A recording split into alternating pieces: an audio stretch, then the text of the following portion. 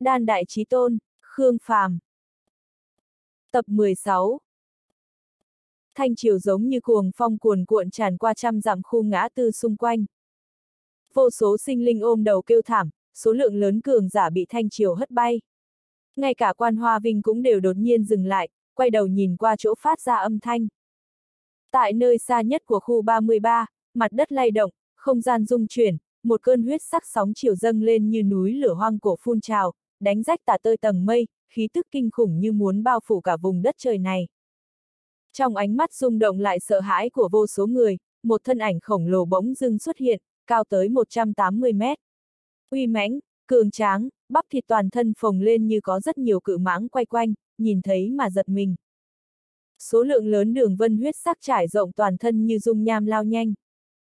Hắn ngẩng đầu gầm thét, giải thoát phong ấn nhẹ nhàng vui vẻ. Đây là quái vật gì? Hắn là ai? Cũng là cường giả hoàng thất sao? Khu 33 hoàn toàn đại loạn, đám người chật vật chạy trốn, kinh hãi trước tên quái vật đột nhiên xuất hiện, càng không chịu nổi phần huyết khí đập vào mặt kia. Mẫn Nguyên Hóa ngồi trên thân người khổng lồ, chỉ về quốc đô ở phía xa. Hoàng huynh, tiến đến quốc đô. A à, hai mắt người khổng lồ sung huyết, giống như một cái hố sâu đỏ ngòm, khiến cho người người hoảng sợ. Cơ bắp toàn thân hắn kịch liệt nhúc nhích, đường vân màu máu sôi trào lên huyết khí. ầm ầm, mặt đất lay động, khung ngã tư vỡ tan. Cự nhân cất bước hướng về phía trước phóng tới, tốc độ càng lúc càng nhanh. Cơ thể hắn to lớn, mỗi một bước dẫm xuống đều rất nhanh đã vượt qua khu 33 hơn trăm mét. Vô số người trợn mắt hốc mồm đưa mắt nhìn người khổng lồ phóng đi, qua một hồi, phía sau lại nhấc lên cuồng phong khiến phòng ốc vỡ vụn, đám người bay lên, hoàn toàn đại loạn. Ta là thống lĩnh chấn thủ khu 33, Mẫn Nguyên Hóa. Hộ giả đan quốc, lui. Mẫn Nguyên Hóa đứng ở trên thân người khổng lồ, cao giọng ra lệnh, thịt mỡ toàn thân biến thành lân phiến giống như áo giáp, bao trùm toàn thân. Khí thế phi phàm, chiến ý tăng vọt. Các hộ giả đang muốn ngăn trở đã lập tức dừng lại, khiếp sợ đưa mắt nhìn người khổng lồ từ bên cạnh tiến lên. Mẫn Nguyên Hóa. Hắn nuôi tên quái vật như thế từ lúc nào? Hoàng Đại Bính, ngươi khẳng định muốn nhúng tay sự vụ đan quốc. Quan Hoa Vinh xoay người, gào thét nói với người khổng lồ. Người khác không biết Hoàng Đại Bính, nhưng hắn đã sớm nghe thấy.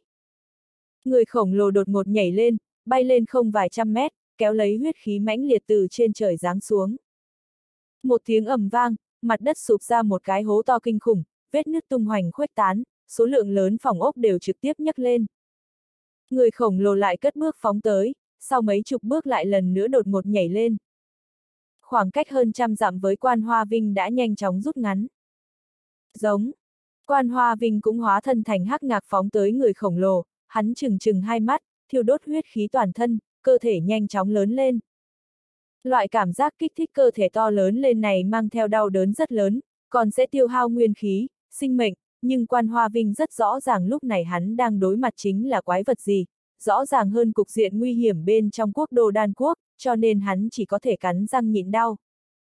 10 mét, 20 mét, 30 mét, 100 mét. Giống. Quan hoa vinh biến thành cự ngạc trăm mét, cương khí cuồn cuộn sôi trào. Hắn nặng nề lại hung tàn, đạp động mặt đất, xông qua khu thứ 18 đã biến thành phế tích, ngang nhiên đón tiếp người khổng lồ. Hắn gầm lên giận dữ, cương khí cuồn cuộn, như lôi đình, như mưa to, oanh kích người khổng lồ. Người khổng lồ phá tan thanh chiều kinh khủng, vung mạnh quyền đánh về phía quan hoa vinh, nắm đấm nhanh chóng phồng lên, bên ngoài trải rộng huyết văn, mang theo khí thức hủy diệt. Quan hoa vinh phóng lên tận trời, miệng mở lớn, răng nanh nhuốm máu, móng vuốt bạo kích, không thể phá vỡ. Vô số người trợn mắt hốc mồm nhìn hai tên quái vật kinh khủng va vào nhau. Bành! Răng rác M thành thanh tựa như sấm nổ, đinh tai nhức óc. Quan hoa vinh phóng người lên hơn 10 dặm, lại bị đối diện đập bay ra ngoài. Lân giáp, răng nanh, máu tươi, vẩy ra khắp nơi. Qua! Wow. Đám thủ vệ xa xa đều hít một ngụm khí lạnh, hoảng sợ run rẩy. Người khổng lồ không ngừng phóng tới, toàn thân xoay tròn, nâng nắm đấm lần nữa đánh về phía quan hoa vinh. Huyết khí sôi trào, nắm đấm cứng rắn. Giống. Quan hoa vinh không đợi rơi xuống đất, hắn nhanh chóng phun trào lên cương khí kinh khủng. Cương khí mãnh liệt cực độ, hóa thành vô số thanh đao đen tuyền bạo tạc, hoàn toàn bao phủ người khổng lồ. Nhưng, người khổng lồ cường đại vượt xa những gì quan hoa vinh mong muốn, càng vượt qua tưởng tượng của mọi người. Những thanh đao đen tuyền nhìn như có thể hủy diệt hết thảy đã bổ vào trên người hắn, nhưng thậm chí ngay cả một sợi lông cũng đều không hề bị tổn hại, quả đấm to lớn đột phá cương khí, đánh vỡ nát tất cả hắc đao, lại trực tiếp đánh vào trên thân quan hoa vinh. Quan hoa vinh run rẩy, bay ra hơn vài trăm mét, hắn muốn cưỡng ép ổn định lại nhưng vẫn liên tục nảy lên trên mặt đất. Người khổng lồ cất bước phóng tới, sau năm ba bước liền bay lên không bắt lấy cái đuôi quan hoa vinh. Giống. Đuôi cá sấu của quan hoa vinh là vũ khí sát thương cường đại, mặt ngoài lập tức mở lên gai nhọn đâm xuyên bàn tay to lớn của người khổng lồ, ngay sau đó lực lượng toàn thân sôi trào, hắn đứng thẳng người lên, quấn lên cánh tay tráng kiện của người khổng lồ, cái miệng kinh khủng há mở, hung hăng cắn về phía cái cổ người khổng lồ. Một màn tàn nhẫn này để vô số người lạnh run. Người khổng lồ vung tay trái lên bóp lấy cổ cá sấu, huyết văn chảy xuôi ra mặt ngoài bàn tay, lực lượng tăng vọt mấy lần, cưỡng bức kéo lấy đầu cá sấu. Quan Hoa Vinh kịch liệt lắc đầu, điên cuồng cắn về phía cổ người khổng lồ, bên trong còn không ngừng phun ra hắc khí bạo kích tới đầu của người khổng lồ. Người khổng lồ hét lớn, trợn mắt trừng trừng, hai tay toàn bộ bộc phát ra lực lượng kinh người. Tay trái bắt lấy cổ cá sấu, tay phải kéo lấy đuôi cá sấu, cưỡng bức xé rách. Thời khắc cuồng dã, sinh tử tồn vong. Quan Hoa Vinh điên cuồng muốn chạy thoát, hắn không ngừng liên tục phóng thích cương khí toàn thân, oanh kích người khổng lồ. Tình thế dã man này như có thể hủy diệt hết thảy mọi thứ. Toàn bộ phòng ốc, cung điện xung quanh đều bị phá hủy, cây cối, núi đá liên miên bị chôn vùi. Nhưng, huyết khí toàn thân người khổng lồ lao nhanh chống đỡ sự của điên cuồng quan hoa vinh, sau đó, vô số người kinh hãi thấy người khổng lồ cưỡng bức giơ hắn lên trước mặt, mở ra cái miệng to như chậu máu, hung hăng cắn về phía bụng cự ngạc. A! À, quan hoa vinh đau đớn kêu thảm, từ phản kháng biến thành dãy ruộng. ầm ầm, người khổng lồ đè ép quan hoa vinh đập xuống đất, cuồng phong tàn phá bửa bãi, bụi mù cuồn cuộn, hai tay của hắn khống chế cái đầu cùng cái đuôi đang điên cuồng phản kích, cúi đầu điên cuồng cắn xé bụng của cự ngạc. Huyết nhục văng tung tóe. Nhìn thấy mà giật mình. Cái bụng cứng rắn của quan hoa vinh rất nhanh đã rách dưới, lộ ra nội tạng đỏ tươi bên trong. Người khổng lồ ngẩng đầu lên, bỗng nhiên rủ xuống, miệng lớn cắn xé hút lấy máu tươi bên trong. Cảnh tượng này cứ như tiên dân thượng cổ đang chém giết ác thú, ăn lông ở lỗ, ăn sống nuốt sống để vô số người thật giống như lại một lần nữa về tới thời đại thượng cổ. Hoàng Đại Bính, người đã chọn sai người rồi. Ngươi sẽ trở thành tội nhân của lang gia Hoàng Triều, cả đời này ngươi sẽ không được lại vào Hoàng Triều. Quan Hoa Vinh đau đớn hét lớn, vùng vẫy giấy chết, nhưng nội tạng vẫn bị cắn xé sạch sẽ. Răng rắc, cái cổ cứng rắn cũng ở trong hai tay người khổng lồ mà bị tách ra. Tiếng gầm thét của quan hoa vinh cứ thế mà dừng lại. Người khổng lồ đứng dậy thét gào, âm thanh chấn động đan quốc. Rất nhiều người đều ớn lạnh toàn thân, bị dọa đến ngồi liệt trên mặt đất. Mặt mũi người khổng lồ đầy máu, hắn nắm lấy thi thể cự ngạc trăm mét, tiếp tục phóng tới quốc đô. Đuổi theo, đều thất thần làm gì, theo ta cứu quốc quân. Mẫn Nguyên Hóa đứng ở trên thân người khổng lồ gọi lớn thủ vệ ở các nơi. Các hộ giả liên tiếp bừng tỉnh, toàn thân lại dùng mình một cái, đây là quái vật gì? Sâu trong quốc đô, bầu không khí vô cùng khẩn trương. Cường giả hoàng thất bí mật chui vào cũng không coi là nhiều, nhưng tất cả lại vô cùng cường đại, cũng đều sốt ruột đến điên cuồng, liên tiếp đột phá đám người thủ vệ ngăn cản, giết hết cùng một chỗ. Các hộ giả đan quốc thực lực hơi yếu, kèm theo không có kinh nghiệm chiến đấu gì, nhưng vẫn nương tựa theo ưu thế số lượng, có một số lớn cường giả hoàng thất vẫn bị ngăn cản cản ở bên ngoài, không bắt sống thì chính là đánh giết. Có cách giải quyết thẩm Đông Sơn hay không? Khương Phàm nhỏ giọng hỏi Thương Minh. Thương Minh lắc đầu, năng lực ứng biến của linh hồn đỉnh phong hay là lôi châm linh văn quá mạnh, vừa rồi cũng đã lĩnh giáo qua. Khương Phàm lại nói, nếu như gây ra hỗn loạn thì sao? Hẳn là có cơ hội, nhưng giá quá lớn, ta lo lắng hắn sẽ còn thừa cơ bắt giết ngươi. Thương Minh vẫn lắc đầu, vì Thẩm Đông Sơn đang gắt gao trông coi lục hoàng tử, hắn không thể để cho Khương Phàm gặp được nguy hiểm. Khương Phàm trầm mặc một lát, lại nói với Thường Lăng. Mệnh lệnh bọn thị vệ tấn công, chúng ta tìm cơ hội bắt lục hoàng tử. Không được. Thường Lăng quả quyết lắc đầu. Vì sao? Không được là không được. Đều đã thế này. Khương Phàm lời còn chưa dứt, nơi xa truyền đến tiếng oanh động kịch liệt. Tất cả mọi người ở đây không hẹn mà cùng nhìn về phía bắc, đôi mắt chăm chú nhìn. Quái vật ở đâu ra vậy? Một người khổng lồ toàn thân sôi trào huyết khí nồng đậm đang kéo lấy cuồng phong phóng tới nơi này, tất cả những thứ ven đường, khu ngã tư đều bị hủy hết, chỉ để lại phế tích cùng vô số tiếng kêu la đầy sợ hãi. Hoàng Đại Bính Khuôn mặt quốc quân có chút động, tên quái vật này đang ở Đan Quốc. Hắn là Hoàng Đại Bính. Sao hắn lại tới nơi này? Sắc mặt thẩm Đông Sơn trở nên nghiêm trọng. Hoàng Đại Bính là ai? Lục Hoàng tử trao mày, đây là thú linh văn sao? Nhưng sao lại là hình người? Hắn không có linh văn, mà là huyết mạch hiếm thấy, tình huống cụ thể cũng không có người nào rõ ràng, nhưng hắn có thể trở nên vô cùng khổng lồ. Thẩm Đông Sơn âm thầm hít một ngụm khí lạnh, tiếp tục nói. Lúc hắn biến thân vô cùng tiêu hao năng lượng, cho nên quanh năm đều là trạng thái gầy yếu, tìm kiếm đan dược bổ sung huyết khí khỏe mạnh xương cốt khắp nơi, là khách quen của đan quốc và ngọc đỉnh tông của La Phù. Hoàng đại bính bay lên không vài trăm mét, hung hãn nện vào vòng tròn đang giằng co, nhấc lên cuồng phong cùng huyết khí mãnh liệt. Rất nhiều người đều bị hất bay ra ngoài. Quốc quân, thường lăng, mẫn nguyên hóa đứng trên người Hoàng đại bính, sau khi nhìn thấy hai người bình yên vô sự, rốt cuộc cũng nhẹ nhàng thở ra. Mẫn nguyên hóa. Quốc quân cũng thở phào, thật đúng là sợ Hoàng Đại Bính bị Hoàng thất gọi tới. Thường lăng che đôi môi đỏ khẽ nhếch, có chút khó có thể tin. Cậu còn có thể sử dụng Hoàng Đại Bính. Cơ thể của cậu là thế nào? Đây là người cậu chỉ ăn uống mỗi ngày mà nàng biết sao? Điện hạ. Các cường giả hoàng thất chật vật đứng lên, một lần nữa vây đến bên cạnh lục hoàng tử, cảnh giác người khổng lồ hùng vĩ như núi. Thẩm Đông Sơn thì lắc lư ánh mắt, gắt gao nhìn chằm chằm cự ngạc trong tay Hoàng Đại Bính. Đó là, quan Hoa Vinh. Hoàng Đại Bính xé sống quan Hoa Vinh. Bây giờ làm thế nào? Là dẫn bọn hắn rời khỏi, hay là cứ như vậy kết thúc? Hoàng Đại Bính nhìn thấy quốc quân và thường lăng đều đã an toàn, lông mày từ từ nhăn lại. Quốc quân, xử lý người của Hoàng thất như thế nào? Mẫn Nguyên Hóa cao giọng hỏi thăm, mắt nhỏ gắt gao nhìn chằm chằm cường giả Hoàng thất. Đám hỗn đản này cũng dám chui vào đan quốc giết người. Tôn trọng của Hoàng thất đối với đan quốc đâu hết rồi. Thật sự là một đời không bằng một đời. Trách không được đều nói Hoàng Triều kiến quốc, 300 năm một kiếp, nhìn bộ dạng này, lang gia Hoàng Triều 200 năm đã muốn gặp được kiếp của mình. Đều thả ta ra, ta xem ai dám giết ta.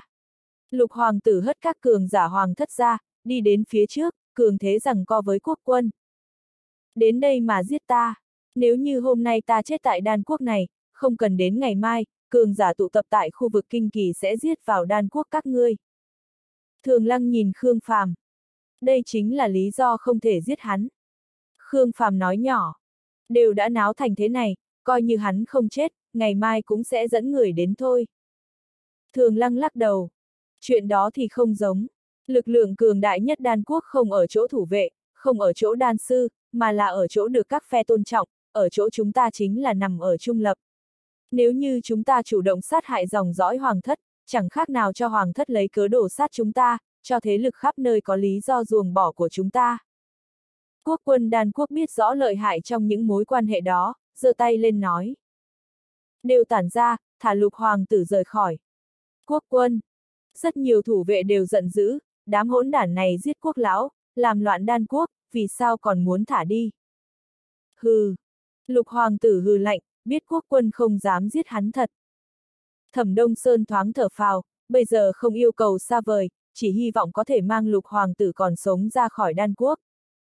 Ta lấy tên quốc quân, xin mời các vị lui ra, thả lục hoàng tử rời khỏi đan quốc.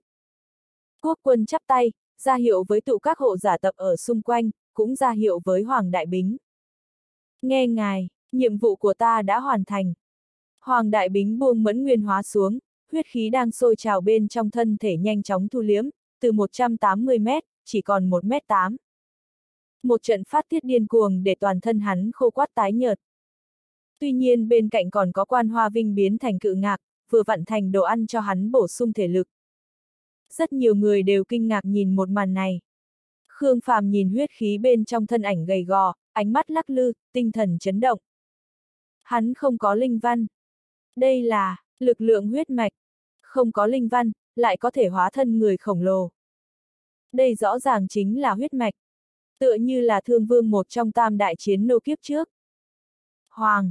Khương Phàm nhịn không được liền muốn gọi lại, nhưng vẫn kịp nhịn, trường hợp bây giờ không thích hợp, sau khi kết thúc mới có thể tâm sự. Giao cửu công chúa ra. Lục hoàng tử đang muốn rời khỏi, bỗng nhiên nghĩ đến cửu công chúa. Một lúc không gặp, giống như bị Khương Phàm giấu đi rồi. Khương Phàm đứng sau lưng quốc quân, thấp giọng nói. Không thể nào, ta muốn đem nàng mang về La Phù. Đời này của nàng, đều khó có khả năng trở về Hoàng Thành. Quốc quân đan quốc nghe ra sự kiên quyết trong giọng nói của Khương Phàm, nhìn lục hoàng tử nói. Chúng ta, chưa thấy qua cửu công chúa gì cả. Ánh mắt lục hoàng tử đột nhiên lạnh. Ngươi đã nghĩ rõ ràng hậu quả. Thường lăng nói. Đừng tiếp tục dây dưa, nếu không ngươi cũng đi không được. Rất tốt, chúng ta đi. Lục hoàng tử sâu hít một hơi, mang theo thẩm đông sơn và các cường giả hoàng thất rời khỏi. Đám người thủ vệ đan quốc muốn ngăn cản, nhưng vẫn liên tiếp tránh ra. Quốc quân, thống lĩnh các khu liên tiếp tụ tới, chờ đợi lấy quốc quân đưa quyết định. Hoàng thất vậy mà lại náo vào đan quốc, còn tàn nhẫn sát hại quốc lão, mưu toàn khống chế quốc quân. Chuyện này nói rõ hoàng thất đã không còn tôn trọng đan quốc, càng mang ý nghĩa hoàng thất đang chế tài đan quốc. Hôm nay, chỉ là bắt đầu. Chờ lục hoàng tử trở lại, chỉ sợ cũng không còn là một mình hắn nữa. Bọn hắn nhất định phải đưa ra lựa chọn, nếu không chính là ngồi chờ chết. Các vị thống lĩnh trước tiên hãy chờ một lát. Quốc quân quay người đi đến bên cạnh. Tô Nguyên Minh, Thường Lăng, còn có Khương Phàm đều theo tới. Quốc quân nhìn nhìn Tô Nguyên Minh thấp thỏm lo âu, nói. Ta có thể không so đo quyết định trước đó của ngươi, nhưng ta cần ngươi từ nay về sau phải kiên định ủng hộ tất cả quyết định của ta. Tô Nguyên Minh như nhặt được đại xá, nhanh chóng cam đoan, nhưng lại nhìn không được nhìn Khương Phàm. Khương Phàm nói, ta tôn trọng quyết định của quốc quân. Tô Nguyên Minh lúc này mới hoàn toàn bình tĩnh lại. Hoàng thất không thể, càng không có khả năng lại buông tha đan quốc. Cho dù đan quốc có thể vượt qua nguy cơ lần này, nhưng cũng không thể nào lại là đan quốc đã từng nữa. Chúng ta nhất định phải tiếp nhận hiện thực này. Lúc quốc quân bình tĩnh nói ra câu nói này, trong lòng kỳ thật đã triệt để tuyệt vọng với hoàng thất rồi. Khương Phàm, Thường Lăng, Tô Nguyên Minh đều nghe ra thâm ý trong lời nói, không tự chủ được mà nắm tay, chờ đợi quyết định của quốc quân. Nếu đan quốc không thể lại là đan quốc, vậy chúng ta cũng đừng làm đan quốc nữa. Thông báo tất cả mọi người, ai nguyện ý cùng thường ra chúng ta rời khỏi, mau chóng chuẩn bị, trước khi trời tối liền khởi hành. Không nguyện ý đi theo chúng ta trải qua nguy hiểm thì hãy chúc phúc chúng ta, trước khi trời tối cũng phải rời khỏi nơi này. Quốc quân nói xong, thở phào một hơi, trên mặt lộ ra nụ cười thản nhiên, trái tim lại hung hăng nắm chặt một chỗ. Quyết định này rốt cuộc sẽ mang đến cho đan quốc cái gì, hắn thật không rõ ràng. Thời điểm khi quốc quân tuyên cáo tin tức này với đan quốc, đan quốc lần nữa lâm vào oanh động. Chất vấn, không hiểu, rung động, sợ hãi, mê mang. Nhiều biểu hiện phức tạp hiện lên ở trên khuôn mặt luyện đan sư cùng các hộ giả. Bọn hắn sinh sống ở chỗ này, bọn hắn kiêu ngạo ở chỗ này, cho tới bây giờ bọn hắn không nghĩ tới sẽ muốn rời khỏi nơi này. Trong lúc bất chợt, bọn hắn lại phải đứng trước lựa chọn tàn khốc như vậy. Từ bỏ hết thảy, đi xa tha hương. Quốc quân, tất cả mọi người đã quyết định kỹ càng. Bận rộn đến trưa, Tô Nguyên Minh mang theo số liệu thống kê xong, tìm được quốc quân. Có bao nhiêu luyện đan sư nguyện ý cùng chúng ta rời khỏi. Quốc quân chính yên lặng sửa sang đồ bên trong tổ từ, một bên sắp xếp, một bên nói nhỏ, xin lỗi tiên tổ, giải thích nguyên do rời khỏi. Xin mời quốc quân xem qua. Tô Nguyên Minh đem sổ sách ghi chép đưa tới trước mặt quốc quân. Người đọc cho ta nghe đi. Quốc quân không hề bình tĩnh giống như bên ngoài. Mặc dù những gì nên nói đều đã nói với con dân đan quốc, tin tưởng bọn họ đều có thể đã hiểu được tình thế trước mặt, cũng hẳn tức giận hành động của hoàng thất, nhưng bọn hắn rốt cuộc có nguyện ý rời khỏi đan quốc hay không, trong lòng quốc quân thật không nắm chắc. Tô Nguyên Minh đem sách lật đến phía sau, nói. Đan quốc có 5.123 vị luyện đan sư, tổng cộng có 3.763 vị quyết định đi theo chúng ta rời khỏi. Hơn 3.700. Hai tay quốc quân cầm lấy bài vị tiên tổ có chút dùng sức, số lượng này so với hắn mong muốn thật tốt hơn nhiều. Hắn hít một hơi thật sâu, chậm rãi thở ra. Trong lòng rốt cuộc cũng có lực lượng. Hơn một ngàn người khác kia đi con đường nào. 586 vị lựa chọn ở lại thủ đan quốc, chờ đợi hoàng thất xử lý. Còn có hơn 700 vị tiếp nhận lời mời những thế lực bên ngoài, bây giờ đang rời khỏi. Tô Nguyên Minh cũng tương đối hài lòng đối số lượng này, có hơn 3.700 vị luyện đan sư này, đan quốc hoàn toàn có thể một lần nữa quật khởi. Quốc quân gật đầu, phân phó nói. Hơn 500 vị người ở lại nên tận lực khuyên nhủ, có thể mang đi thì mang đi. Các hộ giả thì sao? Hơn 3 vạn hộ giả tổng cộng có hơn 2 vạn 2 ngàn đi theo. Tô Nguyên Minh nhắc đến cái này, trên mặt càng hiện ra ý cười. Hơn 2 vạn hộ giả, xem như trên đường thật giết lên thì vẫn có thể bảo đảm có một số luyện đan sư an toàn phá vây. Quốc quân suy nghĩ một lát, nói. Đem đan dược cất giữ phân phát cho những người rời khỏi kia, cũng đem tinh tệ đan quốc đưa cho những vị khách bằng hiếu kia, mời bọn họ dùng tốc độ nhanh nhất giải tin tức tới trong ngoài Hoàng Triều, liền nói Hoàng thất muốn hủy diệt đan quốc, đan quốc bị ép rời khỏi.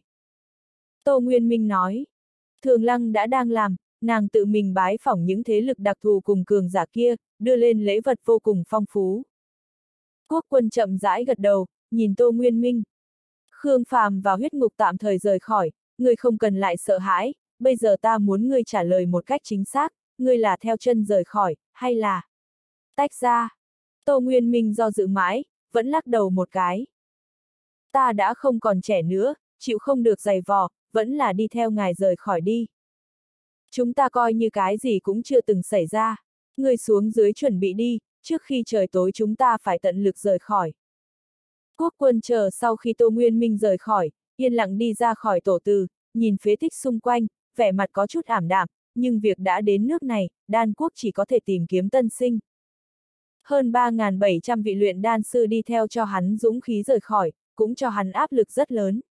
Chỉ mong đoạn đường này có thể thuận lợi, chỉ mong La Phù nơi đó có thể tiếp nhận bọn hắn. Trong hoang dã lần cận tinh nguyệt, một trận chém giết kịch liệt đang diễn ra.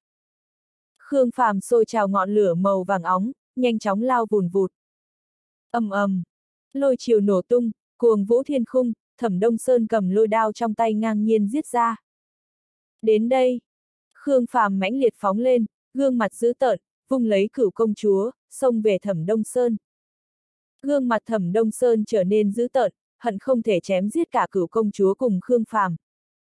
Nhưng, thẩm đông sơn, tiếng gào thét thê lương quanh quẩn hoang dã. Lục hoàng tử bối rối lại hoảng sợ, cuồng loạn ra lệnh thẩm đông sơn. Thương Minh đang cường thế ngăn cản, nhanh chóng phóng tới trời cao, huyết khí cuồn cuộn toàn thân, hình thành sáu huyết ảnh, toàn bộ cùng giống hắn như đúc, toàn bộ đều cầm liêm đao trong tay, liệp ưng vạch ra một đường cong, theo thương minh vây bắt lục hoàng tử. Đáng chết! Thẩm Đông Sơn tức giận, lôi đao đang phóng thẳng tới Khương Phàm đành cưỡng ép thu về, lôi chiều sôi trào, liền biến mất trong nháy mắt, sau một khắc đã xuất hiện ngoài trăm thước, ngay sau đó lại biến mất. Thẩm Đông Sơn, ta chết ở chỗ này, người cũng không sống nổi. Lục hoàng tử lo lắng gào thét, sắc mặt trắng bệch.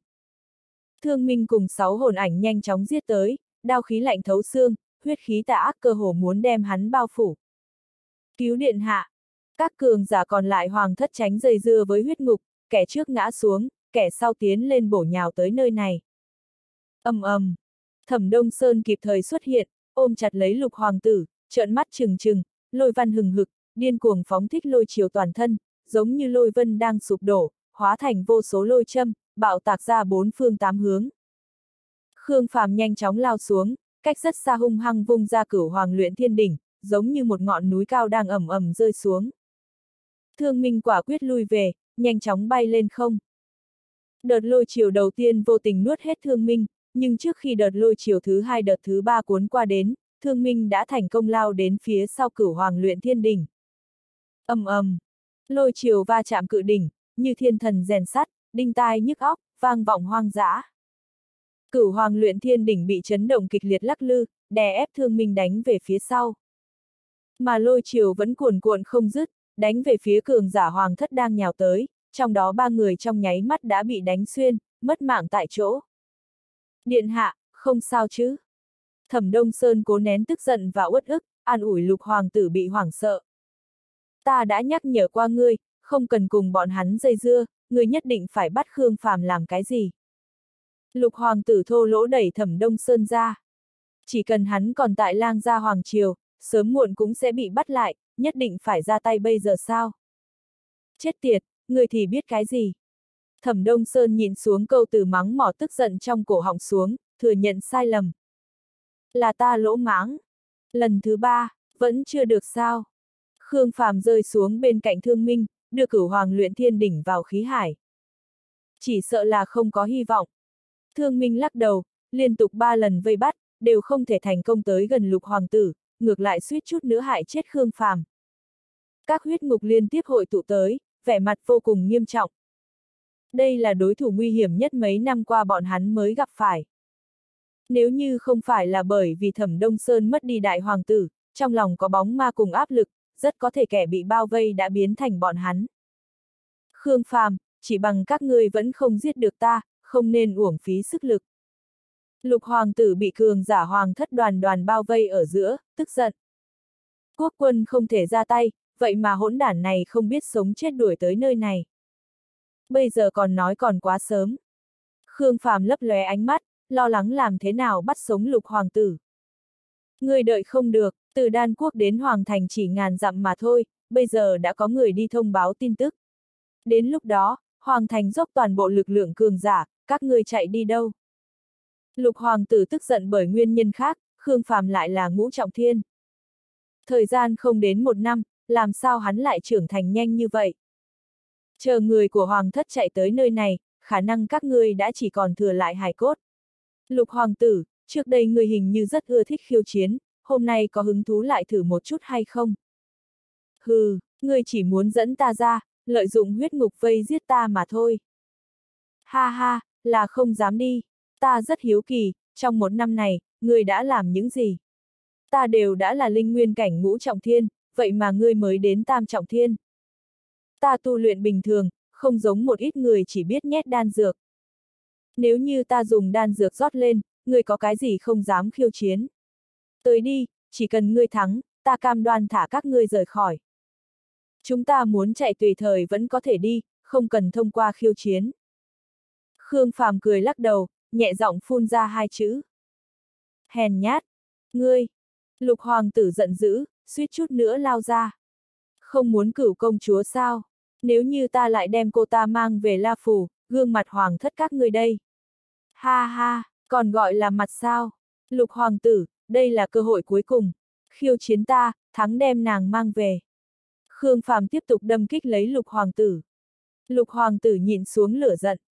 Khương Phàm, người không cần tùy tiện, ta dùng đầu cam đoan, người không thể nào còn sống chạy ra khỏi lang gia hoàng triều. Đến lúc đó, ta sẽ mang theo cửu công chúa cùng đầu của ngươi, trở lại hoàng thành. Thương minh thống lĩnh, chúng ta rút lui. Khương Phàm tiếc nuối thầm nghĩ. Rút lui đi. Thương minh ra hiệu các huyết ngục, chậm rãi lui lại. Thời điểm Khương Phàm trở lại đan quốc, nơi này đã thu dọn ổn thỏa hết rồi. Quốc quân và mọi người dỡ bỏ toàn bộ đỉnh lô của đan quốc, lấy hết tất cả linh thảo linh quả trong dược viên. Linh bảo tích lũy 200 năm của đan quốc cũng không ngoại lệ đều bị cuốn đi hết. Hơn 2 vạn hộ vệ áo lam ở bên ngoài, hơn 3.000 bạch bào tụ tập ở bên trong, còn có hơn 2.000 con mãnh cầm, linh thú tụ ở bên trong. Vượt quá ngoài ý muốn chính là, còn có hơn 30 vạn con dân sinh sống ở đan quốc, tất cả đều chỉnh lý tốt gia sản, gom lại phía trước, nguyện ý đi theo quốc. Quân trốn khỏi lang ra hoàng triều. Bọn hắn tới rồi. Thường lăng nhìn thấy bọn người Khương Phàm đuổi tới, lập tức gọi tới nơi này. Quốc quân, đây đều là muốn cùng mọi người rời khỏi. Khương Phàm nhìn biển người, trong lòng kích động muốn nhìn trời cao mà hô to vài tiếng. Không hổ là nước trong nước, số lượng đan sư võ giả đều quá nhiều. Nhất là lít nha lít nhít ba bốn ngàn bạch bào, càng làm cho hắn phấn chấn. Nếu như nguồn lực lượng này tiến vào La Phù, tất nhiên sẽ nhất cử vượt qua Ngọc Đỉnh Tông, trở thành một lực lượng hoàn toàn mới. Đương nhiên cũng sẽ không ngừng liên tục duy trì cung cấp tài nguyên đan dược cho Bạch Hổ Tông bọn hắn cùng Thiên Sư Tông và các tông khác. Hơn 3.700 luyện đan sư, hơn 2 vạn 2.000 hộ giả. Thường Lăng rất vui vì bọn thủ vệ đan sư đều đi theo, nhưng không mừng rỡ chút nào. Đoạn đường này sẽ đem tất cả mọi người đưa cổ tới trên lưỡi đao, có thể sống mà đi ra Hoàng Triều hay không, ai cũng không đoán trước được. Chúng ta sẽ thuận lợi trở lại La Phù. Khương Phàm cũng có chút lo lắng, nhưng lúc này không thể ủ rũ. Khương Phàm, ta có một thỉnh cầu. Quốc quân ra hiệu người xung quanh đều lui lại. Ngài cứ nói. Ta hy vọng các ngươi có thể cùng chúng ta chia ra hành động. Mang theo thường lăng, mang theo các luyện đan sư đan quốc một đời mới. Vì sao? Nếu như Hoàng thất thật muốn coi trời bằng vung, ta hy vọng còn có thể để lại chút huyết mạch. Quốc quân cần làm tốt dự tính xấu nhất, chẳng may có cái gì ngoài ý muốn, chỉ ít hắn cũng đã để lại chút nội tình cho đan quốc. Khương Phàm cùng bọn người thương minh thương lượng một chút. Chia ra hành động cũng tốt, chúng ta có thể hấp dẫn một số lực lượng của Hoàng thất. Thường lăng đành nhờ các ngươi rồi. Ta sẽ ta tận hết khả năng, mang nàng trở lại La Phù. Ừm, ta tin tưởng ngươi, nhưng, ta vẫn hy vọng ngươi có thể thề, bất luận như thế nào đều phải đem bọn hắn còn sống dẫn đi. Quốc quân nhìn vào mắt Khương Phàm, bọn người thường lăng chính là hy vọng của đan quốc, nếu như hắn có bất chắc gì, bọn người thường lăng lại gặp gặp ngoài ý muốn, đan quốc liền sẽ bị hủy triệt để. Khương Phàm có chút động lòng, trịnh trọng cho quốc quân thấy thái độ. Chỉ cần ta sống, thường lăng nhất định còn sống. Chỉ cần ta có thể trở về La Phù, nhất định mang theo thường lăng trở về. Quốc quân mỉm cười, ôm lấy thường lăng. Đừng lại nhiều lời, cùng bọn người Khương Phàm đi thôi. Hai mắt thường lăng mông lung, cố nén cảm xúc. Phụ thân, nhi thần ở La Phù đợi ngài. Quốc quân đem một khối ngọc thạch cổ xưa treo ở trên cổ thường lăng. Trong này chứa đan kinh quý giá nhất cùng linh bảo đan quốc, còn có đỉnh lô truyền thừa của đan quốc, thay ta đưa đến La Phù. Thường lăng dùng sức nắm chặt ngọc thạch. Phụ thân yên tâm, nhi thần còn thì ngọc thạch sẽ còn. Sau đó không lâu, quốc quân tự mình chọn lựa 60 vị luyện đan sư 70 vị hộ giả. Tuổi của bọn hắn đều ở 12 tương đương 13 tuổi, linh văn đều là ngũ phẩm lục phẩm, đại biểu cho hy vọng của đan quốc. Khương Phàm thu bọn hắn sạch vào thanh đồng tiểu tháp, để Lý Dần ở bên trong hỗ trợ. Chúng ta đi thôi. Thường Lăng có rất nhiều lời muốn cùng phụ thân, nhưng vẫn cưỡng ép nhìn xuống, khóe mắt rưng rưng, thúc giục bọn người Khương Phàm rời khỏi. Chờ một lát ta. Khương Phàm chạy tới Mẫn Nguyên Hóa bên cạnh, thi lễ một cái. Ngài là cậu của Thường Lăng Tông Sư. Mẫn Nguyên Hóa rất bất ngờ. Ta là Mẫn Nguyên Hóa, cậu của Thường Lăng. Người khổng lồ trước đó ngài mang theo kia đâu? Hắn sao, là ta mời tới, hoàn thành xong nhiệm vụ đã liền rời khỏi. Có thể giới thiệu hắn cho ta không? Khương Phàm có chút ảo não, sớm biết đã không vội vã đuổi bắt lục hoàng tử. Hắn tên Hoàng Bánh Nướng, Hoàng Đại Bính, tên thực thì không biết. Ta biết hắn là vào 10 năm trước, mới đầu không để ý, sau khi thấy đến hắn đem đan dược coi là đường đậu mà ăn thì liền chủ động kết giao. Từ đó sau đó, mỗi lần hắn đến đan quốc đều sẽ đến khu 33 của ta, ta cũng sẽ làm chút rượu ngon đan dược để tiếp đãi. Có lần hắn uống say nói hắn có thể biến cao đến hơn 100 mét, lúc ấy ta nghĩ là nói đùa, nhưng sau này lại từ người khác biết được, hắn xác thực có năng lực kia. Mẫn Nguyên Hóa rất rung động, 10 năm đan dược thật không bỏ phí, thời khắc mấu chốt đã được giúp một ân tình lớn. Khương Phàm lại hỏi, hắn có thể biến đến hơn 100 mét, nguyên nhân cụ thể là gì? Mẫn Nguyên Hóa nghĩ nghĩ. Hình như là vấn đề huyết mạch. Huyết mạch gì? Cái này không rõ ràng. Có cách nào có thể tìm tới hắn không? Muốn tìm hắn, dễ nhưng cũng không dễ. Dễ là bởi vì hắn đều có tên ở tất cả sát thủ công hội, người tới đó phát nhiệm vụ, tổ chức sát thủ sẽ thay người mời hắn ra mặt. Không dễ chính là bởi vì tổ chức sát thủ có thể tìm tới hắn hay không, toàn đều nhờ vào vận khí. Không có cách khác. Hắn cần số lượng lớn đan dược, là khách quen của đan quốc, Ngọc Đỉnh Tông các trọng địa đan sư cỡ lớn khác. Nhất là cần xích luyện huyết tinh đan, thiết cốt hắc nguyên đan. Ý của ngài là, hắn sẽ chủ động đến La Phù tìm chúng ta. Cũng có thể là chúng ta, cũng có thể là Ngọc Đỉnh Tông. Người muốn tìm hắn làm việc sao? Ta muốn cùng hắn tâm sự. Mẫn Nguyên Hóa cười nói. Ta cùng hắn là bằng hữu, tương lai khẳng định còn sẽ tới tìm ta, đến lúc đó ta thay ngươi mời hắn. Ngàn vạn lần cũng phải dẫn hắn đến cho ta, ta tìm hắn có chuyện quan trọng. Đúng, là chuyện tốt, tuyệt sẽ không bạc đãi hắn. Sau khi Khương Phàm liên tục căn dặn Mẫn Nguyên Hóa, mang theo thường lăng cùng huyết ngục lặng lẽ rời khỏi. Các con dân đan quốc. Quốc quân đi đến trước đỉnh núi, thanh âm uy nghiêm truyền khắp toàn trường. Đám thủ vệ áo làm tụ tập ở xung quanh cùng các luyện đan sư bạch bảo an tĩnh lại, ngẩng đầu nhìn qua đỉnh núi. Mãnh cầm, linh thú liên tiếp yên lặng, thu liễm yêu khí. Ta biết các ngươi rất sợ sệt, ta biết các ngươi đều hoang mang, ta biết. Các ngươi không muốn từ bỏ tinh nguyệt, nhưng bây giờ hoàng thất đã dung không được đan quốc chúng ta, hôm nay có thể tàn sát quốc lão, hãm hại quốc quân, tương lai liền có thể tàn sát đan quốc, nô dịch luyện đan sư. Luyện đan sư chúng ta trong lang gia hoàng triều đã không còn có được bất cứ sự tôn trọng nào nữa. Chúng ta không thể ngồi mà chờ chết, nhưng chúng ta lại nhận được ân hoàng triều phù hộ 200 năm, cho nên, không thể cùng bọn họ khiêu chiến, chỉ đành phải tìm chỗ tân sinh. Đoạn đường này, có thể sẽ vô cùng nguy hiểm, con đường tương lai cũng có thể sẽ tràn đầy biến cố, nhưng xin hãy tin tưởng ta, tin tưởng chúng ta. Quốc quân sâu hít một hơi, mở hai tay ra, xoay người hành lễ với các luyện đan sư và đám người ở toàn trường, sau đó. Ở bên trong người tiếng kinh hô của tất cả mọi, hai đầu gối quỳ xuống đất. Quốc quân. Đám người cuống quýt quỳ xuống, ánh mắt lắc lư, khẩn trương lại sợ hãi nhìn quốc quân trên núi. Đan quốc lưu lạc đến tận đây, đều bởi vì ta trước đó đã tuyên cáo thiên hạ. Đan quốc gặp kiếp nạn này, đều bởi vì ta không thể sớm biết trước nguy hiểm. Ta thẹn với đan quốc, thẹn với chư vị, nếu như con đường lần này lại có nguy cơ, thường huyền nghĩa ta sẽ phải vì chư vị mà chết. Quốc quân nói xong, lấy đầu dập xuống đất. Cái cúi đầu này, kính tạ ơn chư vị. Cái cúi đầu này, xin lỗi tiên tổ. Cái cúi đầu này cũng là thỉnh tội với ba vị quốc quân chết thảm ở Thiên Sư Tông, bọn hắn chết thảm bí mật, chỉ sợ chỉ có thể chôn sâu vào trong tâm. Chúng ta không hối hận vì đã ở Đan Quốc. Chúng ta xin lỗi Đan Quốc, không thể tận lực thủ vệ, để quốc quân hổ thẹn chịu nhục. Chúng ta nguyện theo quốc quân, lập tân quốc khác. Quốc quân mà chết, chúng ta, xin nguyện chịu chết. Nếu như lang gia hoàng triều ngăn cản đan quốc rời khỏi, chúng ta nguyện toàn thể chịu chết, mai táng lang gia hoàng triều. Các thủ vệ, các luyện đan sư liên miên hô to.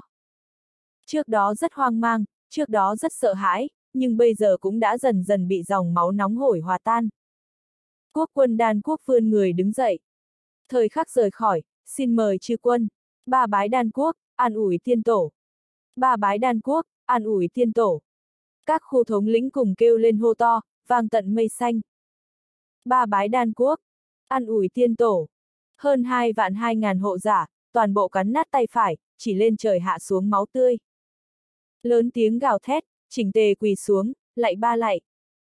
Hơn 3.700 luyện đan sư lấy tay nâng chán, lại đỡ ngực, sau đó hai đầu gối quỳ xuống đất, hai tay nén xuống mặt đất, hành đại lễ. Xin liệt tổ liệt tông đan quốc phù hộ, khởi hành. Quốc quân cao giọng la lên, nhanh chân đi vào trong đội ngũ. Khởi hành. Toàn thể hộ giả vào tới bên ngoài, hình thành 5 tầng vòng vây.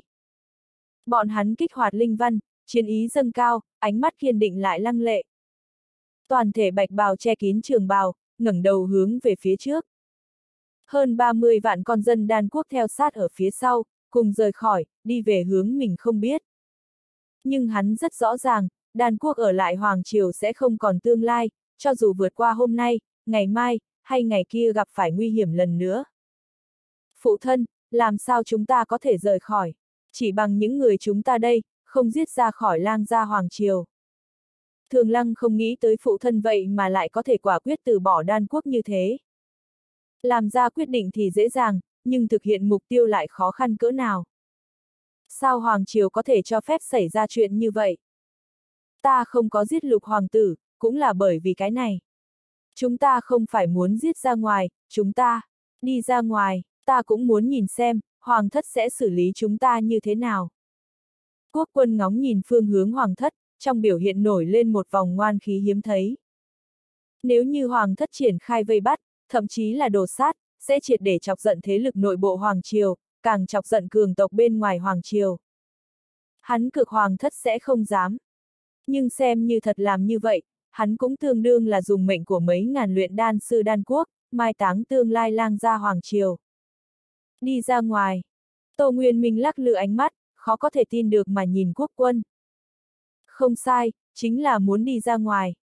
Quốc quân chậm rãi gật đầu, ánh mắt kiên định. Đi như thế nào? Tô Nguyên Minh bỗng nhiên đã hiểu, trong lòng chấn động, càng thật sâu khâm phục.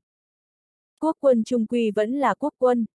Bình thường mặc dù nho nhã đạm bạc, nhưng cơ chí lại làm cho người khác sợ sệt. Quốc quân, Khương Phàm ta đại biểu La Phù, đại biểu vô hồi thánh địa, hoan nghênh các ngươi. Toàn thân Khương Phàm nổi cơn sóng nhiệt, tốt, thật quá tốt, quốc quân muốn dẫn lấy toàn bộ luyện đan sư đan quốc, vào La Phù.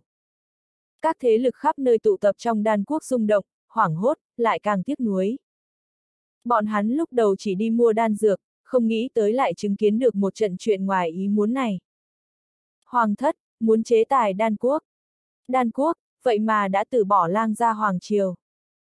Hoàng thất lang gia rốt cuộc nghĩ như thế nào?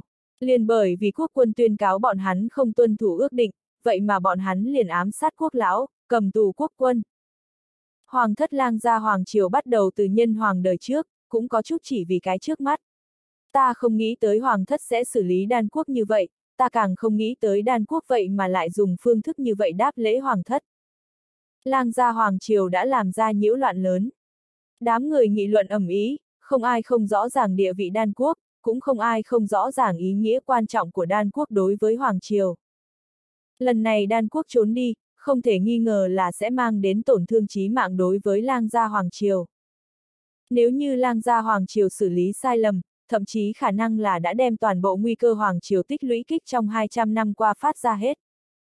Giờ khắc này, nội bộ hoàng thành đã nhấc lên sóng to gió lớn. Đan quốc đại loạn.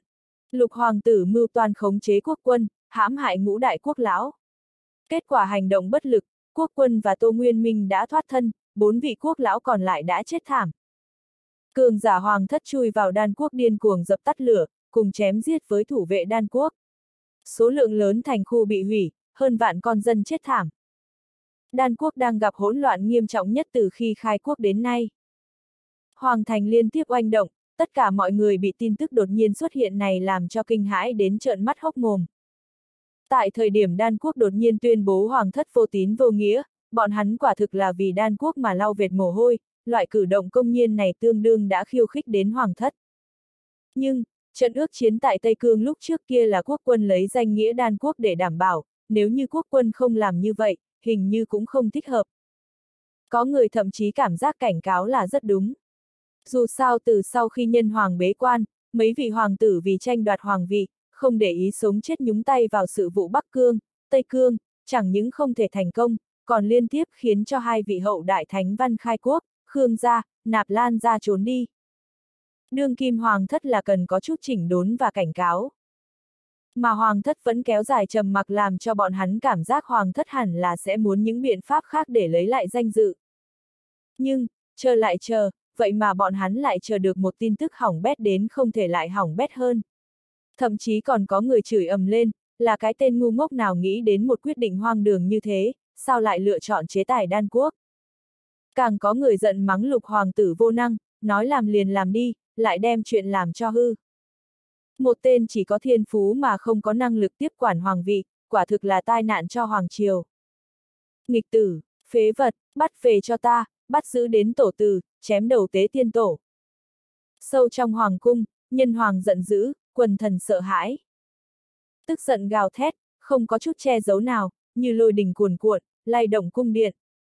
Các cung điện trong hoàng cung, tất cả phi tần, thị vệ đều sợ hãi quỳ xuống đất, kinh hãi nhìn qua phương xa. Chuyện gì có thể làm cho nhân hoàng tức giận đến như thế? Trong đại điện, một vị tộc lão hoàng thất ra mặt, chắp tay hành lễ. Nhân hoàng bất giận. Bành. Nhân hoàng vung lên một trường, cương khí cuồn cuộn như thủy triều, tộc lão vừa mới cúi thân thể xuống đã vỡ nát tại chỗ, huyết nhục văng tung tóe, bay ra ngoài, dọc theo thềm đá quay cuồng rơi xuống đất. Quần thần hồi hộp, toàn thể quỳ xuống. Bọn thủ vệ phía ngoài quỳ xuống một mảnh, run lẩy bẩy. Nhân hoàng lên cơn giận dữ, uy thế kinh khủng tràn ngập cung điện, khuôn mặt trắng noãn bởi vì tức giận mà trở nên vặn vẹo đến đáng sợ. Làm sao lại xuất hiện chuyện ngoài ý muốn như thế này? Sao có thể ngu xuẩn vô năng như vậy? Lục hoàng tử nghĩ thế nào lại đến khai chiến với đan quốc? Cửu công chúa lại làm sao làm, vậy mà để đan quốc truyền ra tin tức lục hoàng tử, tàn sát bốn vị quốc lão. Quần thần quỳ sát, thân thể run rẩy, trong đầu chỉ có một âm quay quanh. Sai lầm. Hoàng Triều đã sai lầm. Bọn hắn so với ai khác đều rõ ràng ý nghĩa của đan quốc, rõ ràng hơn ảnh hưởng mà hoàng thất ám sát quốc quân sinh ra sẽ như thế nào. Nhất là khi quốc quân tuyên cáo hoàng thất vô tín vô nghĩa, đây là thời kỳ mấu chốt hoàng triều chuẩn bị xâm lấn La Phù. Nhưng, rốt cuộc lục hoàng tử đang làm cái gì? Sao có thể đem chuyện náo thành bộ dáng như vậy? Bây giờ nên làm gì? Bây giờ khẳng định đan quốc đang rất hỗn loạn lại tức giận, nếu như xử lý không tốt chắc chắn sẽ để Hoàng Triều có nguy cơ nội loạn. Nhân Hoàng uy nghiêm thét lên ra lệnh. Cha cho ta, đan quốc rốt cuộc loạn đến trình độ nào? Thị vệ ngoài điện cung kính lĩnh mệnh, nhanh chóng rời khỏi. Nhân Hoàng nhắm mắt lại, cưỡng chế tức giận. Bốn vị quốc lão bị tàn sát. Đây là ai tuyên cáo tin tức? Quốc quân sao? Lão già này quả nhiên muốn đối nghịch cùng hoàng thất. Lục hoàng tử sao có thể đem chuyện náo thành dạng này? Liền xem như là ngu xuẩn thì cũng không thể vô năng như vậy. Trừ phi, đan quốc đã sớm chuẩn bị, hoặc là trong lúc lục hoàng tử hành động đã xảy ra ngoài ý muốn. Sau đó không lâu, lục hoàng tử trở lại hoàng cung, quỳ dạp xuống trong cung điện. Bẩm phụ hoàng, quốc quân cấu kết thiên sư tông, Khương Phàm cùng chi đội huyết ngục toàn bộ ẩn núp trong nội bộ đan quốc. Quốc quân làm bộ phối hợp, Tô Nguyên Minh giả ý đầu hàng, bắt lấy cửu công chúa, giết chết thường Ngọc Thư, suýt nữa vây chết chúng ta tại quốc đô. Nhi thần vốn muốn bí mật rời khỏi đan quốc, trở về bẩm báo tình huống. Nhưng, có một vị gọi Hoàng Đại Bính khổng lồ đột nhiên xuất hiện, gây đại loạn tại đan quốc, hư hao cung điện, ngược sát quan hoa vinh. Cường giả hoàng thất chúng ta bất đắc dĩ nghĩ cách cứu viện. Lục hoàng tử biết mình đã làm hư mọi chuyện, không đợi đám người chất vấn liền trước tiên đem toàn bộ trách nhiệm đẩy lên quốc quân cùng huyết ngục. Huyết ngục. Tất cả tộc lão bỗng nhiên biến sắc. Không phải Khương gia đã vội vàng đến ly hỏa thánh địa cứu người sao? Làm sao lại xuất hiện ở đây? Trừ phi, trước khi quốc quân đan quốc tuyên cáo thiên hạ thì đã cùng thiên sư tông liên hệ. Nhân hoàng đang muốn giận dữ mắng mỏ nhưng thanh âm cưỡng bức đặt ở yết hầu, nhíu mày nhìn chằm chằm lục hoàng tử quỳ sát ở phía dưới. Huyết ngục mai phục, Tô Nguyên Minh giả ý đầu hàng. Bắt cửu công chúa, giết thường Ngọc Thư. Còn có Hoàng Đại Bính. Cái này không phải bọn hắn muốn tính kế đan quốc, mà là đan quốc đang chờ đợi bọn hắn vào cuộc. Người nói đều là thật. Ánh mắt nhân hoàng dần dần lăng lệ, uy thế nặng nề nương theo sát khí lạnh thấu xương tràn ngập tại cung điện. Lục hoàng tử kiên trì hô to. Ngàn lần chính xác, nhi thần sao dám khi quân. Đám người trao đổi ánh mắt, nếu thật là như vậy, có lẽ chuyện còn có cơ hội xoay chuyển.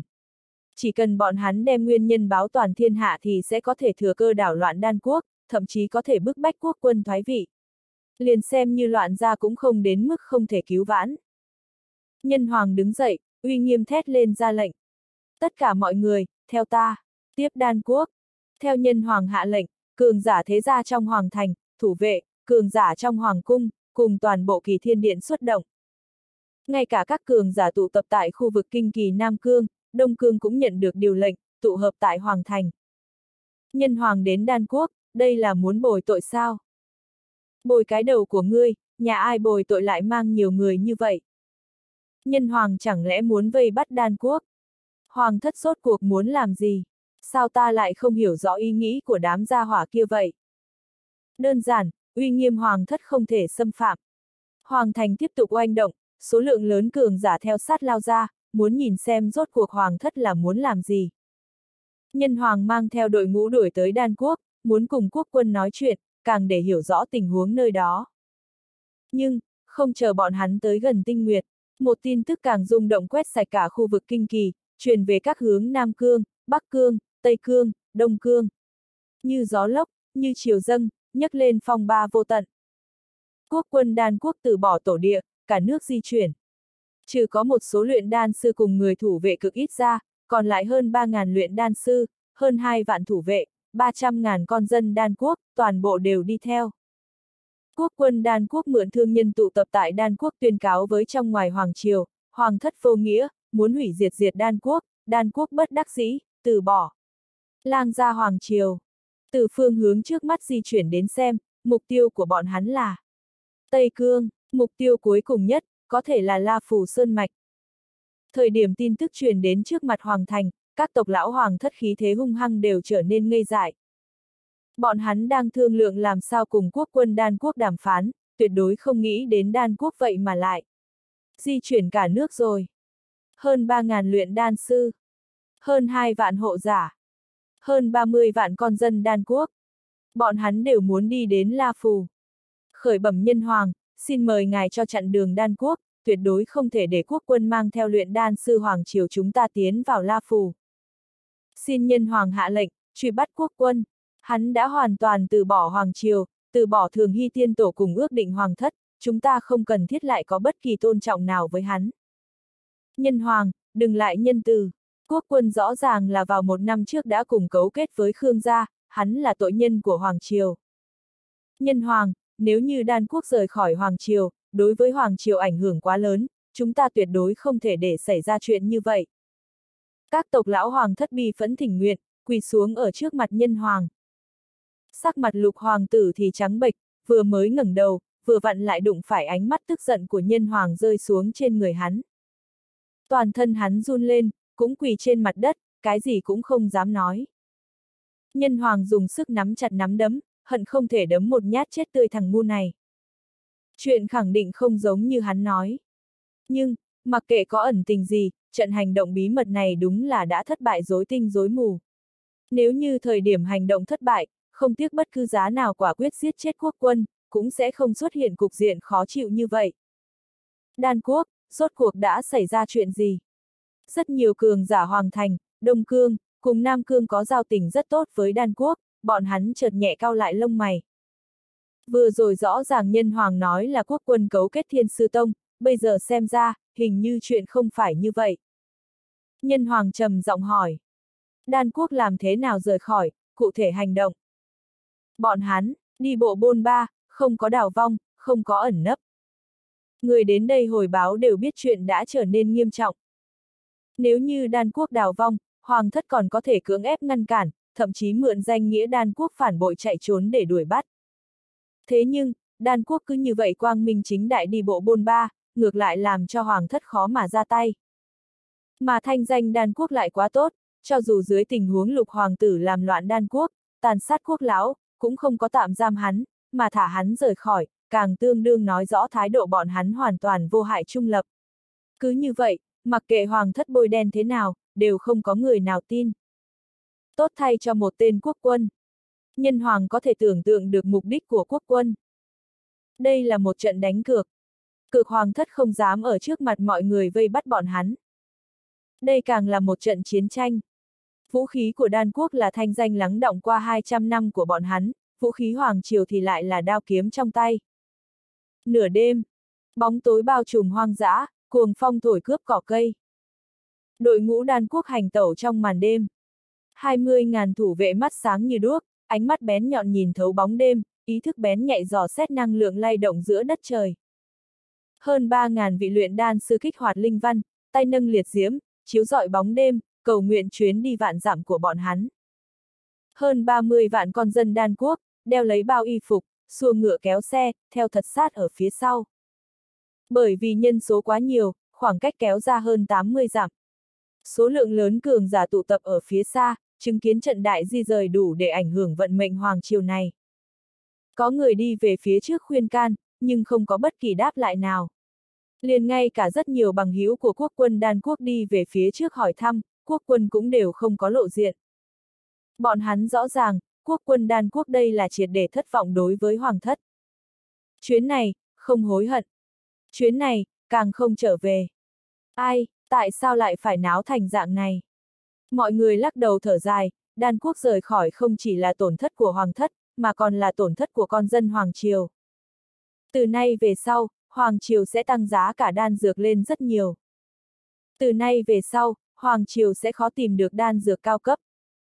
Không có đan dược phụ trợ, võ giả tu luyện sẽ nhận phải chế ước nghiêm trọng, mang ý nghĩa tốc độ phát triển của cường giả hoàng triều đời sau sẽ chậm lại rất rõ.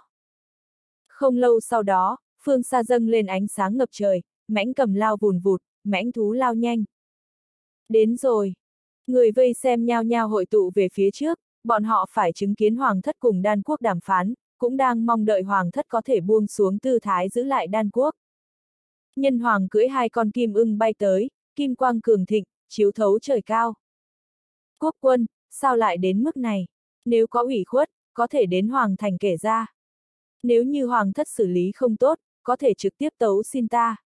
Từ khi tiên tổ khai quốc đến nay đã hơn 200 năm, hoàng thất rất tôn trọng đan quốc, chưa bao giờ xuất hiện bất kỳ ngại kỵ nào, vì sao quốc quân lại như vậy?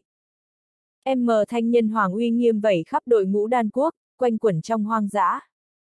Nhân hoàng, tội gì lời ấy? Rõ ràng là người phái người chui vào đan quốc, cưỡng ép thường lăng, cầm tù quốc lão. Lấy tương lai đan quốc, tính mệnh nữ nhi ta, áp chế đe dọa, khiến cho ta chiêu cáo thiên hạ, còn có hy vọng với hoàng thất, nguyện ý cùng hoàng thất sát tay thay đổi tình cảnh hoàng triều. Ta liên tục thỉnh cầu lục hoàng tử đến hoàng thành gặp nhân hoàng, nhưng lục hoàng tử lại khẳng định, nhân hoàng thất vọng với đan quốc, tuyệt đối không gặp lại. Nếu như không phải Tô Nguyên Minh thoát thân, thường lăng lại thông minh thoát khỏi nguy cơ, chỉ sợ chúng ta sớm đã biến thành con rối của hoàng thất rồi. Quốc quân đan quốc không có xuất hiện, tiếp tục đi tới phía trước, chỉ có âm thanh bình tĩnh truyền khắp toàn trường. Người vây xem nơi xa trở nên xôn xao, ngay cả cường giả Bắc Cương, Nam Cương theo sát ở phía sau nhân hoàng cũng hơi có chút ngây ra. Lục hoàng tử nhìn không được, vào tới phía trước giận hô. Nói bậy nói bạ, quốc quân, ngài vậy mà lại có thể đổi trắng thay đen như thế. Rõ ràng là ngài tới thiên sư tông luyện đan cho Khương Hồng Võ trước, còn mang theo ba vị quốc lão. Ly hỏa thánh địa bổ thiên sư tông, ngài may mắn thoát khỏi, nhưng ba vị quốc lão lại bất hạnh chết thảm. Ta là đến đan quốc thương nghị với ngài, ngài lại sớm có âm mưu, mang theo huyết ngục Khương ra mưu hại ta. Lục hoàng tử kêu lên đầy bi phẫn và kích động, nhưng mặc dù thanh âm vẫn quanh quẩn tại hoang dã, nhưng không có gây nên bất kỳ gợn sóng nào. Thậm chí rất nhiều người nhíu mày, vô cùng thất vọng đối với vị hoàng tử này, đều đã đến lúc này rồi mà còn tiếp tục hãm hại. Quốc quân trầm mặc không nói, không để ý đến, tiếp tục hướng về phía trước. Nhân hoàng yên lặng cảm nhận được không khí xung quanh, biết chân tướng không quan trọng nữa, cưỡi hai con kim ưng gọi về phía trước. Ta lấy danh nghĩa nhân hoàng cam đoan, hôm nay nguyện ý bình thản giải quyết việc này. Quốc quân, nói điều kiện đi. Lão Phu không có điều kiện, ta càng không còn là quốc quân đan quốc. Người hạ quyết tâm muốn rời khỏi. Ta có mấy câu muốn tặng, không biết nhân hoàng có nguyện ý nghe. Nhân hoàng uy nghiêm nói. Cứ nói, ta nghe. Nhân hoàng, người không nên quên, trước khi lang gia hoàng triều khai quốc, mảnh cương vực mấy vạn giảm tới gần Tân Hải này là 39 bộ lạc cùng nhau đánh ra mà có được. Là tiên tổ hoàng thất cùng tiên tổ Khương gia dẫn đầu liên minh, cùng nhau khởi sự, chinh chiến các tộc, xác định khai quốc.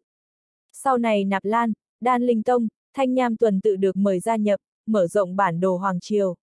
Từ khi tiên tổ Hoàng thất bắt đầu khởi sự liền liên tục hẹn nhau, cùng hưởng thiên hạ. Là tiên tổ Khương gia kính trọng mị lực quyết đoán tiên tổ Hoàng thất, cự tuyệt chia sẻ, cam nguyện làm thần. Khi bắt đầu khai quốc mới, tờ gia phả đầu tiên của năm tộc tiên tổ đều viết xuống, hậu thế không được phản loạn. Hoàng thất khi khai quốc đã ghi lên, càng đã xác định tất cả. Không được có bất cứ hình thức hãm hại hậu thế công thần khai quốc, cho dù là bọn họ phản bội, cũng phải giữ lại huyết mạch, cung cấp một vực để nuôi dưỡng. Ngài hãy tự hỏi lòng, ngũ tộc khai quốc, có ai từng có thể hiện bất cứ lòng phản nghịch gì hay không? Các ngươi tự hỏi lòng, các ngươi có xứng đáng với Khương gia hay không? Giọng quốc quân bình tĩnh truyền khắp hoang dã, rõ ràng quanh quẩn ở bên tai mỗi người. Lão Phu không có ý gì khác, chỉ là nhắc nhở đương kim hoàng thất sẽ ghi khắc lịch sử. Các ngươi muốn xác lập lực ảnh hưởng của Hoàng Triều, có thể hiểu. Nhưng rõ ràng các ngươi có rất nhiều lựa chọn, nhưng lại dùng phương thức sai lầm nhất, cực đoan nhất. Hoàng thất phát triển hơn 200 năm, nguy cơ còn lâu mới có được xóa hết được. Đại Hoang, Tân Hải, các nước láng giềng, thậm chí là La Phù. Các ngươi còn chưa có tư cách tùy ý làm bậy như vậy. Ta chỉ nói đến thế thôi. Quốc quân hơi trầm mặc, lại nói. Lần này chúng ta sẽ đi đến La Phù Sơn Mạch, bởi vì, tiên tổ đã gặp mặt bạn cũ tại nơi đấy, ta sẽ đến đó. Nhân hoàng trầm mặc, hoàng thất trầm mặc. Cường giả kinh kỳ, Nam Cương, Đông Cương, cũng đang trầm mặc. Nhưng, cường giả các vực trầm mặc là bởi vì xúc động. Bọn hắn đều rất rõ ràng bắt đầu từ nhân hoàng đời trước, một số sách lược của hoàng thất đã bắt đầu phát sinh thay đổi rõ ràng. Bắt đầu từ đời nhân hoàng này đã làm trầm trọng thêm. Sau khi nhân hoàng bế quan, tân hoàng tranh vị, càng là không biết sống chết công nhiên nhúng tay vào Bắc Cương, Tây Cương mẫn cảm nhất, nguy hiểm nhất. Nhân hoàng cùng hoàng thất trầm mặc lại là bởi vì cảm thấy khó giải quyết. Quốc quân đã nói ra lời này, nếu bọn hắn lại cưỡng ép ngăn cản, tương đương với coi trời bằng vung. Nếu như không ngăn thì sẽ thế nào? Hoàng triều sẽ đại thương nguyên khí, lòng người bằng hoàng, mà La Phù thì lại bất chợt có thêm một lực lượng cường đại đến ảnh hưởng hai bên. Điện hạ, không có phát hiện bọn người Khương Phàm. Thẩm Đông Sơn đứng ở bên trên mãnh cầm, từ trên cao quan sát xuống. Hắn vốn nghĩ sẽ đến trước mặt mọi người vạch mặt đám người huyết ngục kia, khẳng định đan quốc cấu kết thiên sư tông là sự thật. Nhưng, hắn tìm lại tìm, từ hộ giả đến luyện đan sư, nhưng đều không thể tìm tới bóng dáng huyết ngục. Bọn hắn khẳng định đã ngụy trang. Lục hoàng tử không nhịn được mà nhíu mày, nếu đan quốc dám quang minh chính đại đi như thế, khẳng định đã nắm chắc đem ngụy trang tốt cho bọn hắn. Thẩm Đông Sơn lại nói, ta cũng không có phát hiện thường lăng.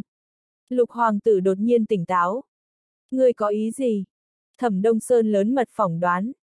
Ta hoài nghi, Khương Phàm và huyết ngục đã mang theo thường lăng rời khỏi, còn có thể đã mang theo càng nhiều người hơn, cùng với linh bảo quan trọng của đan quốc. Ánh mắt lục hoàng tử lắc lư, vội vàng chạy đến nhân hoàng bẩm báo tình huống. Nhân hoàng đưa ánh mắt bén nhọn ra quét đội ngũ đan quốc. Toàn thể võ điện kỳ thiên điện xuất động, cưỡi lôi ưng, càn quét hướng đông cương. Tuyển thêm một ngàn thị vệ hoàng thất khác, toàn bộ cưỡi kim ưng, càn quét hướng nam cương. Nhi thần lĩnh mệnh, lục hoàng tử lập tức muốn lui ra. Người thì không nên đi, thẩm đông sơn, bên nam cương kia người tự mình dẫn đội. Nhân hoàng lạnh lùng nhìn thẩm đông sơn. Nếu như huyết ngục từ nam cương thoát khỏi hoàng triều, ngươi không cần trở lại gặp ta, ta sẽ đưa thân tộc ngươi xuống dưới cùng ngươi. Thẩm Đông Sơn toàn thân run rẩy. Thần lĩnh mệnh. Lục hoàng tử nhìn Thẩm Đông Sơn vội vã rời khỏi, sốt ruột nói. Phụ hoàng, xin cho nhi thần cơ hội này lấy công chuộc tội. Ngươi ở lại. Thế nhưng, ở lại. Nhân hoàng không thể lại thả lục hoàng tử ra, chẳng may có chuyện gì ngoài ý muốn, ngay cả người kế thừa hoàng vị cũng không có. Thẩm Đông Sơn tuyển định một ngàn thị vệ hoàng thất, cưỡi kim ưng nhanh chóng rời khỏi, phóng tới Nam Cương. Trong đó 800 cao giai linh nguyên cảnh, 200 linh hồn cảnh, còn có hai trưởng giả hoàng thất linh hồn cảnh cửu trọng thiên. Sau khi kỳ thiên điện nhận được lệnh, toàn bộ cưỡi lôi ưng, chạy tới Đông Cương. Bọn hắn đang đuổi theo. Tô Nguyên Minh chú ý tới hai bầy mãnh cầm nhanh chóng tách ra giữa không trung.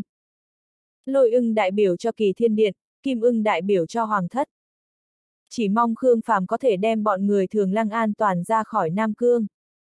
Quốc quân yên lặng cầu nguyện cho bọn họ. Giờ khắc này, bọn người Khương Phàm đã chạy tới Kinh Kỳ, khu vực giao tiếp Tây Cương, Nam Cương, sau khi ẩn giấu tốt tung tích, bọn hắn nhanh chóng phóng tới hướng Tây Nam. Bọn hắn muốn dọc theo biên giới Tây Cương, Nam Cương đi vòng vào La Phủ Sơn Mạch. Đầu tiên chờ chút đã. Thường lăng bỗng nhiên dừng ở trong cánh rừng, bộ ngực kịch liệt chập trùng. Nếu như ngươi thực sự không chạy nổi thì vào trong thanh đồng tiểu tháp của ta đi.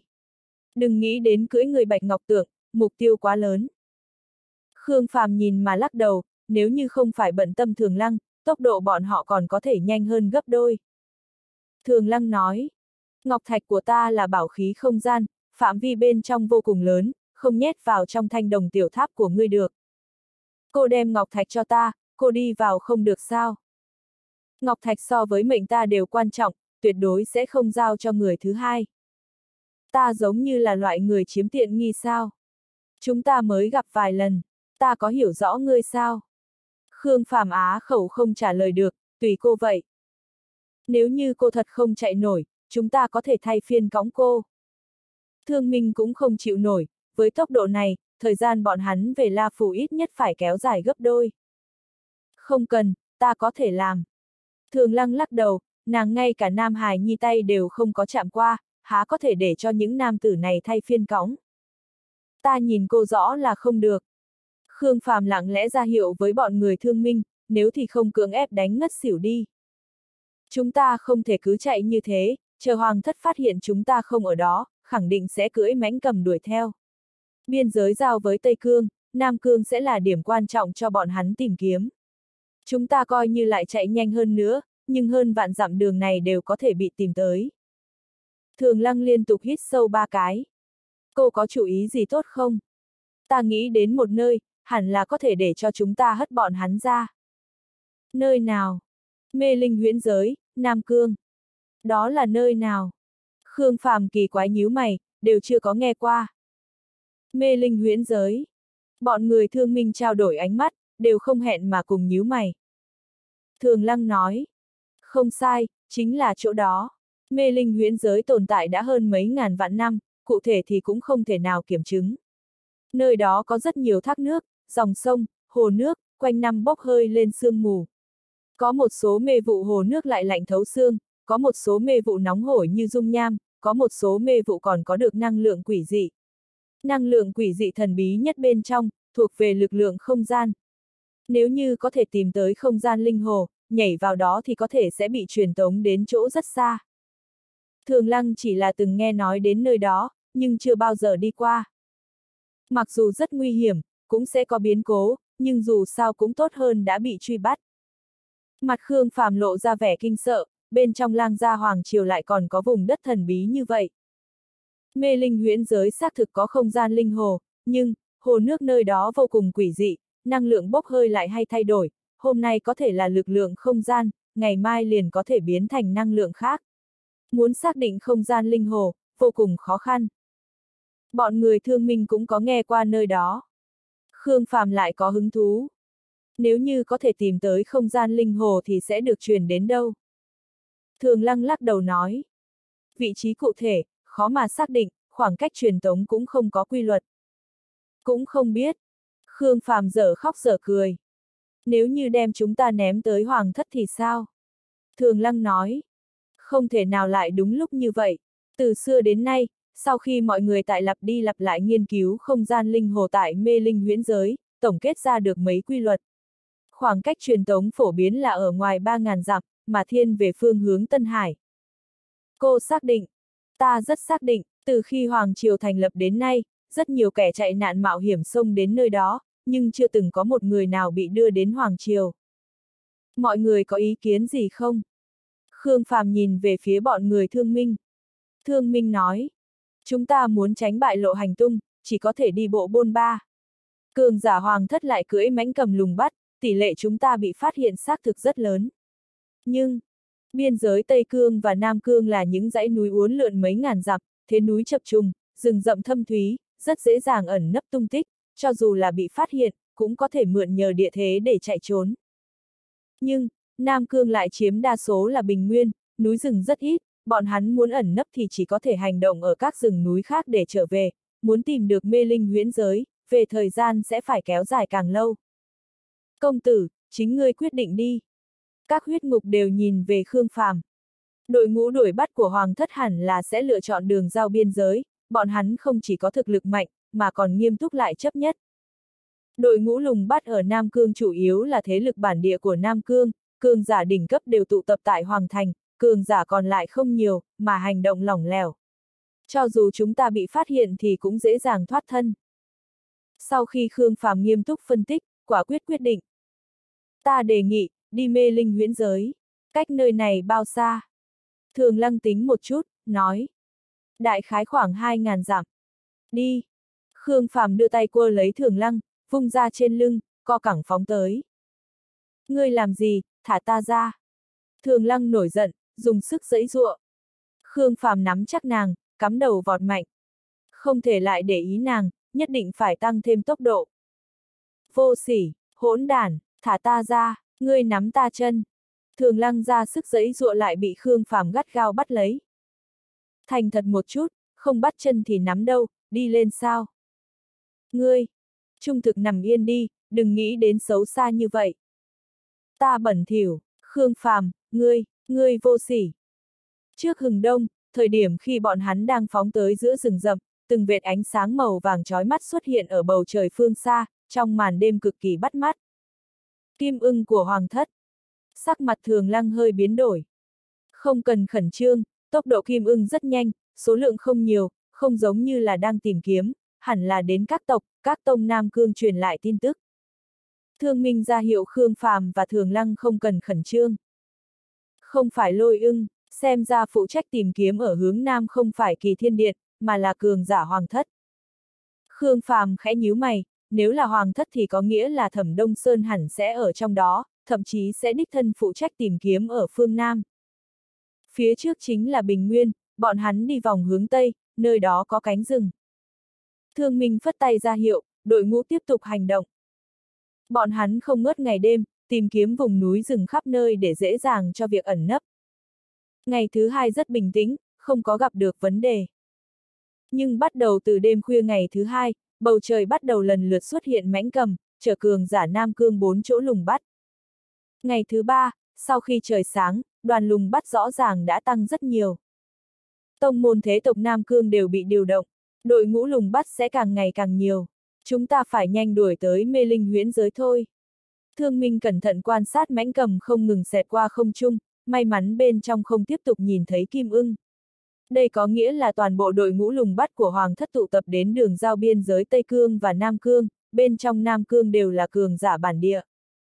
Không nên coi thường cường giả Nam Cương, chia năm đội, tản ra hành động. Giữ vững khoảng cách an toàn 10 dặm. Thương Minh phất tay, mỗi người chia đội nhanh chóng tản ra.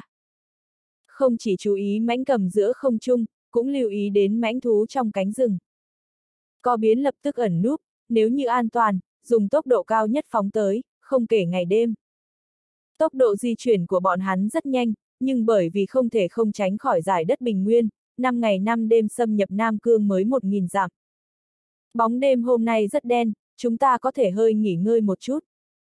Thường lăng nằm nhòi trên lưng Khương Phàm, thể hiện mất tự nhiên, đề nghị.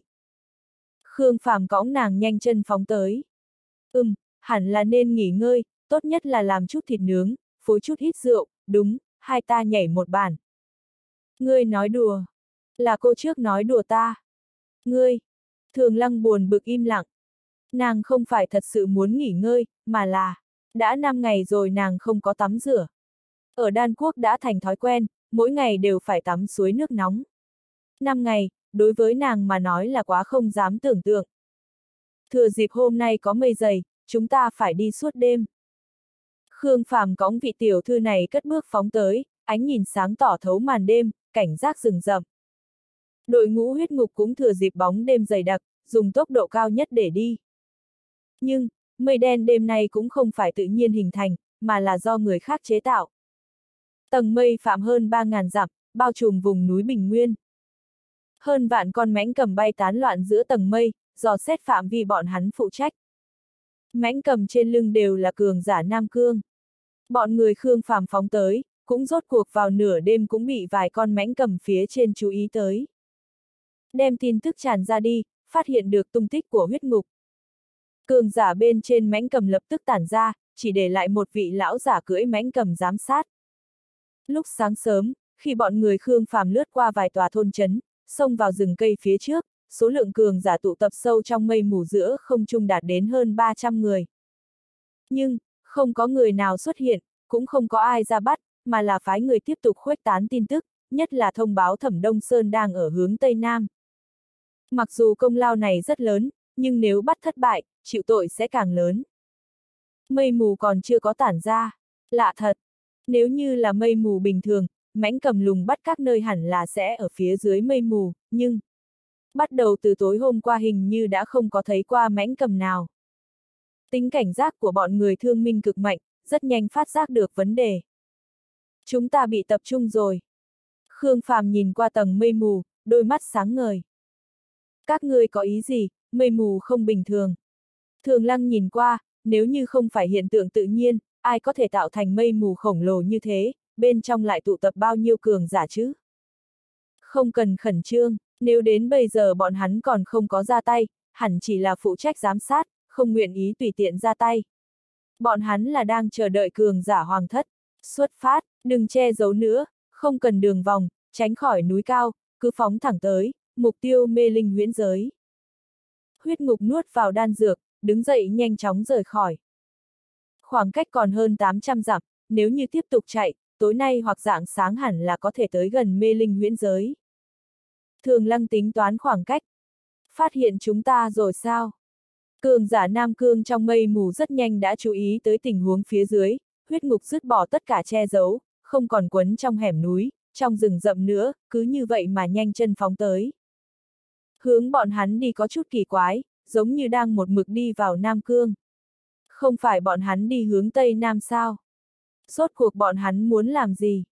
Chúng ta cứ nhìn như vậy sao? Ta đề nghị quấy nhiễu chút, kéo dài tốc độ của bọn hắn. Đừng chọc phiền toái, trong tay bọn họ đang nắm giữ lấy cửu công chúa, chẳng may xảy ra chuyện gì ngoài ý muốn, ai gánh nổi trách nhiệm. Đúng đấy, không thấy thẩm đông sơn sao? Đường đường linh hồn đỉnh phong, đều biến thành hình dáng ra sao? Nam Cương Cường giả nghị luận một hồi, đều giữ vững khắc chế, chỉ quan sát ở trên không, không ra tay ngăn cản. Đội ngũ lùng bắt ở các nơi nhận được tin tức cũng đều liên tiếp hội tụ tới nơi này. Thời điểm Thẩm Đông Sơn nhận được tin tức là lúc hắn đang dọc theo Tây Nam đến truy bắt La Phù. Đang xâm nhập Nam Cương, xác định là huyết ngục, xác định bên trong có Khương Phàm. Sau khi Thẩm Đông Sơn nghe được tin tức, trong đầu liền lóe lên ý niệm đầu tiên chính là dẫn dụ. Rất có thể những người kia đều là thủ vệ đan quốc ngụy trang, cũng không phải huyết ngục thật sự. Hoặc là, là có một số huyết ngục đang dẫn dắt, nhưng Khương Phàm và huyết ngục khác cũng không ở trong đó. Bởi vì nếu xâm nhập Nam Cương sớm muộn cũng sẽ bị phát hiện, bị phát hiện kết quả chính là lọt vào vây bắt. Để bọn hắn tra rõ ràng cho ta. Thẩm Đông Sơn vẫn kiên trì Khương Phàm sẽ xuôi theo hướng Tây Nam. Tiếp tục tìm kiếm, giữ một khoảng cách. Thẩm Đông Sơn hiệu cường giả hoàng thất ở trên bầu trời phân tán ra hơn ngàn vị. Nhưng, sau khi tiếp tục quét sạch không lâu, trong đầu Thẩm Đông Sơn đột nhiên hiện lên một cái ý niệm. Sâu trong Nam Cương, nơi đó hình như có cái gọi là mê linh huyễn giới. Chẳng lẽ mục tiêu của Khương Phàm là ở đó? Mê linh huyễn giới, mê linh huyễn giới. Thẩm Đông Sơn lắc lư ánh mắt, càng nghĩ càng có khả năng. Mặc kệ là xuôi theo Tây Nam phương hướng hay là theo những phương hướng khác, mặc kệ là có làm ngụy trang hay không, đều có khả năng bị vây bắt. Bởi vì muốn đường vòng quay về La Phù, khoảng cách phải hơn vạn dặm, thời gian sẽ vô cùng lâu. Không sai, bọn hắn chính là muốn đi đến mê linh huyễn giới. Thẩm Đông Sơn bừng tỉnh, cao giọng thét lên ra lệnh. Truyền lệnh Nam Cương cho ta, còn có Đông Cương. Được rồi, Đông Cương mặc kệ.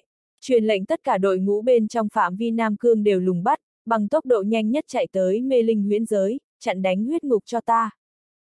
Mê linh huyễn giới. Các cường giả hoàng thất liên tiếp bừng tỉnh. Làm sao bọn người Khương Phàm lại biết nơi đó? Thường Lăng nói sao? Tiện nhân đáng chết. Cường giả hoàng thất khống chế kim ưng nhanh chóng thay đổi phương hướng. Khi thẩm Đông Sơn ý thức được vấn đề, các cường giả lặng lẽ đi theo bọn người Khương Phàm cũng ý thức được mục tiêu chân chính của huyết ngục. Bọn hắn là muốn đi mê linh huyễn giới. Nhanh cản bọn họ lại. Không thể lại ngồi yên đợi được, nơi này khoảng cách mê linh huyễn giới chỉ còn vài trăm dặm. Nhanh nhanh nhanh, giết lên, chặn đánh bọn hắn. Mây mù trên không trung nhanh chóng cuồn cuộn, hơn 500 con mãnh cầm phá tan mây mù, nhanh chóng lao xuống. Có hắc phú điêu, xích phiêm điêu, sư thứ thú, lang bức, thanh vân tước, còn có thương lan dược điểu. Mạnh yếu không giống nhau, lại đều đang cao giọng gáy to, mang theo cuồng phong mãnh liệt, chở chủ nhân giáng lâm. Mê linh huyễn giới còn có 350 dặm. Thường lăng hô to, trải qua nửa ngày, khoảng cách đã nhanh chóng rút ngắn, nhưng 350 dặm vẫn xa đến không thể chạm. Thường lăng, cô không thể tùy hứng, nhất định phải vào thanh đồng tiểu tháp. Khương Phàm nhìn qua các cường giả ở không trung, nhíu mày, bắt lấy thường lăng muốn cưỡng ép thu lại. Xem thường ta sao? Thường lăng cưỡng ép tránh thoát khỏi Khương Phàm, bay người lên, yêu quyền nở rộ tia sáng, một con bạch ngọc tượng thánh khiết đạp trên ánh sáng xuất hiện, vững vàng tiếp lấy thường lăng. Nếu đã bị phát hiện, không cần thiết lại cất giấu bạch ngọc tượng. Bạch ngọc tượng dương mũi thét dài, cơ thể tăng vọt, dài đến hơn 30 mét, da thịt toàn thân nhúc nhích, hiện ra lân giáp óng ánh, chỗ mi tâm mở ra một con mắt đáng sợ, khuấy động năng lượng hủy diệt. Thường lăng đứng trên người bạch ngọc tượng, tóc dài bay múa, nhìn qua như là tiên tử, linh văn chiếu thấu thắt lưng gấm, hiện ra ba màu màu tím, đỏ, xanh. Phượng văn đỉnh lô trùng thiên, ánh lửa ngập trời, đốt nóng không gian. Lui lại. Thường lăng thét dài, như phượng gáy cửu thiên. Long long long. Đỉnh lô lay động, âm thanh phát ra như là biển gầm, vô cùng to lớn, để cho hai tai người ta vang lên ong ong. Cái nắp phía trên đỉnh lô lập lòe tia sáng, trong chốc lát, ánh lửa ngút trời, liệt diễm hừng hực cuốn về phía không trung, hóa thành hỏa điểu ba màu tím, đỏ, xanh, dương cánh gáy to, giống như thần điểu, tràn ngập ra uy thế kinh người. Sượng lớn mãnh cầm đang lao xuống số liên miên bối rối, lật ngược cường giả ở phía trên. Huyết ngục, giết! Thương minh quả quyết gào thét, hơn 60 vị huyết ngục tập thể bay lên không mấy chục mét, liềm đao hướng lên trời bạo kích, xen lẫn thành đao võng huyết sắc dày đặc. Các cường giả rơi thẳng xuống vào đao võng. Đừng hốt hoảng, tản ra, tản ra, giết, để bọn chó nhà có tang này thấy thực lực nam cương chúng ta. Các mãnh cầm trên không trung bị kinh sợ, hốt hoảng chạy trốn, rất nhanh lại bị chủ nhân của bọn chúng khống chế. Cường giả nam cương cao giọng la lên, liên tiếp phóng xuất ra võ pháp cường hãn. Đao khí như thác nước, ánh sáng như mặt trời phách chạm tới. Những tảng đá to lớn giống như là thiên thạch từ trên trời giáng xuống. Liệt diễm cuồn cuộn rơi xuống ầm ầm. Càng có cường giả ngưng tụ lại lôi vân nặng nề, cường quang trói mắt, hắn nhảy xuống khỏi mãnh cầm, kéo lấy lôi vân kinh khủng đánh xuống phía các huyết ngục. Dẫn hồn. Đội viên huyết ngục mang theo gương mặt dữ tợn, phát ra tiếng gầm thét thê lương như quỷ, trên mặt chảy ra huyết chú dữ tợn, lan tràn về từng vị trí khắp toàn thân, khí tức tăng cường rõ ràng. Liêm đao trong tay bọn họ run rẩy dữ dội, tràn ngập ra huyết khí nồng đậm như lửa, bên trong như có số lượng lớn hồn ảnh đang lao ra. Huyết ngục, tử chiến. Thương Minh há mồm, răng nanh sắc nhọn, hai mắt sung huyết, mắt không hề có tròng trắng. Hắn nâng đao chỉ lên trời bạo kích, trong nháy mắt bổ lôi vân đang rơi xuống ra, đạp tan mặt đất, lao thẳng về phía nam tử cuồng dã kia. A! À, hơn 10 vị đội viên huyết ngục phát ra khí lãng màu xanh lá, hòa với huyết khí quỷ dị kích số lượng lớn cây cối ở xung quanh. Cây cối lay động, trà cây loạn bay, bắt đầu nhanh chóng sinh trưởng tốt, lao lên hơn trăm mét. Số lượng lớn đội viên huyết ngục đạp lên cây rừng, tản ra khắp nơi trên trời cao, thẳng đến chỗ các cường giả Nam Cương. Còn có đội viên huyết ngục nâng mặt đất lên, phóng ra từng cục đá to mấy chục mét, vòng quanh đội viên khác phóng tới không trung. Khương Phàm lần nữa lĩnh hội sự cường đại của huyết ngục. Phần này cường đại không phải thực lực hay cảnh giới, mà là bọn hắn rất ăn ý phối hợp, lại không sợ hãi khí tức sát phạt kia. Đó là Khương Phàm, bắt hắn lại. Mấy bóng người cưỡi mãnh cầm đột phá huyết ngục, nhào về phía Khương Phàm. Khương Phàm đứng thẳng bất động, tỉnh táo đối mặt với cường giả Nam Cương đang đánh tới. Tiếu tiếu. Mãnh cầm gáy to, ánh mắt đỏ sáng, móng vuốt cứng rắn dùng sức khấu chặt, các cường giả trên lưng cũng kích hoạt võ pháp, chuẩn bị bắt. Nhưng, thời điểm bọn hắn tới gần 2-30 mét, Khương Phàm đang kiềm chế liệt diễm mãnh liệt, đột nhiên linh văn nở rộ, chu tước gáy to, tất cả đều bắt nguồn từ lệ khí cùng uy thế chu tước mang theo liệt diễm xông ra, trong chốc lát khuấy động hơn trăm mét. Cảnh giới tăng lên, linh văn trưởng thành, nhất là sau khi linh nguyên đang dung hợp kim vũ, Khương Phàm cũng có thể rõ ràng cảm nhận được khí tức cường đại của linh nguyên. Mãnh cầm lập tức kinh hoàng, vỗ cánh bay lên không, cưỡng ép lộn vòng, các cường giả trên lưng vội vàng không kịp chuẩn bị, liên tiếp bị hất rơi xuống đất. Phốc phốc phốc, ba vị huyết ngục như quỷ mị xuất hiện, đâm xuyên qua lồng ngực ba người trong đó. Người may mắn còn sống sót kia kinh hoàng, nhanh chóng chạy trốn. Khương Phàm bay vụt lên, chộp tới một con thanh vân tước đang hốt hoảng. Áp bách đến từ linh nguyên, kích thích thanh vân tước thoát khỏi kinh hoàng, nhưng vẫn bị Khương Phàm bắt lấy móng vuốt. Thương minh thống lĩnh. Khương Phàm hét lớn, kéo lấy thanh vân tước mười mấy thước sông lên chiến trường trước mặt. Thương minh đạp trên cây cối rơi xuống trên lưng thanh vân tước, dưới chân chấn động tạo ra cỗ khí lãng mãnh liệt, cưỡng ép khống chế xương đầu cùng xương sau cổ thanh vân tước, khiến cho nó thay đổi phương hướng, chở các cường giả đi giữa không trung. Khương Phàm nhanh chóng lao xuống, nhào về phía con mãnh cầm khác, cưỡng ép kéo phóng tới vòng chiến, ném cho đội trưởng đội thứ hai. Có người ở trên không lo lắng la lên. Ngăn lại tiểu tử kia, chết tiệt, đều mù hết rồi sao? Khương Phàm, chỉ là linh nguyên cảnh nho nhỏ, người cuồng cái gì? Một nam tử bạo phát hắc phong, gió đen hóa thành móng vuốt khổng lồ như núi cao, kéo lấy thanh thế kinh người chộp tới Khương Phàm. Ba con mãnh cầm cùng ba vị cường giả ven đường đều bị đánh bay, thổ huyết bay ra ngoài. Khương Phàm dương cánh lao vùn vụt, nhưng vẫn bị một phát bắt được. Trong hắc phong trải rộng bụi gai hắc thiết đáng sợ, lít nha lít nhít quấn chặt lấy hắn. A à, Khương Phàm đau đớn dẫy ruộng, bụi gai lại càng quấn càng chặt, cơ hồ muốn xé nát hắn.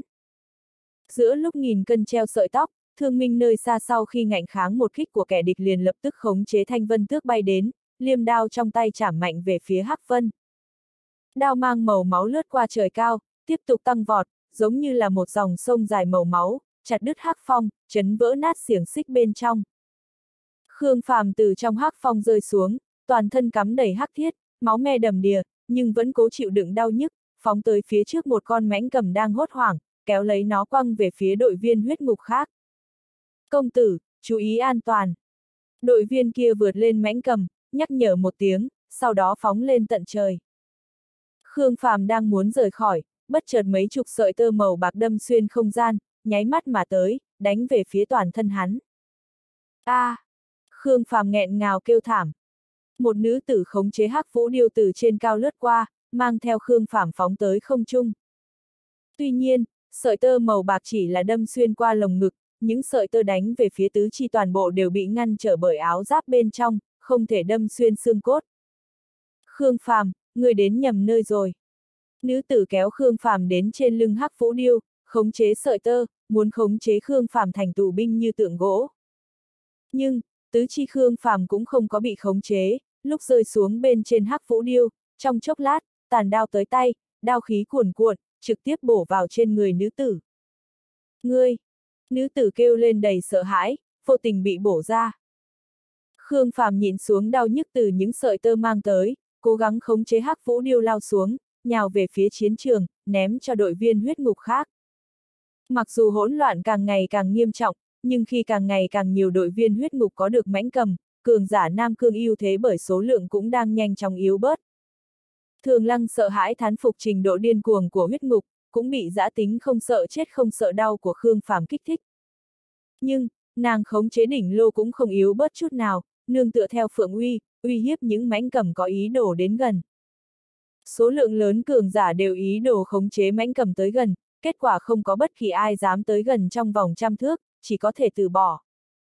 Nhưng, một tên nam tử cường tráng lại nhảy xuống sư thứ thú của hắn, tránh khỏi đội viên huyết ngục hung hãn, thành công tới gần Thường Lăng. Thường Lăng, đan quốc không muốn yên ổn, nhất định phải tạo phản, muốn chết sao?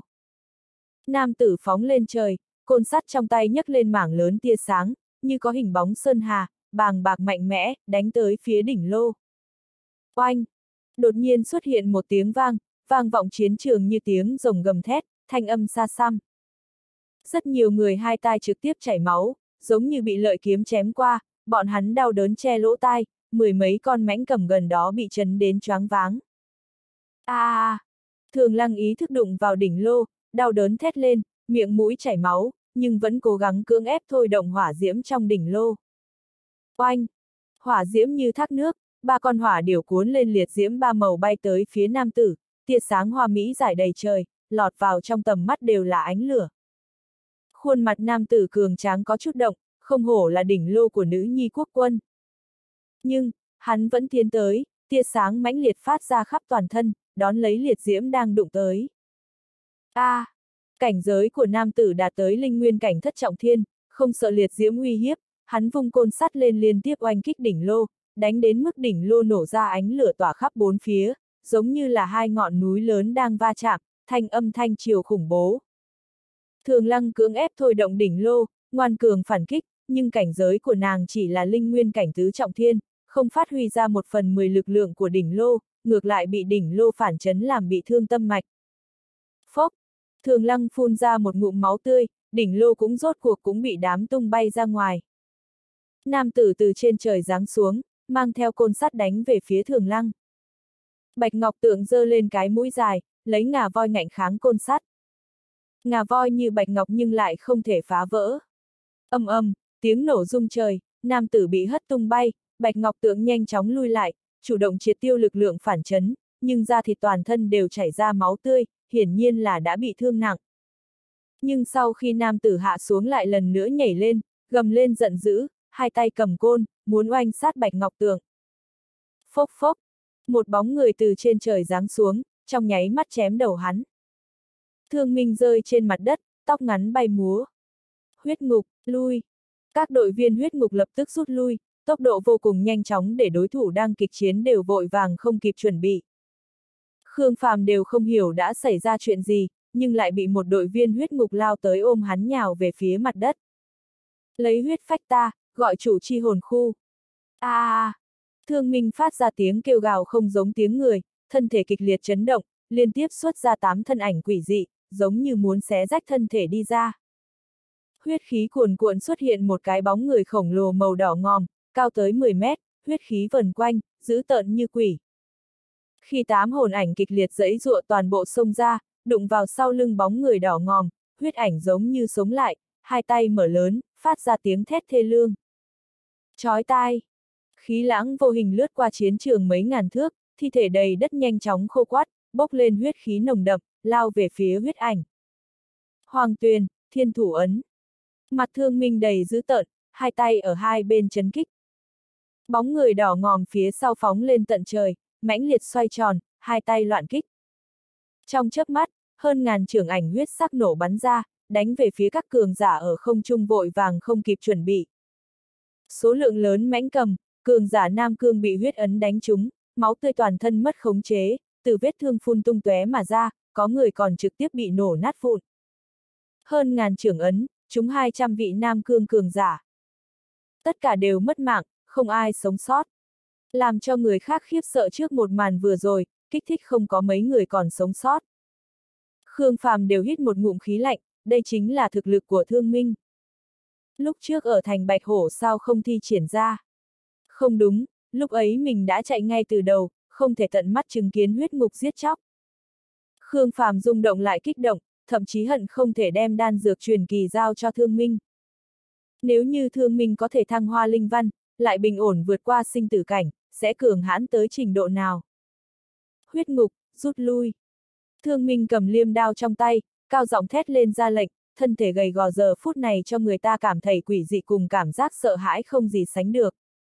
Các đội viên huyết ngục cưỡi mãnh cầm nhanh chóng tập kết. Thu Bạch Ngọc tượng lại. Khương Phàm xông về phía Thường Lăng. Thường Lăng bừng tỉnh, vội vàng thu hồi đỉnh lô cùng Bạch Ngọc tượng, đầu ngón tay giơ lên bị Khương Phàm một phát bắt được, quăng về phía mãnh cầm trước mặt. Mau rời khỏi. Thương Minh cưới kim ưng thì quỳ gối phía trên, kịch liệt thở dốc, sắc mặt tái nhợt như tờ giấy, thân thể đều không cầm được mà run run. Hiển nhiên, một kích trước đó đã tạo tác động cực lớn cho hắn. Đều thất thần làm gì, đuổi theo.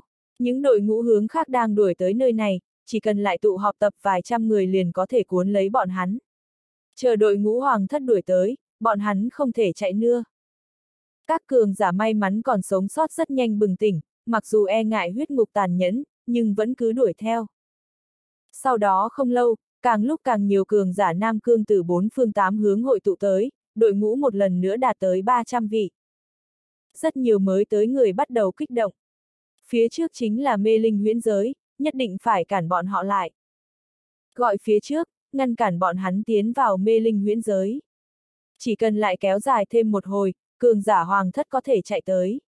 Tin tưởng vói tốc độ của thẩm Đông Sơn, xem như hắn hất đội ngũ hoàng thất ra, cũng sẽ ở trong thời gian ngắn nhất đuổi tới. Các cường giả Nam Cương lần nữa sao động, mười mấy người thôi động mãnh cầm tăng thêm tốc độ, còn lại toàn bộ đuổi theo. Nhưng, huyết ngục cưỡi mãnh cầm, tốc độ cũng không chậm, chỉ là khoảng cách lẫn nhau đang không ngừng rút ngắn, nhưng còn chưa có đạt tới trình độ chặn đường được. Cường giả Nam Cương từ tiền phương chạy đến nhìn đội ngũ đằng đằng sát khí, căn bản không dám chặn đường, chỉ có thể ngoan ngoãn tránh ra, dừng ở nơi xa, chờ bọn hắn đi qua, sau đó lại tụ hợp với chi đội nhiều người phía sau. Thế này không phải là cách, phóng thích võ pháp, quấy nhiễu bọn hắn. Không cần bận tâm tiêu hao, một mực phóng thích võ pháp, có thể quấy dày một chút là được.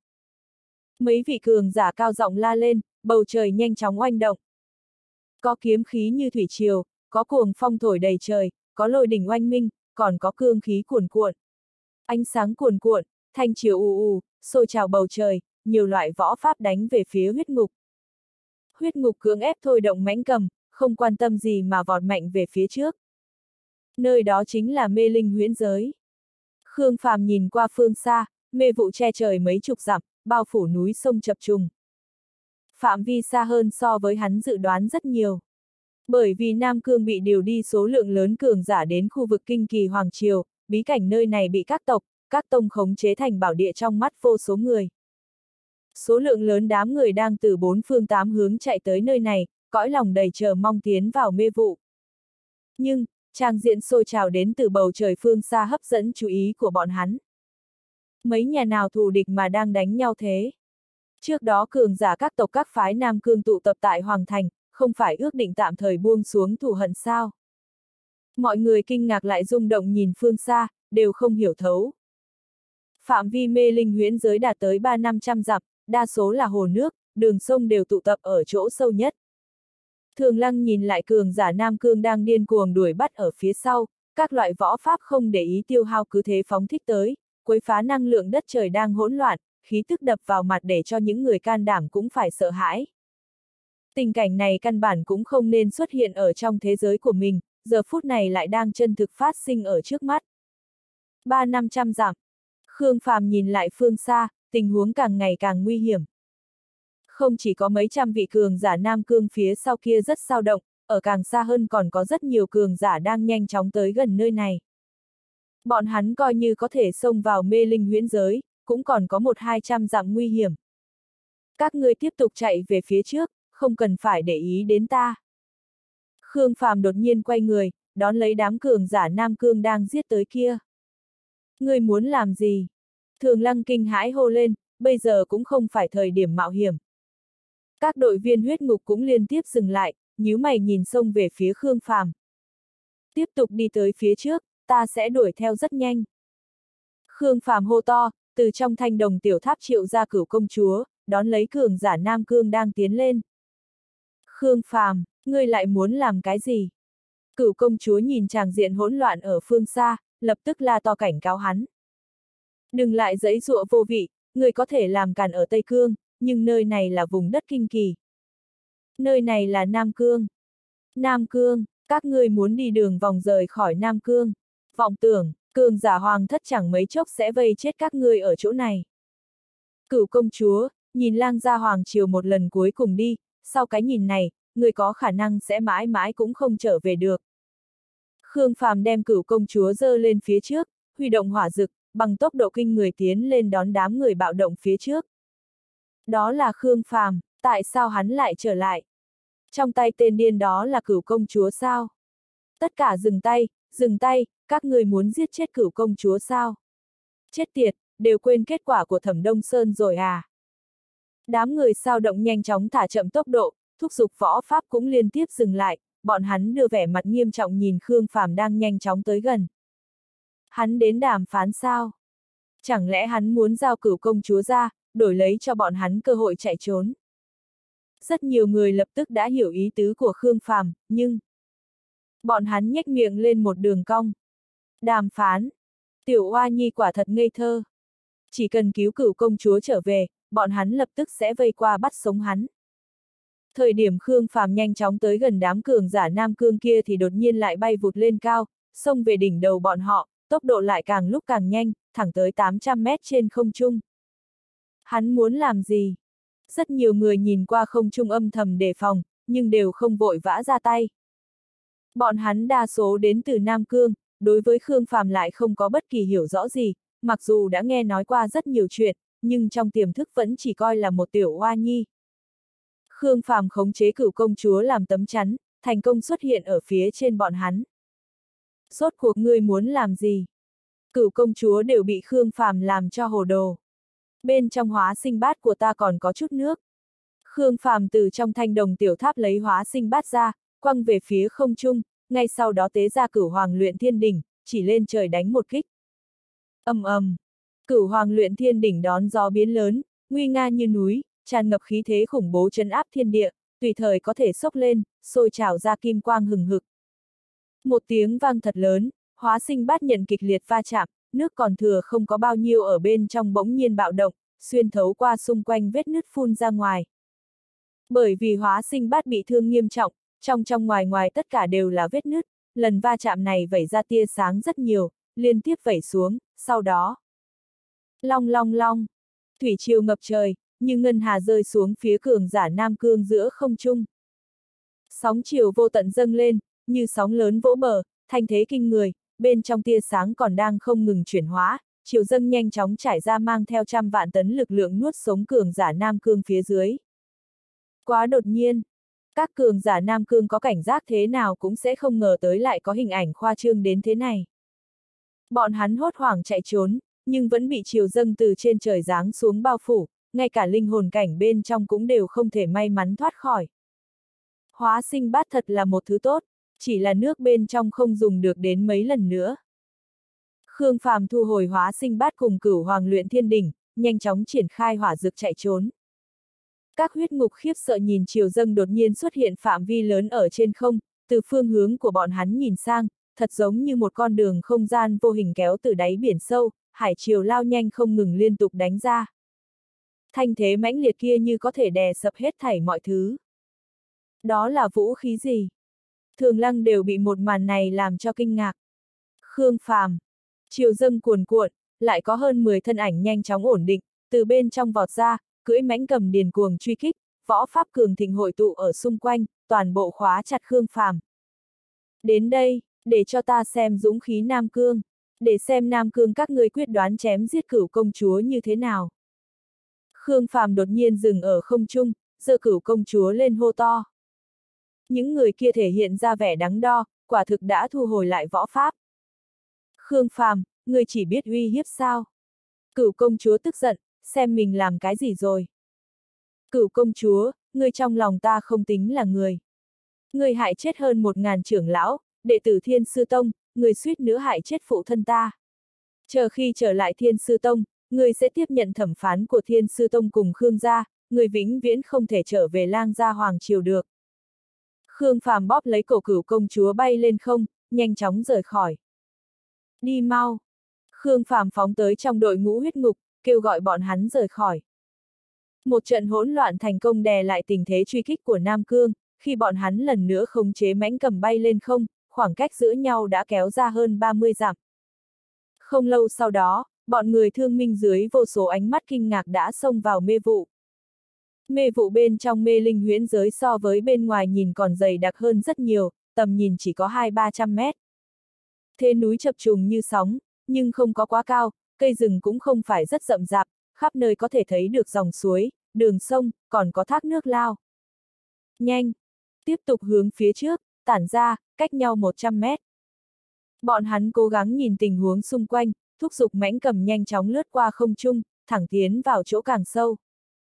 Mỗi người đều khẩn trương cao độ, cũng rất gấp. Cường giả Nam Cương chẳng mấy chốc sẽ đuổi tới, sẽ còn càng ngày càng nhiều, bọn hắn nhất định phải mau chóng tìm tới không gian linh hồ. Xin hỏi, gần đó có không gian linh hồ hay không? Sau khi xâm nhập 50 dặm, Khương Phàm từ trên trời giáng xuống, rơi vào trước mặt mấy vị nam nữ tử, thuận tay đưa mấy khỏa đan dược. Hai mắt mấy người tỏa sáng, tiểu gia hỏa thật biết giải cách quyết công việc. Rất xin lỗi, chúng ta chỉ mới tới không được mấy ngày, chỉ phát hiện mấy linh hồ có luồng không khí lạnh, không có phát hiện không gian linh hồ. Khương Phàm triển khai hỏa dực, phóng lên tận trời, biến mất trong sương mù. Đó là võ pháp gì? Bọn hắn kinh ngạc nhíu mày. Sau đó không lâu, Khương Phàm lần nữa rơi xuống chỗ có nhiều người, đưa đan dược lại hỏi thăm tình huống. Đan dược trong tay hắn không nhiều, nhưng thường lăng nhiều, đưa để đổi tin tức. Nhưng, liên tiếp đưa ra mấy chục viên thuốc, đều không có đáp án mình muốn. Phía trước có thác nước. Khương Phàm lần theo tiếng oanh minh chạy tới vách núi phía trước, quan sát thác nước đang lao nhanh. Mê vụ bốc hơi, bên trong ẩn hiện ánh sáng. Khương Phàm nâng lấy tảng đá ném đi qua, tảng đá vỡ nát trong nháy mắt. Là lực lượng lôi điện. Khương Phàm tiếc núi lắc đầu, tiếp tục tìm kiếm phía trước. Đường sông uốn lượn ở phía trước, nước sông lao nhanh không dứt, mê vụ hiện ra các tia sáng khác biệt. Có mê vụ nóng hổi như dung nham, có mê vụ rét lạnh thấu xương, có mê vụ còn phát ra lên ánh sáng thần bí. Hoa cỏ chập chờn cạnh bờ sông, cây rừng xanh biếc, trong đó không thiếu vài linh bảo hiếm thấy. Một nơi thật thần kỳ. Thường lăng hối hận trước đó sao không tới đây. Rất có thể mảnh mê linh huyễn giới này ẩn dấu bí mật càng phi phàm. Cô không phải nói không gian linh hồ rất nhiều sao. Khương Phàm không có tâm tư thưởng thức cảnh đẹp nơi này, lại tìm không được, phía sau sẽ đuổi tới ngay. Ta chỉ nghe nói bên trong có rất nhiều, nhưng cho tới bây giờ ta vẫn chưa từng tới. Tiếp tục đến phía trước tìm đi. Khương Phàm nhẫn nhịn, giờ có vội cũng chẳng có tác dụng gì. Công tử, nơi này. Phía trước bỗng nhiên truyền đến vài tiếng đội viên huyết ngục hô to. Khương Phàm lập tức mang theo thường lăng chạy tới. Tại một hồ nước bên cạnh dưới một cây già, một nam tử da bọc xương đang xếp bằng ở trên rễ cây, nắm lấy một túi linh quả tràn đầy nhét vào trong miệng, con mắt lúc ẩn lúc hiện, nhìn đội viên huyết ngục trước mặt. Hoàng Đại Bính. Khương Phàm ngạc nhiên nhìn nam tử, tại đan quốc đã bỏ lỡ, vậy mà ở chỗ này gặp nhau. Tìm ta có việc gì? Hoàng Đại Bính cầm lấy linh quả, thuận tay ném vào trong miệng. Hoàng tiền bối, ta là Khương Phàm, muốn mời ngươi đến Thiên Sư Tông làm khách. Khương Phàm rất muốn cùng Hoàng Đại Bính tâm sự, nhưng bây giờ thời gian cấp bách, chỉ có thể mời hắn. Vì sao? Hoàng Đại Bính quan sát tỉ mỉ mắt Khương Phàm, không tiếp tục để ý tới, mà tập trung vào Thường Lăng trước mặt, đôi mắt nhỏ lóe ra tia sáng rực. Thường Lăng bị hắn chằm chằm đến toàn thân không được tự nhiên, thoáng rời hai bước đến sau lưng Khương Phàm. Ngươi muốn đan dược gì, ta đều có thể chuẩn bị cho ngươi. Ngươi muốn bao nhiêu, ta đều có thể cho ngươi. Ồ! Hoàng Đại Bính nhướng mày, lại cầm lấy linh quả, nhét vào trong miệng, thuận yết hầu trực tiếp nuốt xuống. Vì sao? Ta không có ác ý, chỉ muốn cùng ngươi kết giao bằng hữu. Kết giao bằng hữu, ha ha, muốn dùng ta sao? Nếu như không nguyện ý kết giao bằng hữu, vậy thì hợp tác làm bạn lâu dài. Ta cung cấp ngươi đầy đủ đan dược, thời điểm ta cần trợ giúp, ngươi có thể ra mặt hỗ trợ giải quyết. Muốn vây ta ở thiên sư tông sao, không hứng thú, ta thích đi khắp nơi. Ngươi chờ một lát. Khương Phàm bước nhanh rời khỏi, chỉ sau chốc lát, kéo về một con dã tượng, ngay trước mặt Hoàng Đại Bính luyện thành ba viên đan dược. Đây là thuật luyện đan gì? Hoàng Đại Bính kinh ngạc, trực tiếp luyện sống sao, tiểu gia hỏa này đủ tà khí. Ngươi nếm thử hương vị. Khương Phàm đưa đan dược cho Hoàng Đại Bính. Hoàng Đại Bính lung lay trong tay, ném vào trong miệng, nhắm mắt lại yên lặng thưởng thức một lát, gương mặt khô quát hơi lắc một cái. Thế nào? Khương Phàm mong đợi nhìn hắn. Hoàng Đại Bính mở mắt ra, nhìn Khương Phàm thật sâu, nhưng không lên tiếng. Ngươi chỉ cần đến Thiên Sư Tông nơi đó nhìn tình huống, đến lúc đó rồi quyết định đi hay ở. Khương Phàm tin tưởng chỉ cần Hoàng Đại Bính đến nơi đó liền sẽ bị hấp dẫn lấy. Bởi vì, nơi đó có thương vương. Ngươi muốn khống chế Hoàng Đại Bính. Sau khi bọn hắn rời khỏi, Thường Lăng kỳ quái hỏi Khương Phàm. Vì sao lại dùng cái từ này? Ngươi không phải người tốt, ngươi nhìn hắn đến mắt đều tỏa sáng, ngươi không phải muốn khống chế hắn, chẳng lẽ còn muốn thật làm bằng hữu? Khương Phàm ngưng nghẹn im lặng. Không phải người tốt. Đây chính là Thường Lăng Tông sư cao quý đánh giá mình. Thường Lăng nhắc nhở Khương Phàm. Hoàng Đại Bính không phải người ngu, càng không phải người tốt gì. Hắn là sát thủ cấp chữ thiên của sát thủ công hội, mục tiêu săn giết gộp lại vượt qua 100 ngàn. 100 ngàn. Khương Phàm ngạc nhiên. Hoàng Đại Bính là ác nhân, nhận tiền không nhận người. Định giá 100 ngàn tinh tệ một cái mạng, vượt qua thời hạn, lợi tức cách xù, nếu như chậm chạp không trả, hắn lại. Diệt môn. Thường Lăng nhìn ánh mắt Khương Phàm bây giờ liền biết hắn đối với Hoàng Đại Bính không có biết gì cả. Sát thủ cấp chữ thiên là cấp bậc gì? Khương Phàm vẫn thật không nghĩ tới tên Hoàng Đại Bính kia lại còn có thân phận như vậy.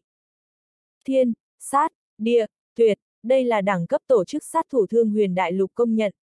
Muốn trở thành sát thủ cấp chữ tuyệt, cần chấp hành nhiệm vụ hơn trăm lần săn giết, tích lũy hoàn thành trăm cái mạng.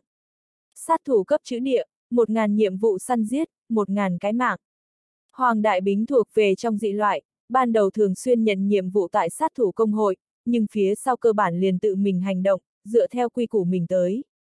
Cho dù là như thế này, vẫn là treo 100 ngàn cái mạng ở sát thủ công hội.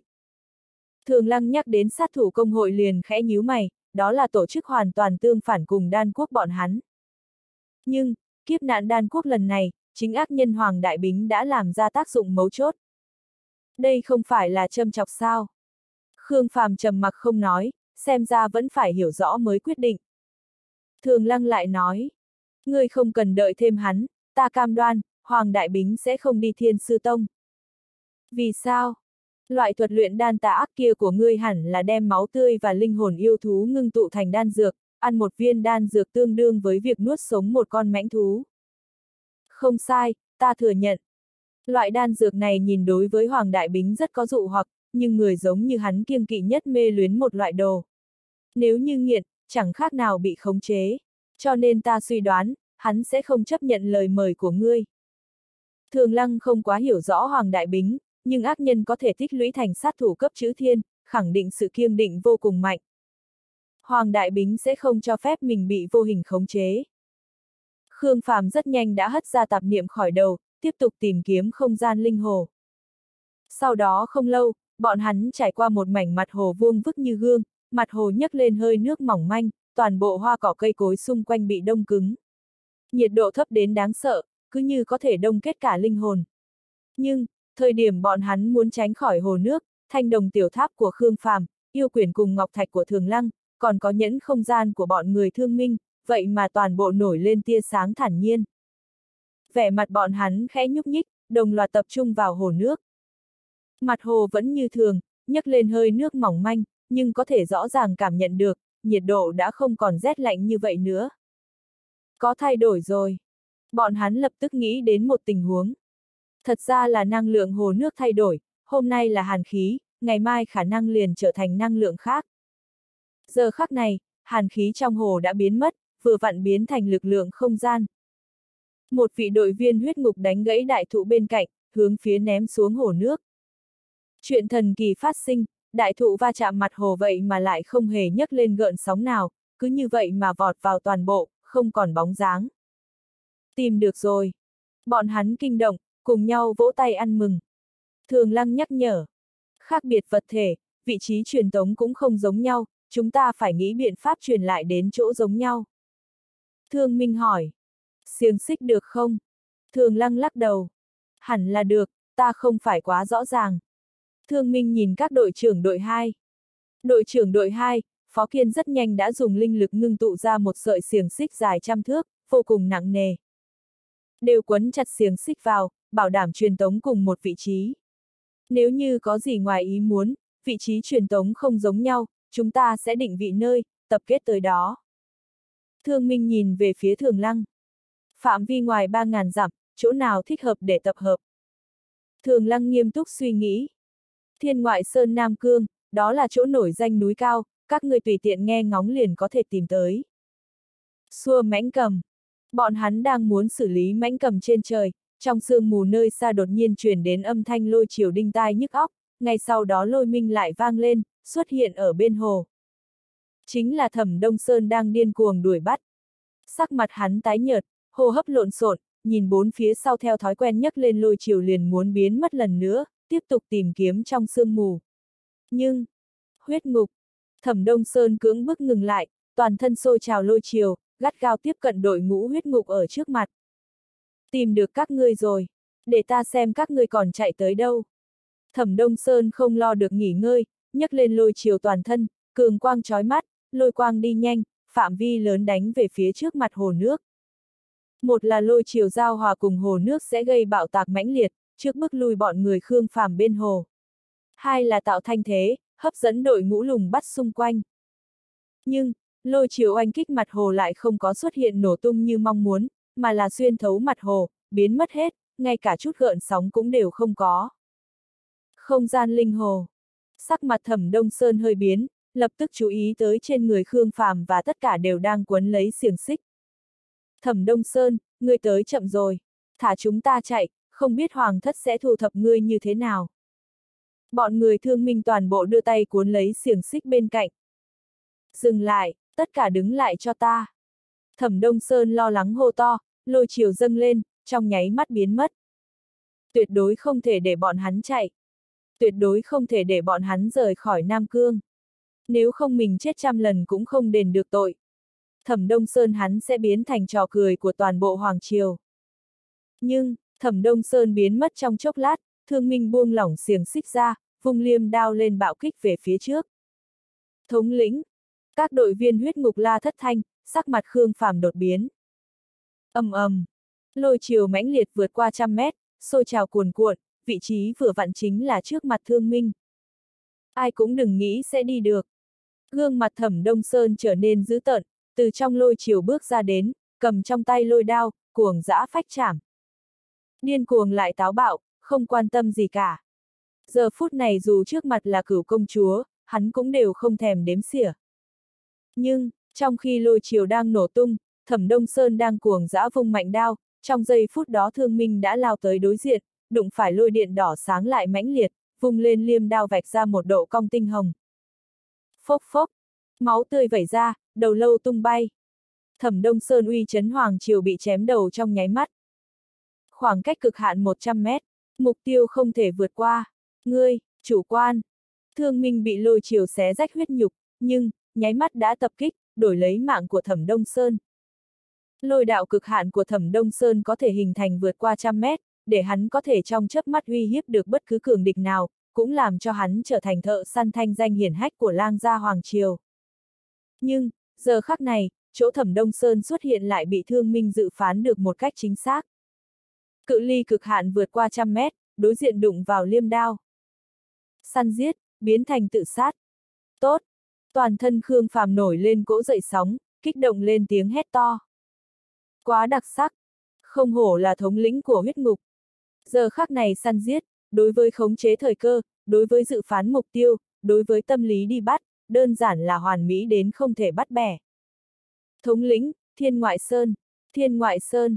Các đội viên huyết ngục đã sớm nhảy dựng lên, mắt thấy là phải rơi xuống mặt hồ, bây giờ muốn tới rời khỏi đã không kịp. Sau một khắc, toàn bộ bọn hắn đều chui vào hồ nước. Thương Minh cho một viên thuốc vào trong miệng, điều trị thương thế, nhưng hắn cũng không trực tiếp rời khỏi, mà nhìn mây mù thật dày ở xung quanh. Số lượng lớn mãnh cầm đang mang theo các cường giả Nam Cương tới gần nơi này. Nhưng, nếu giải quyết thẩm Đông Sơn, Nam Cương cùng Hoàng thất đội ngũ liền không có cường giả nào có thể uy hiếp được hắn. Săn giết, một ngày. Thương Minh cất kỹ thi thể thẩm Đông Sơn, cố ý đợi mãnh cầm xuất hiện ở trước mặt, lung lay liêm đao trong tay, quay người biến mất trong sương mù. Huyết ngục ở nơi đó. Nhanh nhanh nhanh, tìm tới huyết ngục. Cường giả bên trên một con mãnh cầm cao giọng la lên, liên tiếp phóng thích ba cỗ liệt diễm vào không trung, hấp dẫn lấy cường giả tụ tập tới nơi này. Ở đâu? Số lượng lớn mãnh cầm liên tiếp xuất hiện, vừa lo lắng vừa khẩn trương vẫn ngắm nhìn xung quanh. Nơi đó, nhanh nhanh nhanh. Cường giả cưỡi mãnh cầm trước đó đã nhanh chóng đuổi theo thương minh rời khỏi, những người khác cũng theo sát đuổi tới. Không gian linh hồ tựa như là một con đường không gian khổng lồ, toàn bộ pha tạp những hình ảnh mê ly thần kỳ, sau khi nuốt hết bọn người Khương Phàm đã nhanh chóng nhìn qua phương hướng di chuyển xa xôi. Bọn người Khương Phàm mất khống chế, bị nhấc lên lại nhanh chóng hạ xuống, may mắn trên người quấn lấy xiềng xích, không phải vậy chẳng mấy chốc đều sẽ tản ra. Giữ chặt lấy, tuyệt đối không được buông tay. Đội trưởng Phó Kiên, khống chế xiềng xích lại. Không nên nhìn loạn đến chỗ khác, nhắm mắt lại, chẳng mấy chốc chúng ta sẽ đi ra thôi. Các đội viên huyết ngục cố nén cảm giác hôn mê, hô to nhắc nhở lẫn nhau. Nhưng, có một chuyện phát sinh ngoài ý muốn. Thanh đồng tiểu tháp của Khương Phàm, yêu quyển cùng ngọc thạch trong tay thường lăng cũng bắt đầu nở rộ ánh sáng, càng ngày càng mãnh liệt. Ánh sáng đó lại cùng quang ảnh con đường không gian sinh ra giao hòa. Không tốt, thanh đồng tiểu tháp ảnh hưởng đến lực lượng không gian nơi này. Sắc mặt Khương Phàm đột nhiên biến đổi. Mặc dù nơi này tương tự như con đường không gian ở thành Thiên Khải, nhưng nơi đó là bị khống chế ổn định truyền tống, nơi này thì hoàn toàn là không gian vặn vẹo loạn chuyển. Lực lượng không gian của thanh đồng tiểu tháp, Ngọc Thạch và yêu quyển quá cường đại nên đã tạo thành cộng minh với nơi này. Xảy ra chuyện gì? Thường lăng luống cuống, Ngọc Thạch, yêu quyển càng ngày càng sáng, không chỉ có cùng dung hợp với quang ảnh xung quanh, lại còn bắt đầu dẫn dắt quang ảnh nơi xa xôi hội tụ tới nơi này. Công tử, thường lăng, nắm chặt xiềng xích, không được buông ra. Các huyết ngục lo lắng hô to, muốn hỗ trợ nhưng lại hoàn toàn không khống chế nổi thân thể. Khương Phàm cùng Thường Lăng rất nhanh bị càng ngày càng nhiều ánh sáng bao phủ, xiềng xích quấn quanh trên thân không bị vặn vẹo, sau đó tách ra. Không, không không. Thường Lăng luống cuống, nếu như tách khỏi huyết ngục thì có nghĩa là một mình nàng sẽ bị ném tới nơi nào đó ở Nam Cương.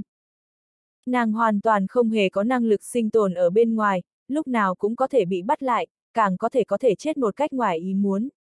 Chính nàng không sợ chết, nhưng nàng lại đang mang theo đỉnh lô mạnh nhất cùng linh bảo quý giá nhất đan quốc. Cứu ta, cứu ta! Thường lăng thét lên, thân thể nhấc lên, đưa tay bắt loạn lung tung. Giữa lúc nghìn cân treo sợi tóc, Khương Phàm kích phát linh văn, chấn khai hỏa dực, miễn cưỡng khống chế được thân thể, vung lên tay phải lên bắt lấy cánh tay Thường Lăng. Khương Phàm, Khương Phàm. Thường Lăng giống như bắt được cây cỏ cứu mạng, một tay khác lo lắng bắt loạn về phía trước. Ôm chặt ta. Khương Phàm dùng hết khí lực toàn thân, kéo Thường Lăng qua, gắt gao ôm vào trong ngực, cũng cơ hồ không nhìn thấy bóng dáng các huyết ngục, nhanh chóng hô to với phía trước. Không cần lo lắng cho ta, ta có thể sống sót. Công tử. Các huyết ngục ảo não, gấp gáp, lại bất lực. Mười ngày, chờ ta mười ngày, mười ngày không đến, các người hãy về La Phù. Về La Phù. Khương Phàm bị ánh sáng hoàn toàn nuốt hết, dùng hết khí lực toàn thân cuồng loạn gào thét. Ôm ta, ôm ta. Thường lăng nhắm mắt lại, gắt gao ôm lấy Khương Phàm, sợ không gian vặn vẹo tách bọn hắn ra. Hình như là cực kỳ lâu, nhưng lại hình như chỉ là một lát ngắn ngủi, ánh sáng xung quanh đột nhiên tản ra, Khương Phàm cùng Thường Lăng lại xuất hiện ở trong một con sông đang lao nhanh. Nước sông chảy xiết kéo bọn hắn về phía trước, cảm giác hoàn toàn khác biệt với lúc ở trong không gian trước đó. Đi ra rồi. Khương Phàm định thần lại, lập tức khống chế lại thân thể. Ục ục. Thường Lăng vẫn còn ở trong kinh hoàng, kịch liệt dẫy ruộng, muốn lao ra. Nhưng Khương Phàm vẫn là gắt gao ôm nàng, chìm ở trong nước sông.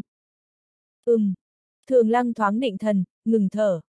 Sau khi Khương Phàm xác định bên ngoài không có gì nguy hiểm, lặng lẽ toát ra nửa cái đầu, quan sát bốn phía, lại chui vào đáy sông, tới gần vách núi bên cạnh, thò đầu ra dưới nhánh cây.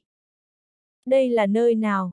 Thường Lăng bình tĩnh trở lại, không lo được cấp bậc lễ nghĩa, vẫn cứ nắm chắc Khương Phàm. Hình như là rừng rậm. Khương Phàm nghe tiếng chim gáy thú giống quen thuộc, thoáng thở phào, chỉ cần không phải thành trấn là tốt gì. Những người khác đâu? Thường lăng nhìn qua con sông lao nhanh, vừa vặn tìm kiếm huyết ngục, chợt kêu lên đầy sợ hãi. Khương Phàm. Khương Phàm quay đầu, sắc mặt đại biến, trước tiên chấn khai hỏa dực, ôm lấy thường lăng phóng lên tận trời. Giống. Một con quái ngư dài mười mấy mét đang thuận con sông lao lên, mở ra miệng rộng đầy răng nanh, nuốt tới phía bọn hắn. Toàn thân quái ngư bao quanh lôi điện màu lam, lúc thoát ra mặt sông, một khắc này, lôi chiều tăng vọt, thành thế kinh người. Khương Phàm mạo hiểm tránh khỏi, mang theo thường lăng lao thẳng lên trời vài trăm mét. Quái ngư gào thét, phun ra điện như thủy triều về phía bầu trời, muốn đánh bọn hắn xuống. Khương Phàm nhanh chóng rời khỏi, rơi xuống đỉnh núi cao ngất phía trước. Gió núi gào thét, thổi dơ lên thân thể ướt nhẹp của bọn hắn. Nam Cương có rừng rậm lớn như vậy sao? Khương Phàm ngắm nhìn bốn phía, khu rừng rậm rạp này cứ như đại dương mênh mông, vô biên vô hạn, hơi nước bốc hơi, mây mù quay quanh, số lượng lớn mãnh cầm linh điểu đang bay lượn giữa bầu trời, còn có mãnh thú to lớn ẩn hiện giữa khu rừng. Một luồng khí thức nguyên thủy dã tính tràn ngập. Lấy kinh nghiệm của Khương Phàm, đây tuyệt đối là phiến núi rừng mưa vô cùng khổng lồ. Hình như là không có. Thường Lăng cũng có thể cảm nhận được rừng mưa mênh mông, nhưng có Khương Phàm ở bên cạnh, trong nội tâm nàng đã không có hoảng nữa.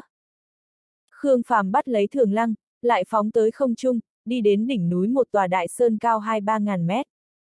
Thật lâu, Khương Phàm mày nhíu lại gấp. Ta có dự cảm thật không tốt. Thế nào? Thường Lăng kích hoạt linh văn, phóng thích sóng nhiệt, hong khô y phục. Vẻ mặt Khương Phàm trở nên nghiêm trọng. Nơi này ngoại trừ yêu thú thì vẫn là yêu thú, ta không thấy được một bóng người nào. Đi khắp nơi xem, nói không chừng có thể gặp được người nào đó. Thường lăng triệu bạch ngọc tưởng từ bên trong yêu quyển ra, bây giờ không cần ẩn giấu tung tích nữa, không có nhiều lo lắng như vậy. Từ sáng sớm đến giữa trưa, lại đến trạng vạng tối, bọn hắn du tẩu khắp rừng rậm. Thường xuyên nhìn thấy hài cốt trên đất, từ vài mét đến mấy chục mét không giống nhau, nhưng tất cả đều là yêu thú, không nhìn thấy di cốt của một người nào. Ngẫu nhiên cũng có thể gặp được mãnh thú đặc biệt cường đại, ép thường lăng thể không thu bạch ngọc tượng khổng lồ này lại, rất lúng túng nằm nhòi ở trên lưng Khương Phàm. Nơi này rốt cuộc là nơi nào? Nỗi bất an của Khương Phàm càng ngày càng mãnh liệt, luôn cảm thấy là lạ ở chỗ nào đó. Ví dụ như, mặc dù mãnh thú hung hãn, nhưng thật giống như có chút mỏi mệt. Lại ví dụ như, rất nhiều núi cao bị phá hư, số lượng lớn cây cối đều là xoay lệch ra sinh trưởng. Vẫn lại như, số lượng thi thể trên đất nhiều đến khoa trương, cũng rất ít thấy bị chém giết. Trời sắp tối rồi, chúng ta tìm nơi nghỉ ngơi một chút đi. Thường Lăng rất muốn giữ vững sự kiêu ngạo của mình, nhưng thật sự quá mệt mỏi, thật hận không thể có thể có giường mềm thoải mái, ngủ một giấc thật tốt. Ừm, tìm nơi an toàn. Khương Phàm đi đến chỗ cao phía trước, đang muốn tìm kiếm một nơi, chợt ngây ngẩn cả người, con người có chút phóng đại, gắt gao tiếp cận cuối tầm mắt, một lát sau, sắc mặt dần trở nên trắng bệch. Thế nào? Thường lăng kỳ quái nhìn vẻ mặt sợ hãi của hắn, thuận ánh mắt nhìn qua. Nơi xa, đất trời đụng vào nhau, xuất hiện một con đường dài màu đen, kéo dài vô tận. Con đường dài màu đen nhanh chóng to lớn lên, giống như là một miếng vải đen che trời trải rộng về phía trước, những nơi đi qua, mây mù tan hết, rừng rậm tràn vào trong bóng đêm. Ngay sau đó, mặt đất oanh minh, mãnh thú gào thét, còn tràn ngập lít nha lít nhít tiếng thét chói tai quái dị. Đó là thứ gì?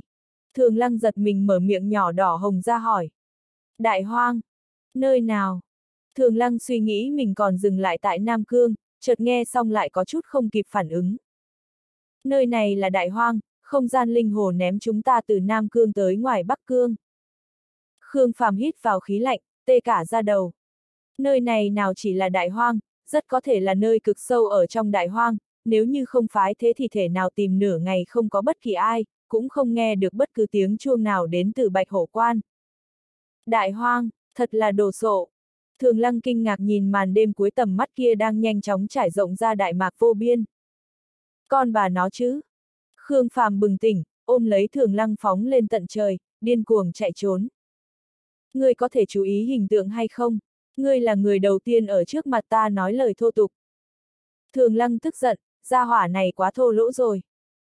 Ta vẫn là người đầu tiên nhìn thấy thân thể cô, ta vẫn là người đầu tiên ôm cô, ta vẫn là người đầu tiên kéo lấy cô chạy khắp thiên hạ, ta có rất nhiều cái đầu tiên của cô.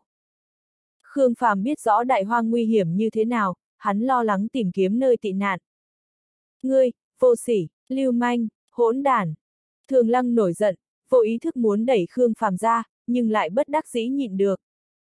Hắc ám che trời, vô biên vô hạn. Số lượng lớn ác linh kêu gào, vô số mãnh thú phóng tới.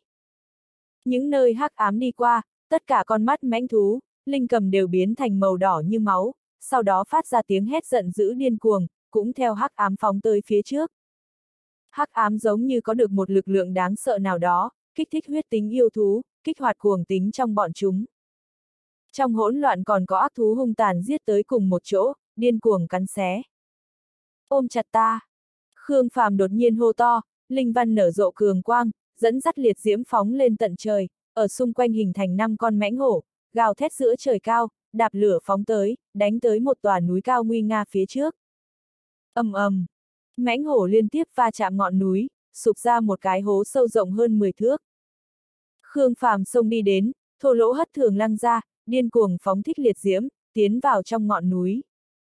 Đừng lo lắng, làm chút chuyện, sau đó trôn động xuống.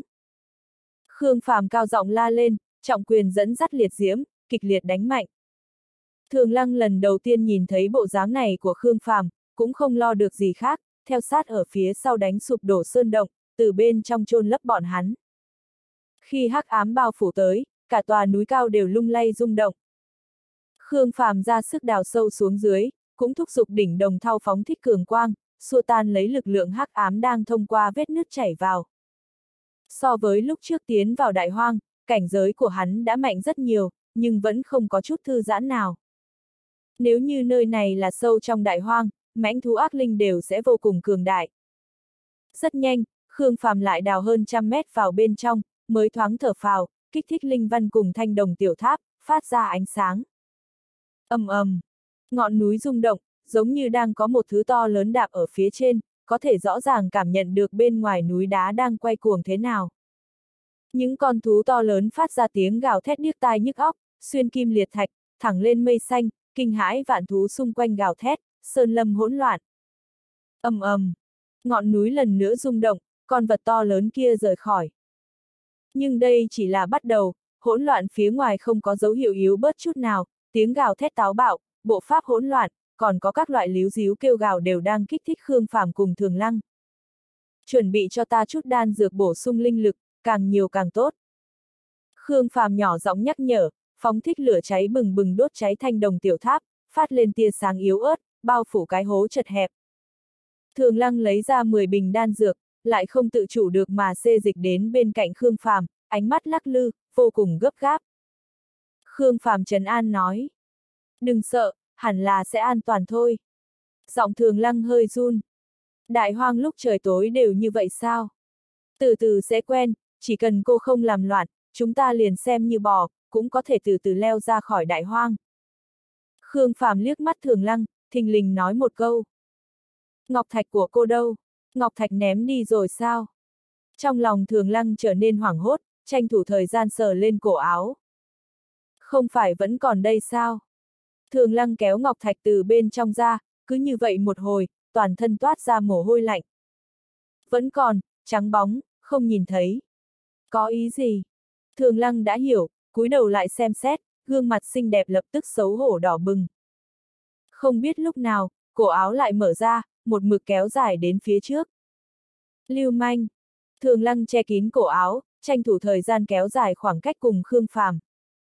Khương Phàm nhìn nàng không còn khẩn trương, tiếp tục định thần thôi động thanh đồng tiểu tháp, xua tan lực lượng hắc ám đang xuyên thấu qua vết nứt chảy vào.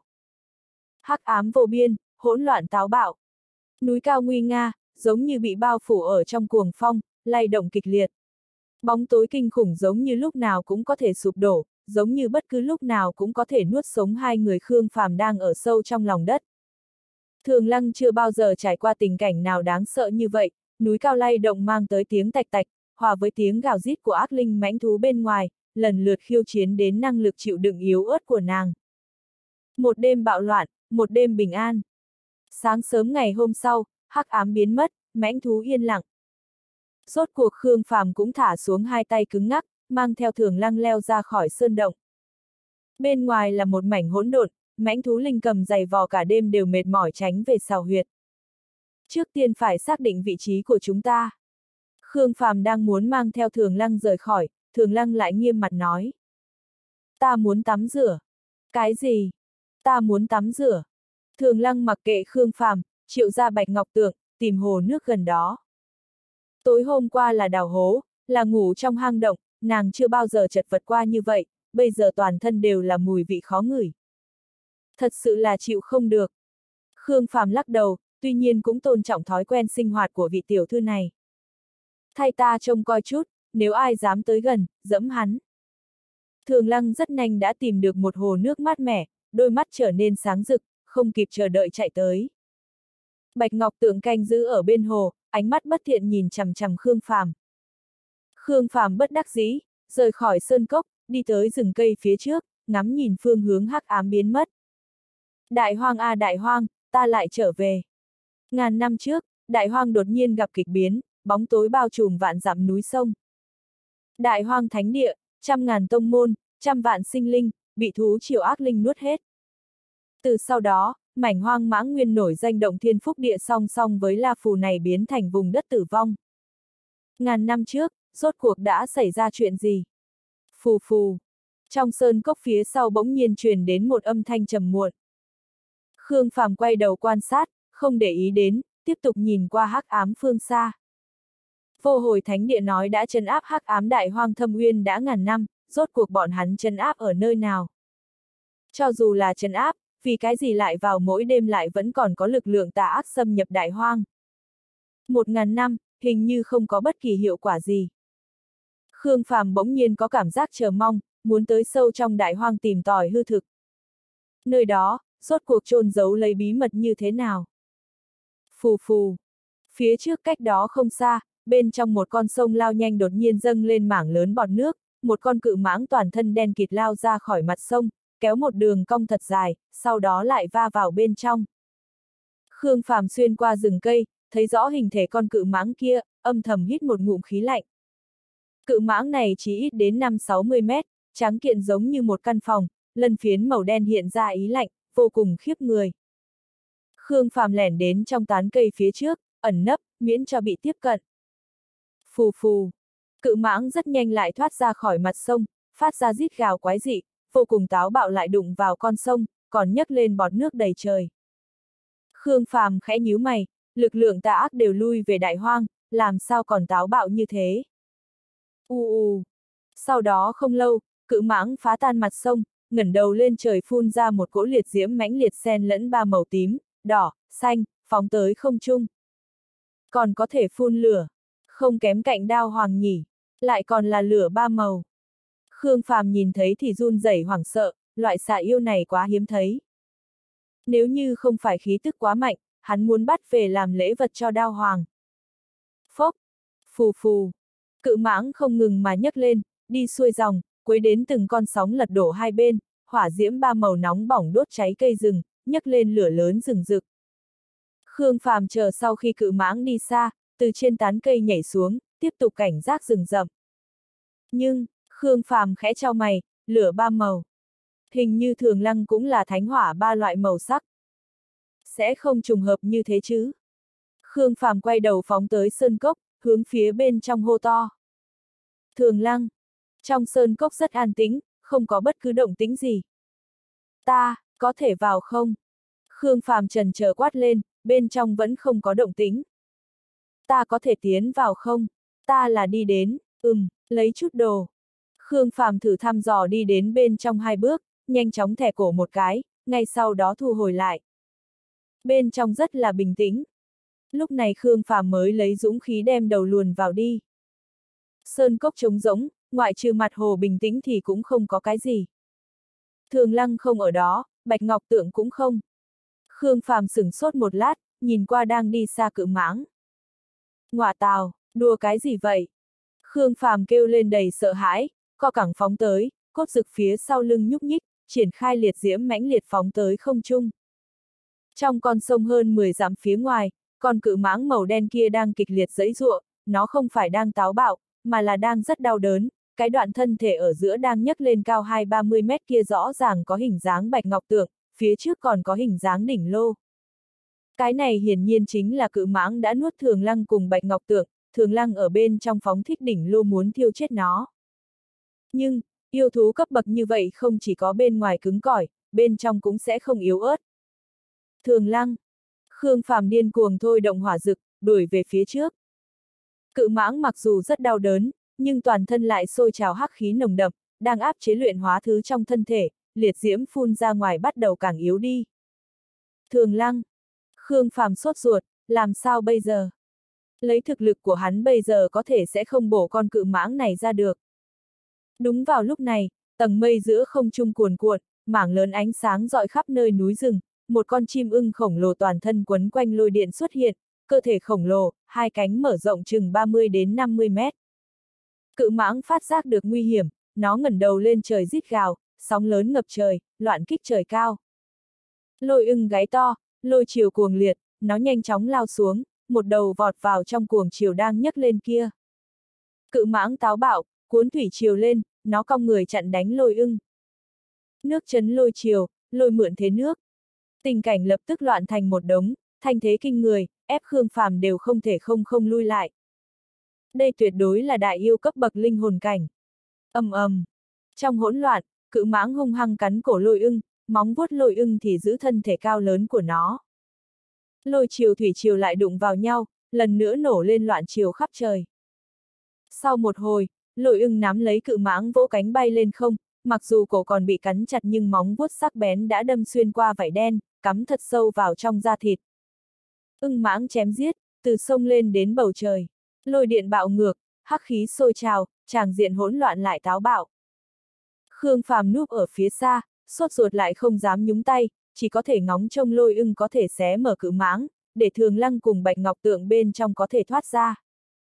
Nhưng, lôi ưng gáy to, lôi chiều cường thịnh cuồn cuộn khắp tầng mây, mang theo cự mãng từ trên trời giáng xuống, hung hăng đánh tới ngọn núi cao nguy nga phía trước. Một tiếng oanh minh, tiếng vang rung trời, núi cao kịch liệt lay động, mảng lớn đá vụn rơi xuống. Cự ưng hất cự mãng ra, dương cánh bay lên không. Nhưng, nó cũng không hề rời khỏi, mà là lao lên ngàn mét, dương cánh gáy to. Mây đen cuồn cuộn khắp không trung, lôi đình lấp lóe, ô ép bao phủ núi cao. Cự mãng thét gào, hắc khí hóa thành hắc triều dâng mãnh liệt mà ra, vậy mà tạo thành mười mấy đầu thủy mãng khổng lồ, kéo lấy thủy triều sông về bầu trời. ầm ầm, lông vũ toàn thân cự ưng dựng thẳng, bay ra hơn 300 cây, từng chiếc tăng vọt, to như cự kiếm, dẫn dắt lôi chiều đầy trời, đánh về phía thủy mãng. Va chạm kịch liệt bộc phát tại 500 mét không trung. Thanh thế kinh khủng rung động các dãy núi, các cánh rừng. Thủy mãng mặc dù cường thịnh nhưng lại vỡ nát toàn bộ trong nháy mắt, hóa thành hắc thủy rơi xuống đầy trời. Hơn 50 sợi lôi vũ dẫn dắt lôi điện xông phá chiều dâng, đánh vào trên thân cự mãng, lôi chiều từ trên trời giáng xuống đều đánh rách nát cả một ngọn núi. Lân phiến bay loạn, huyết nhục vỡ vụn. Cự mãng vùng vẫy một lát, vẫn là bị tươi sống đóng đinh trên núi cao. Khương Phàm nhìn thấy thì hoảng sợ run rẩy, cắn răng một cái, thu liễm hỏa dực, kiên trì sông về núi cao. Phóng tới trong bụi mù cuồn cuộn, ở giữa thủy triều đang lao nhanh nhất lên, nhanh chóng tới gần đầu cự mãng kia. Lôi ưng ở trên không gáy to, kiêu ngạo với thắng lợi mình, sau đó tản ra lôi chiều, bay về thắng lợi của nó. Khương Phàm sốt ruột, liều mạng với tốc độ của lôi ưng, nhưng vừa bước đi đã bị trượt chân, chật vật nhào vào trong bùn đất. Cách hơn ngàn mét, lôi ưng nhanh chóng lao xuống, móng vuốt rộng vài chục thước, bám vào trên thân cự mãng. Khương Phàm gắt gao cắn chặt răng, vọt mạnh về phía trước. Giữa lúc nghìn cân treo sợi tóc, Khương Phàm đã nhào tới được phía dưới cự mãng, dùng cả tay chân chui vào một vết thương thô to. Cự ưng huy động vỗ cánh bắt lấy cự mãng bay lên không. Khương Phàm ở bên trong dùng sức xô đẩy Bạch Ngọc Tượng, nhưng Bạch Ngọc Tượng đã chết, thân thể vặn vẹo rách dưới, hẳn là bị cự mãng giết chết trước khi cuốn lấy. Hắn gian nan chen qua lo lắng tìm kiếm Thường Lăng. Khương Phàm đã đồng ý với quốc quân, phải mang Thường Lăng an toàn trở về đan quốc, tuyệt đối không thể để nàng chết ở chỗ này. Cự ưng nhanh chóng bay lên không, mấy chục mét, 100 mét, 300 mét. Tìm được rồi. Rốt cuộc Khương Phàm cũng mò tới chỗ Thường Lăng đang hôn mê ở bên trong nội tạng rách dưới đầy dịch nhờn. Giờ khắc này, đã không lo được đỉnh lô và thi thể bạch ngọc tượng nữa. Nếu như lại túm bọn nó ra đi, khẳng định sẽ bị lôi ưng phát hiện, đến lúc đó ai cũng không đi được. Khương Phạm ôm chặt Thường Lăng, thuận vết thương trước mặt trượt ra ngoài. Khoảng cách mấy trăm mét nhanh chóng hạ xuống. Vì để tránh bị lôi ưng phát hiện, hắn không dám mở hỏa rực, chỉ có thể rơi tự do xuống. Bành! Khương Phàm rơi xuống mấy trăm mét, nện đứt gãy chạc cây, đâm vào trên mặt đất, hắn cố gắng chịu đựng đau nhức thuận thế đứng dậy, nhào về phía con sông đang lao nhanh ở phía trước. Lôi ưng không có chú ý trên thân con mồi đã mất thứ gì rồi, nó bay vào tầng mây, rất nhanh đã biến mất ở chân trời. Khương Phàm thuận dòng nước liền vọt lên một lát, sau khi xác định lôi ưng đã rời khỏi, hắn nhanh chóng kéo lấy thường lăng leo lên bờ, vội vàng kiểm tra thương thế cho nàng. Hơi thở thường lăng rất yếu ớt, thân thể đều bị cự mãng đè xuống mà có chút biến dạng, tuy nhiên thương thế không nghiêm trọng lắm, chủ yếu là tiêu hao quá lớn, tăng thêm kinh hãi quá độ nên đã hôn mê. Tiểu cô nương đáng thương. Khương Phàm thoáng thở phào, thật khó cho thường lăng. Nàng như là một con mèo con quý giá, bình thường lại cao ngạo như thế, lại được nuôi trong nhà, đột nhiên ném tới rừng rậm, hoang dã thế này quả thật có chút gánh không được. Khương Phạm ôm ngang nàng vọt vào trong rừng rậm, tìm kiếm nơi an toàn. Xế chiều hôm đó, Thường Lăng thức tỉnh, hoảng hốt rất một hồi, mới kinh hồn ngồi xuống, con mắt trừng lớn, trong ánh mắt tất cả đều là sợ hãi. Sau khi nhìn rõ xung quanh là sơn động, nàng mới thoáng lấy lại bình tĩnh. Tỉnh rồi sao? Tiếng Khương Phàm từ bên ngoài truyền vào tới. Khương Phàm. Giọng thường lăng khẽ run. Khương Phàm lại nói. Bên cạnh cô có hai cái thùng gỗ, ta tùy tiện làm, hơi đơn sơ một chút, bên trong có nước. Cứ thoải mái tắm rửa, hôm nay là lần cuối cùng cô tắm rửa trước khi rời khỏi đại hoang. Thùng gỗ bên cạnh còn có y phục, là của ta, cô cứ mặc tạm. Nơi này là đại hoang, cô không thể lại mặc váy bào, cũng không thể lại tùy hứng. Chỉ cần có thể còn sống mà đi ra khỏi đại hoang, cô vẫn có thể làm thường lăng tông sư cao quý xinh đẹp của cô, đi ra không được, cô muốn xinh đẹp cũng không nổi. Khương Phàm không ý có trách cứ thường lăng, chỉ nói để nàng rõ ràng tình trạng bây giờ. Thường lăng hơi hé miệng, đứng dậy nhìn thùng gỗ, nói với bản thân mình phải kiên cường, nhưng, nước mắt vẫn thấm ra khóe mắt, im ắng trượt xuống. Khương Phàm lại đào một hang đá ở sơn động bên cạnh, hang đá kéo dài thẳng xuống dưới. Hắn không có năng lực thần kỳ như dạ an nhiên, chỉ có thể tận hết khả năng chuẩn bị ngụy trang cho tốt, dùng thanh đồng tiểu tháp xua tan hắc ám. Chờ sau khi làm xong thì sắc trời đã dần tối, hắc ám từ sâu trong đại hoang lan tràn ra bao la vạn trượng, thanh thế to lớn, rừng rậm lần nữa lâm vào bạo động. Thường lăng thay xong y phục mà Khương Phàm chuẩn bị, nhanh chóng trốn đến dưới đáy trong thạch động. Y phục vừa người không? Khương Phàm nhìn Thường lăng, lại dùng liệt diễm đốt cháy thanh đồng tiểu tháp, xua tan hắc ám trong hang đá. Bạch Ngọc tưởng đâu? Thường lăng ngồi vào bên cạnh, ôm hai chân, vẻ mặt ảm đạm. Khương Phàm lắc đầu. Chết rồi, bị cự mãng giết chết. Thân thể mềm mại của thường lăng run rẩy, chậm rãi ôm chặt hai chân. Đỉnh lô của ta đâu? Sau khi trời sáng, ta dẫn cô đi tìm. Khương Phàm thấy thường lăng an tĩnh, chỉ sợ là chấn kinh quá độ. Đại hoang hung tàn, cô từ từ thích ứng. Ta không dám hứa chắc có thể còn sống đi ra đại hoang, nhưng chỉ cần ta có thể đi ra ngoài, bên cạnh nhất định sẽ có cô. Thường lăng đưa mắt nhìn thiếu niên gầy gò trước mặt mình, khẽ nhếch môi, nhẹ giọng nói nhỏ. Cảm ơn ngươi. Khương Phạm Trần An nói. Đến đây, ta thay cô canh giữ. Nếu như cô có thể còn sống đi ra khỏi đại hoang, đoạn đường nhìn như nguy hiểm này sẽ là đoạn đường đặc biệt nhất mà cô đã trải qua, dư vị đáng giá để cô cảm nhận cả một đời. Thường Lăng yên lặng nhìn một lát, khẽ nói. Ngươi thì không sao. Khương Phàm cười. Sáu tuổi ta đã sông sáo đại hoang, đã trải qua sinh tử nhiều lắm, tương lai sẽ còn càng nhiều. Ngươi thích mạo hiểm. Ta thích trưởng thành. Trưởng thành không nhất định phải dựa vào mạo hiểm. Trưởng thành không thể rời bỏ những gì phải trải qua, nhưng những chuyện trải qua nhất định phải có mạo hiểm. Ý nghĩ của ngươi rất đặc biệt. Thường lăng chậm rãi lắc đầu. Muốn cuộc sống yên tĩnh, mang ý nghĩa là hài lòng với hiện tại. Muốn cuộc sống đặc sắc, nhất định phải vượt mọi trông gai. Thường lăng cô nương, cô đã từng muốn mình là quốc quân đan quốc chưa? Ta phải kế thừa ý chí thiên tổ, ta phải bảo vệ vương quốc của ta, bảo vệ luyện đan sư trong thế giới nguy hiểm này. Bây giờ thì thế nào? Cô liều mạng bảo vệ đan quốc, nhưng lại yếu ớt không chịu nổi một kích. Không phải ta rèm pha đan quốc, mà là phương hướng các ngươi cố gắng không đúng. Nếu quả thật chúng ta phải bảo vệ một thứ gì đó, không phải là vì nó mà tạo dựng vách tường, mà là để bên trong mình càng cường đại, cường đại đến mức bất cứ cường địch nào cũng không dám có suy nghĩ muốn tổn hại đến chúng ta. Tường thành lại kiên cố, cuối cùng vẫn ngăn không được lòng người tham lam. Chỉ có đao kiếm đầy đủ sắc bén, mới có thể để cho người khác thấy mà lùi bước. Khương Phàm thuận miệng nói chuyện phiếm, nghĩ là sẽ làm dịu sự khẩn trương của Thường Lăng. Thường Lăng lại kinh ngạc nhìn Khương Phàm, rất khó tưởng tượng được, nàng lại từ trên thân một hài tử 15 tuổi nghe được những thâm ý thế này. Khương Phàm tiếp tục nói. Đan quốc rời khỏi lang gia hoàng triều, giống như là tân sinh, các ngươi là chủ nhân đan quốc, hẳn là sẽ đổi cách sống. Cách sống gì? Ta chỉ là đề nghị, tùy tiện nói thôi. Quốc quân có thể tăng cường giao lưu cùng Ngọc Đỉnh Tông, bù đắp cho nhau, mà cô có thể du tẩu khắp nơi, tìm kiếm võ pháp càng mạnh, kết giao càng nhiều bằng hữu. Thế giới bên ngoài, so với những gì cô tưởng tượng đều đặc sắc hơn nhiều. Lấy thiên phú của cô, năng lực của ngô ươi, cực hạn tại một vực hoàng triều thế này thật sự là quá đáng tiếc.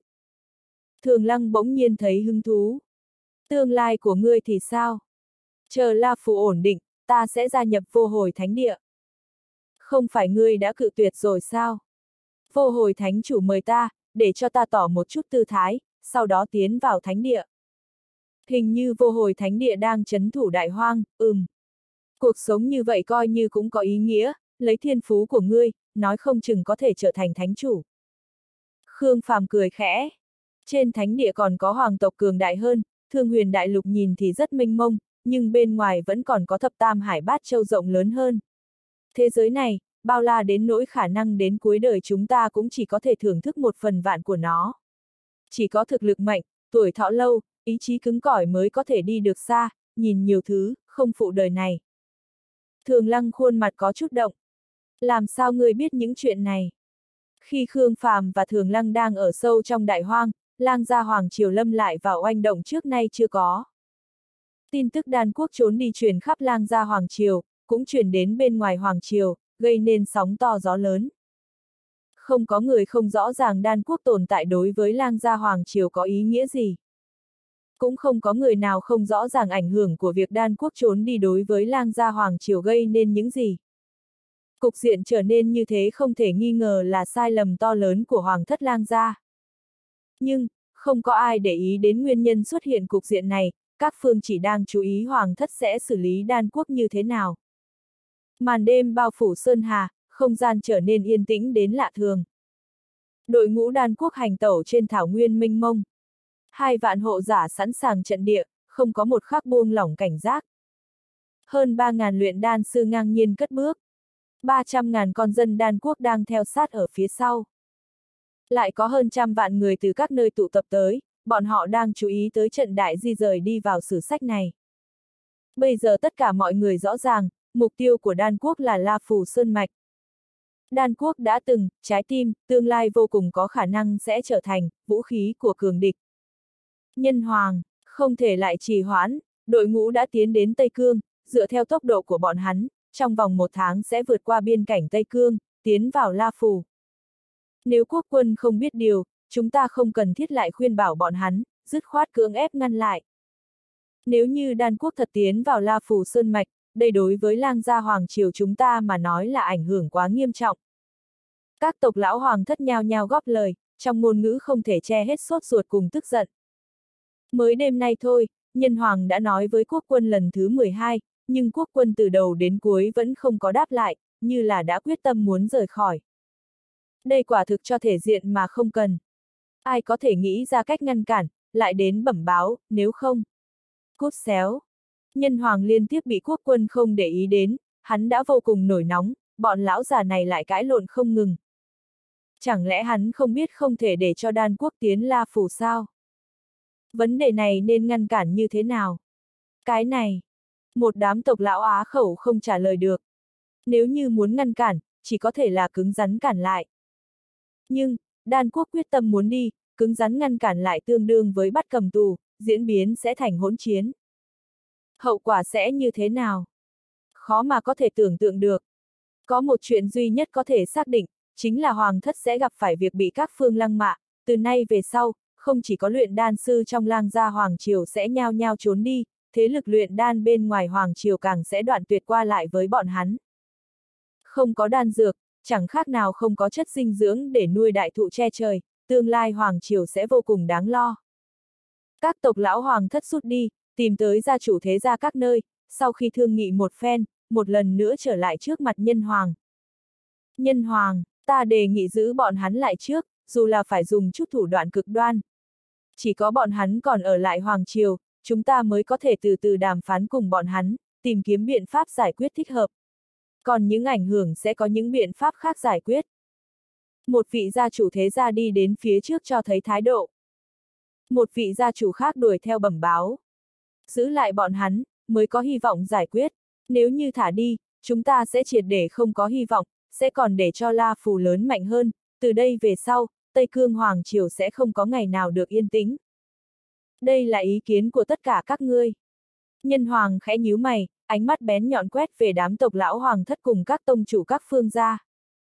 Một vị tông chủ tông môn cắn răng, không để ý xung quanh ánh mắt bén nhọn, hướng về phía trước nói. Nhân Hoàng, tuyệt đối không thể. Nói.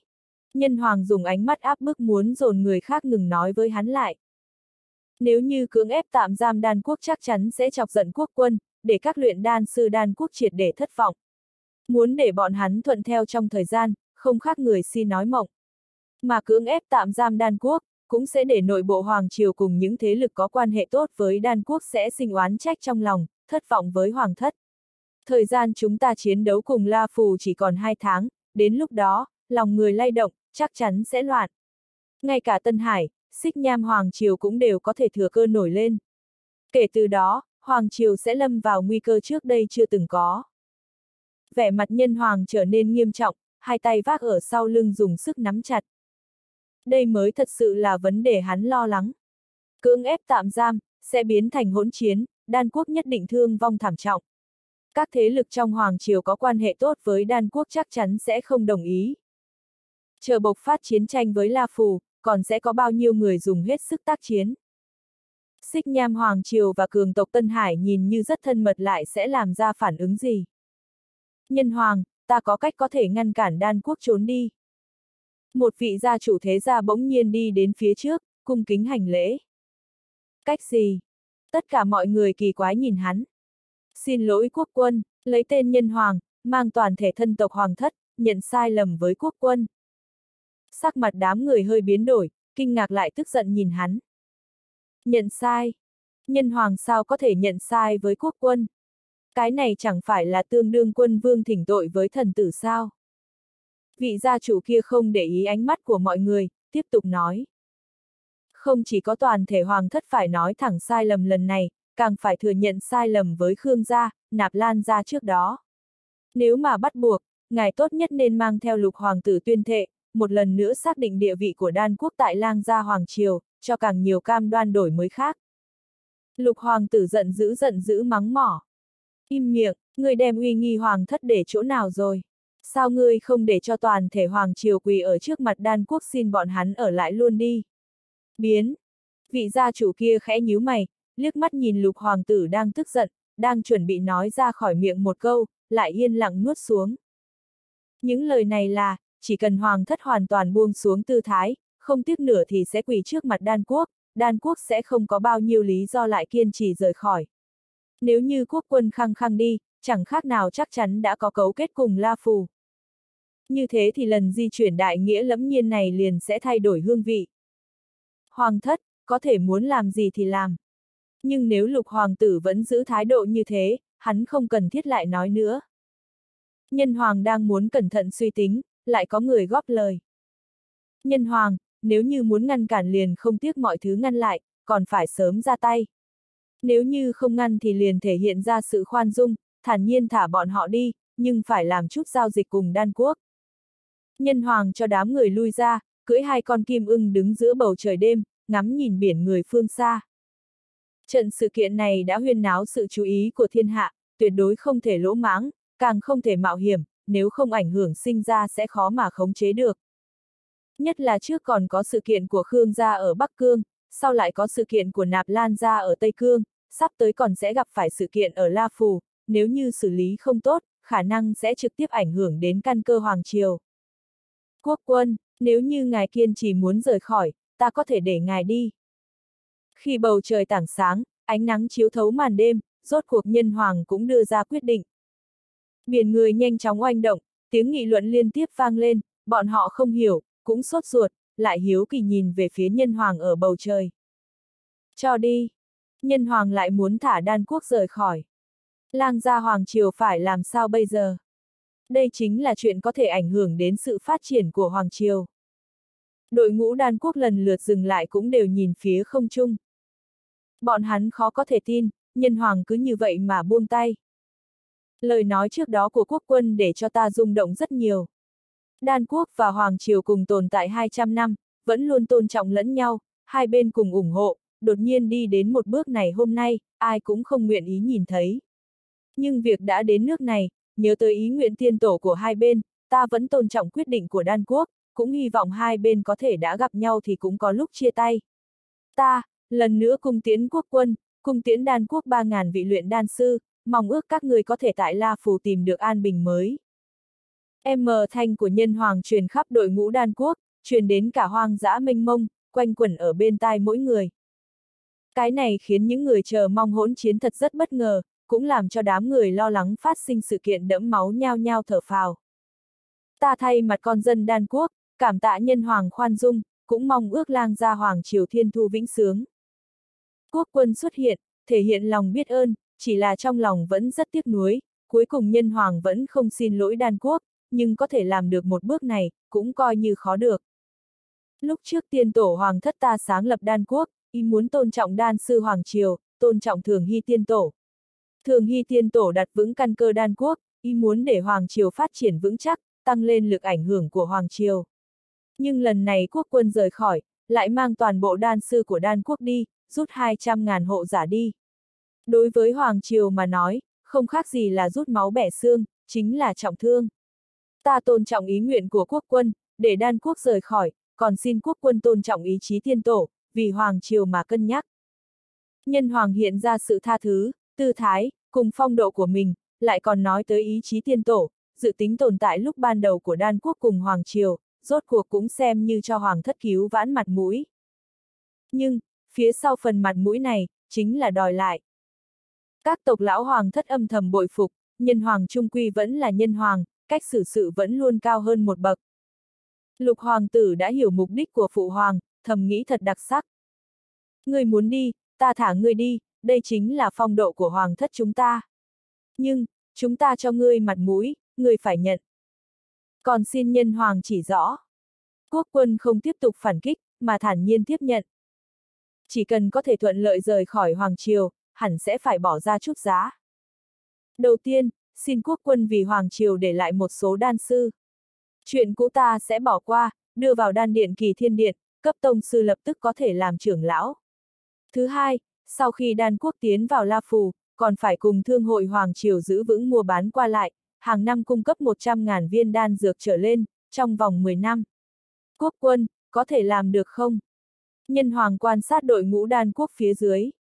Trong đan điện mặt có hơn 500 vị luyện đan sư, nếu như có thể thu được những tên ở lại trong phế Thích đan quốc kia, lại từ phía dưới mời chào thêm một số, luyện đan sư của kỳ thiên điện sẽ hình thành quy mô khác. Mặc dù kém xa đan quốc, nhưng chỉ ít có thể cho nội bộ Hoàng Triều chút lực lượng. Về phần nhu cầu đan dược của Hoàng Triều, còn cần tiếp tục mua sắm từ đan quốc. Đan quốc trầm mặc một lát, nhưng vẫn tiếp nhận điều kiện. Nói cho cùng, mục đích thành lập ban sơ của đan quốc vẫn là vì Hoàng Triều. Hắn có thể từ bỏ Hoàng Triều, nhưng không thể ngồi nhìn Hoàng Triều có nguy cơ nào. Được quốc quân ra hiệu, Tô Nguyên Minh hỏi lớn các luyện đan sư xung quanh. Ai nguyện ý ở lại, bây giờ là cơ hội cuối cùng. Hơn 3.000 vị luyện đan sư sau khi nhỏ giọng thì thầm, có người lục tục ngo ngoe đi ra ngoài. Số lượng không nhiều không ít, hơn 500 vị. Các trưởng lão đan điện kỳ thiên điện phấn chấn không thôi, sau khi được nhân hoàng gật đầu, liền bước nhanh đến phía trước, tự mình mời chào. Nhân hoàng lại nói, ta còn có điều kiện thứ ba, hy vọng quốc quân nhớ tới tình nghĩa hoàng triều bảo vệ 200 năm, không nên nhúng tay vào cuộc hai chiến đấu tháng sau của La Phù, còn phải bảo đảm thiên sư tông không giết hại mấy tù binh kia. Quốc quân chắp tay nói, đan quốc sẽ không là địch của Hoàng Triều, về phần mấy vị tù binh kia, ta sẽ tận hết khả năng. Làm phiền quốc quân, các ngươi có thể đi ngang qua Tây Cương, không có bất kỳ ngăn trở nào, nhưng...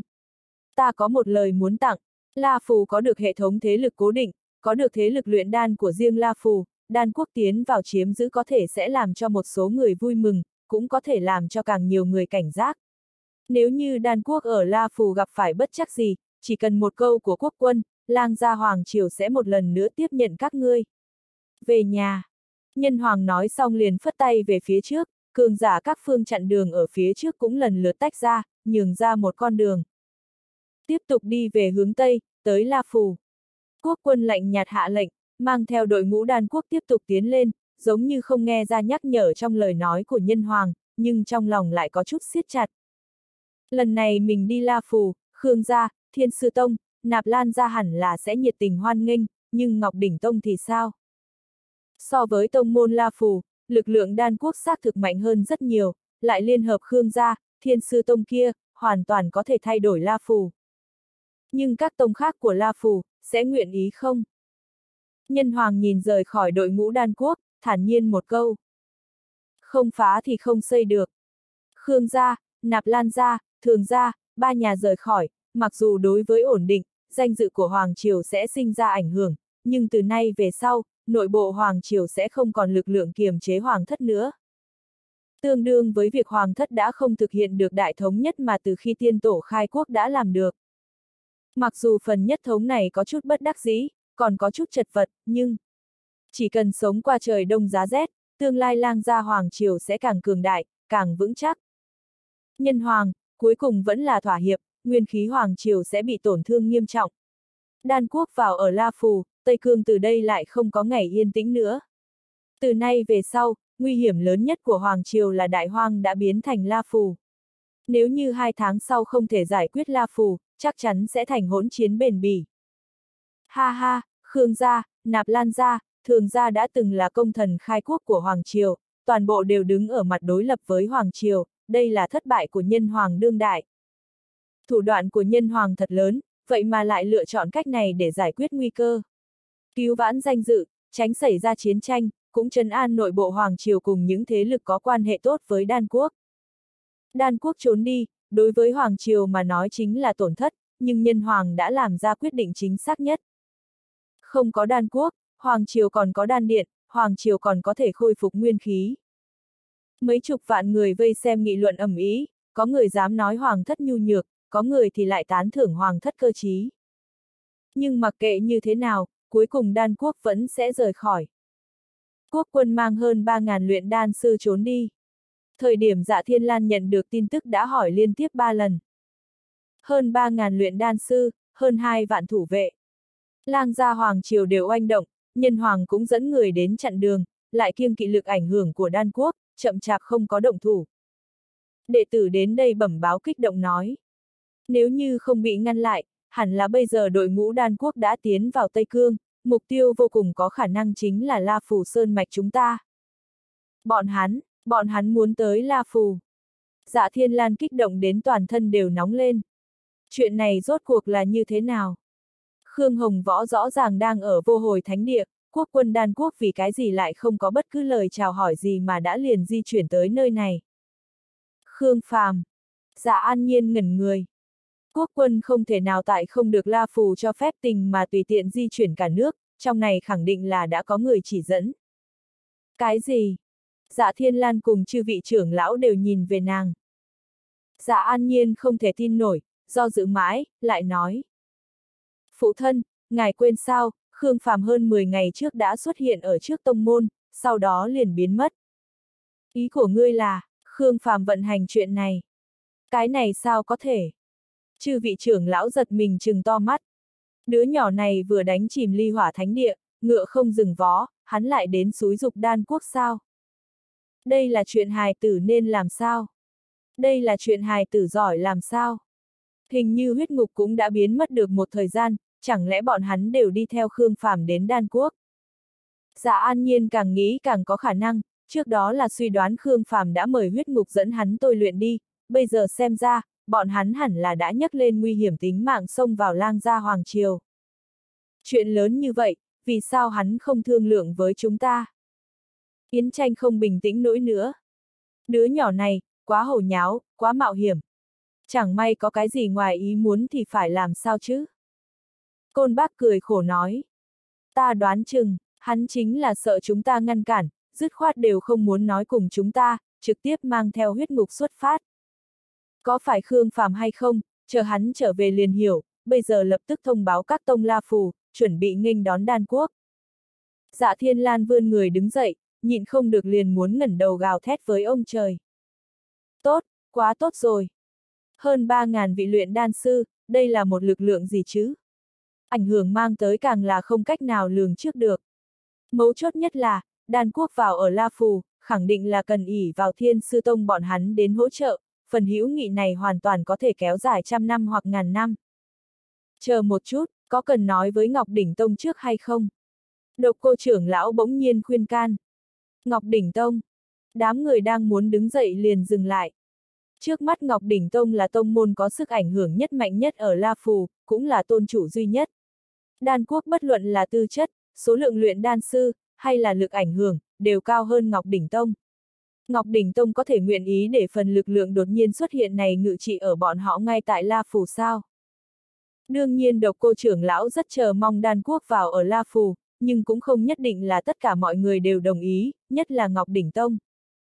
Các ngươi trước tiên đi tập kết đội ngũ, ta tự mình đi đến Ngọc Đỉnh Tông. Dạ Thiên Lan lập tức lên đường, tiến về Ngọc Đỉnh Tông. Cùng lúc đó, các tông lần lượt có được tin tức đan quốc di chuyển, bọn hắn khiếp sợ, đồng thời cũng nghĩ đến Bạch Hổ Tông trước tiên. Khương ra đây là muốn làm gì? Mới xây Bạch Hổ Tông còn chưa đủ à, lại rời đan quốc đến đây.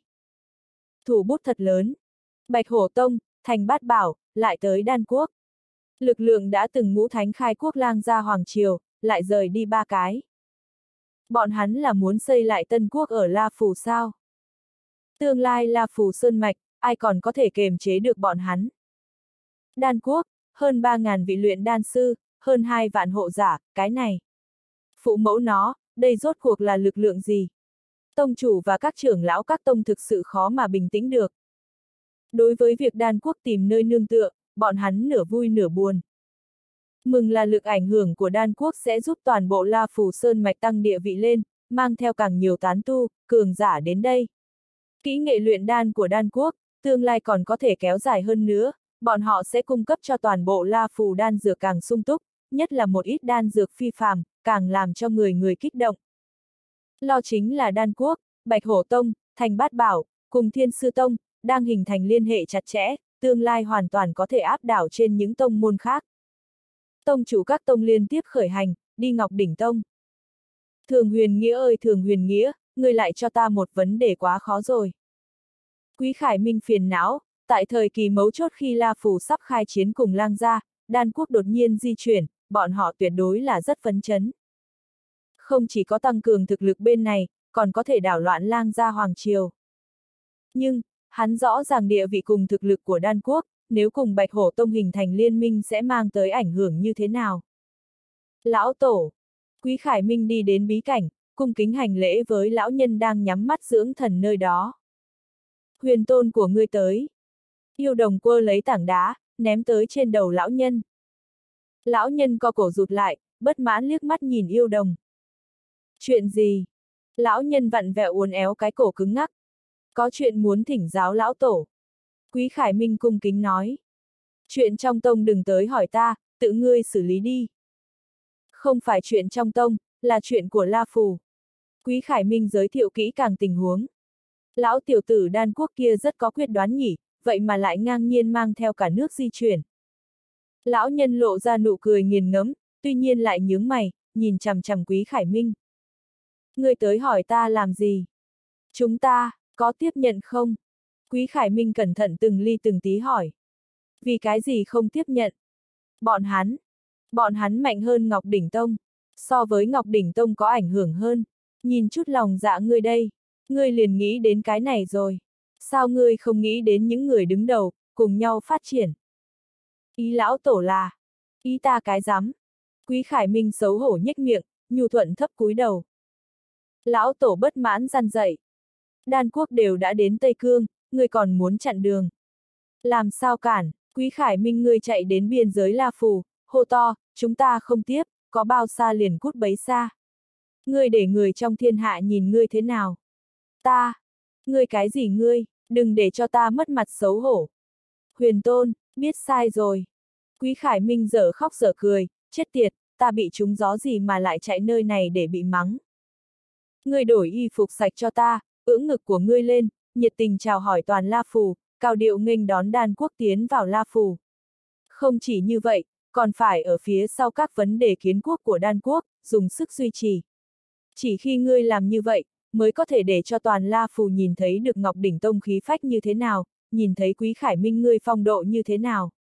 Chỉ khi ngươi làm như vậy mới có thể được đan quốc tôn trọng, để thường huyền nghĩa vào tương lai sẽ không cạnh tranh với Ngọc Đỉnh Tông, mà là lấy lễ để tiếp đón. Lão nhân nhìn không được mà chế nhạo một trận. Làm việc phải phóng khoáng cho ta, ánh mắt nhìn thật xa cho ta, lại chọc ta phiền lòng thì ngươi dứt khoát giao vị trí tông chủ ra, tới theo giúp ta, vừa hay ta đang thiếu một tên phục vụ. Huyền tôn sai, sai rồi. Quý Khải Minh tranh thủ thời gian xin lỗi, không người lui lại. Khi dạ thiên lan và các tông chủ đều mang tâm tư đuổi tới Ngọc Đỉnh Tông, Quý Khải Minh lại mỉm cười, phong độ nhẹ nhàng. Đan quốc di chuyển cả nước, quả thật là vinh hạnh to lớn đối với La Phù ta. Đối diện đập tới một câu để dạ thiên lan và các tông chủ nhẫn nhịn nói một đường lại cưỡng bức kẹt tại yết hầu. Nếu các tông chủ đến đã rồi, cũng nhanh theo ta đến biên cảnh nghênh đón. Những người khác phái đệ tử về tông triệu tập lực lượng, mau chóng hành động. Chúng ta phải dùng quy cách cao nhất, hoan nghênh đan quốc đến, tuyệt đối không thể mất cấp bậc lễ nghĩa. Mặc dù trong lòng quý khải minh có chút khó chịu, nhưng vẫn kích động lại rung động. Quốc quân thật quyết đoán, quý khải minh ta rất mặc cảm. Đám người hai mặt nhìn nhau, tình huống này là như thế nào? Quý khải minh, điên rồi. Thực sự không được, từ bỏ đi. Khương Phàm vung hỏa rực vàng óng ánh rừng ở 3.000 mét trên không trung, xa xa nhìn qua vách núi bị mây mù bao phủ ở phía trước. Nơi đó chính là xào huyệt của lôi ưng, có thể thấy rõ ràng đỉnh lô nguy nga. Nhưng nơi đó không chỉ có một con lôi ưng, ngoài ra còn có một lớn ba nhỏ. Đối với luyện đan sư mà nói là, đỉnh lô so với mệnh còn quan trọng hơn. Thường lăng cuộn mình trong ngực Khương Phàm, trơ mắt nhìn ba con ưng non đem đỉnh lô nàng coi như sinh mệnh như đồ chơi mà đang chơi đùa. Người có thể dẫn dắt bọn nó rời khỏi hay không, ta thừa cơ trộm đi.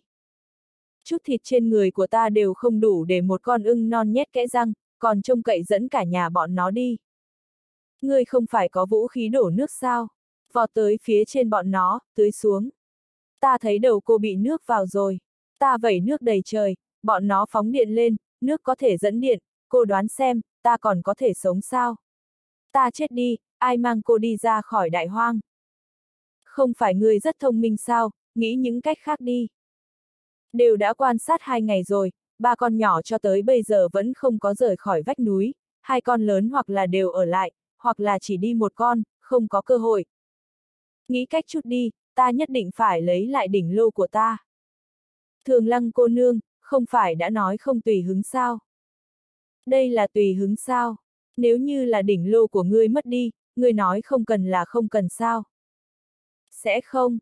Khương Phàm nhìn qua vách núi xa xa, tiếp tục suy nghĩ biện pháp.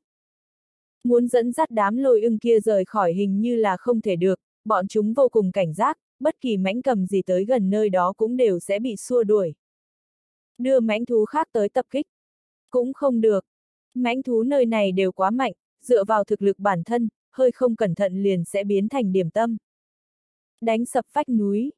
Chắc chắn lôi ưng sẽ liều mạng với hắn. Nếu không, đào một con đường. Từ phía dưới trực tiếp kéo dài đến đỉnh vách núi, móc đỉnh lô đi. Cũng không được, trộm đi thì dễ, chạy trốn mới khó. Phải làm sao bây giờ đây?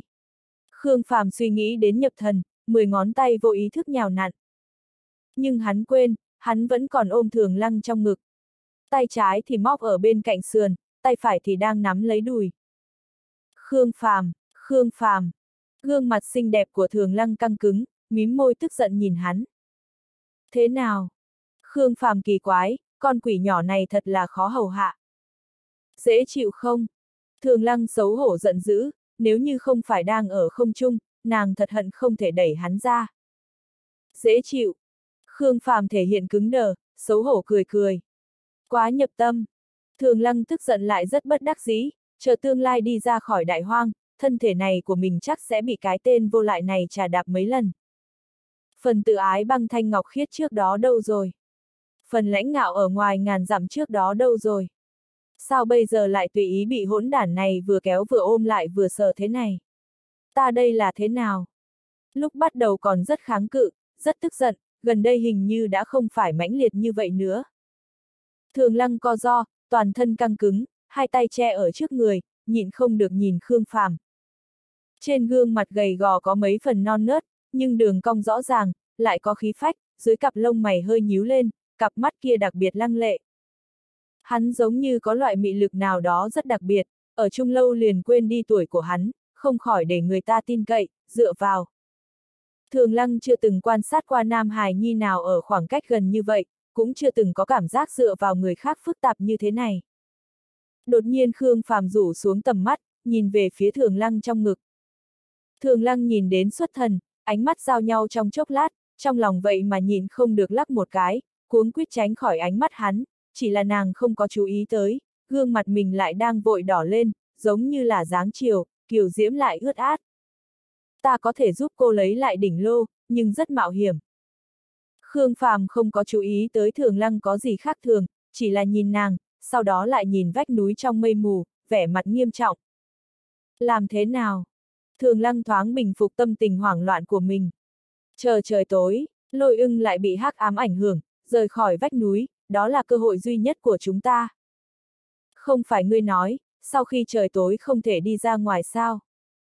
Thường lăng khẽ nhếch môi, đối với màn đêm trong đại hoang đã sinh ra sợ hãi rất sâu. Cô muốn đỉnh lô, ta sẽ cố gắng mang về cho cô. Thế nhưng, thường lăng bỗng nhiên có chút cảm động. Nhìn thấy ngọn núi kia không? Khương Phàm chỉ vào ngọn núi cao nguy nga phía đông gần vách núi. Thấy. Từ đỉnh núi đến vách núi nơi đó đại khái là khoảng 1.000 mét, là gần nơi đây. Chúng ta đào hang động đến ngọn núi kia, trốn đến trước tờ mở sáng. Trước khi lực lượng hắc ám biến mất, cũng chính là trước khi lôi ưng trở về, dùng tốc độ nhanh nhất phóng tới đỉnh vách núi, tìm đỉnh lô, lại dùng tốc độ nhanh nhất trở về. Thường lăng cẩn thận nghĩ nghĩ, hình như thật có thể.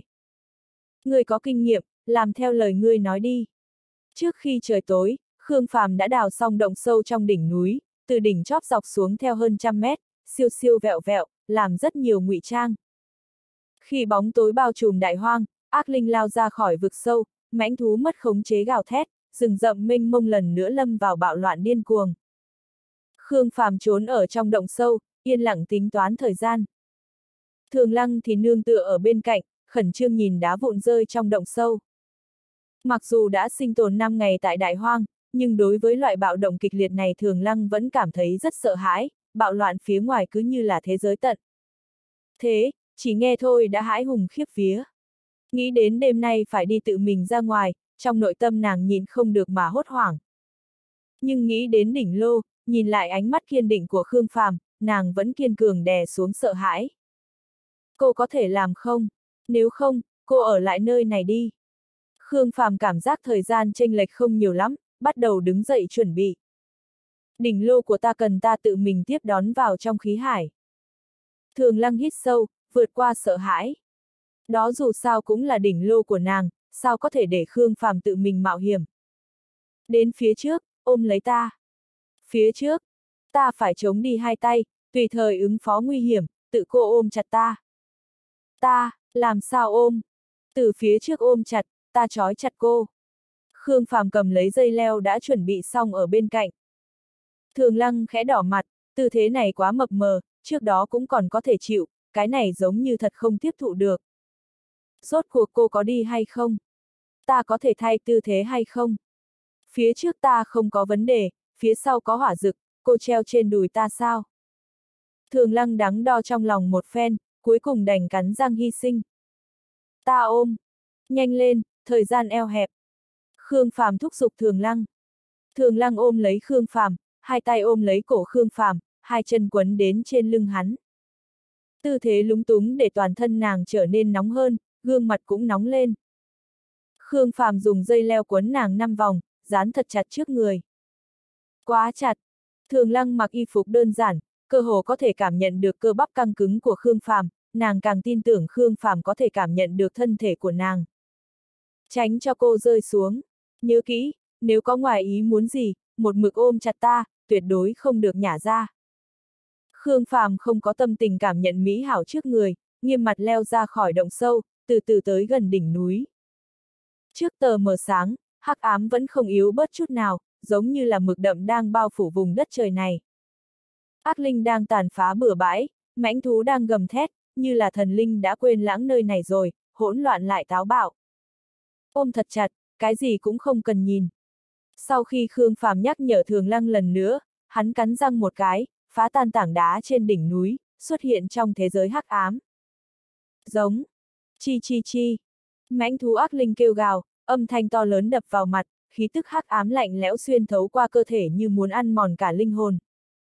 A! À, Thường Lăng kêu lên đầy sợ hãi, gắt gao ôm chặt Khương Phàm, nhiều tiếng gào thét ở bên cạnh để toàn thân nàng không cầm được mà run run. Đi! Khương Phàm hô to, lập tức xông vào hắc ám. Linh nguyên trong khí hải gáy to, linh văn trên trán nở rộ ra thánh quang, ngọn lửa màu vàng óng sôi trào cuồn cuộn. Hỏa rực màu vàng hoa lệ huy động mãnh liệt, mang theo hắn bay lên trời cao. Dựa theo những gì Khương Phàm tính, lấy linh văn, cảnh giới hắn bây giờ, cùng thanh đồng tiểu tháp, hoàn toàn có thể chống lên ánh sáng trong phạm vi mười mấy mét. Nhưng, hắn đã tính sai. Hắc ám nơi này so với bên ngoài bạch hổ quan còn nghiêm trọng hơn mấy lần, hắn điên cuồng phóng thích vậy mà chỉ có thể miễn cưỡng chống lên 2-3 mét, khó khăn lắm mới bảo vệ được hắn cùng thường lăng. Một chút ánh sáng như thế chẳng những không thể xua tan ác linh, mãnh thú, ngược lại còn nhanh chóng hấp dẫn lực chú ý của bọn nó. Khương Phàm có thể rõ ràng cảm nhận được hỗn loạn xuất hiện xung quanh trong bóng tối, ác linh, mãnh thú thét gào nhanh chóng tới gần. Trong chấp nhoáng này, Khương Phàm muốn lui về sơn động, nhưng vẫn đành cắn răng, nhanh chóng phóng tới phía vách núi. Xâm nhập hắc ám có nghĩa là phải cố gắng vùng vẫy giữa sự sống và cái chết. A! À, Khương Phàm phát ra tiếng gào thét như dã thú, vội vã lao vùn vụt lên bầu trời. Hắn điên cuồng thôi động linh nguyên trong khí hải, liệt diễm cuồn cuộn sôi trào lên, xua tan hắc ám, cũng đốt cháy thanh đồng tiểu tháp, gian nan chống ánh sáng lên phạm vi 3 mét. Hắn không nhìn thấy vách núi, trước mặt ngoại trừ hắc ám thì chính là hắc ám, chỉ có thể nương tựa theo cảm giác. Bành! Khương Phàm vội vàng không kịp chuẩn bị, đụng phải thứ gì đó ở đối diện, bởi vì tốc độ quá nhanh nên đầu suýt chút nữa đã bị bẻ gãy, bị bay ngược ra ngoài.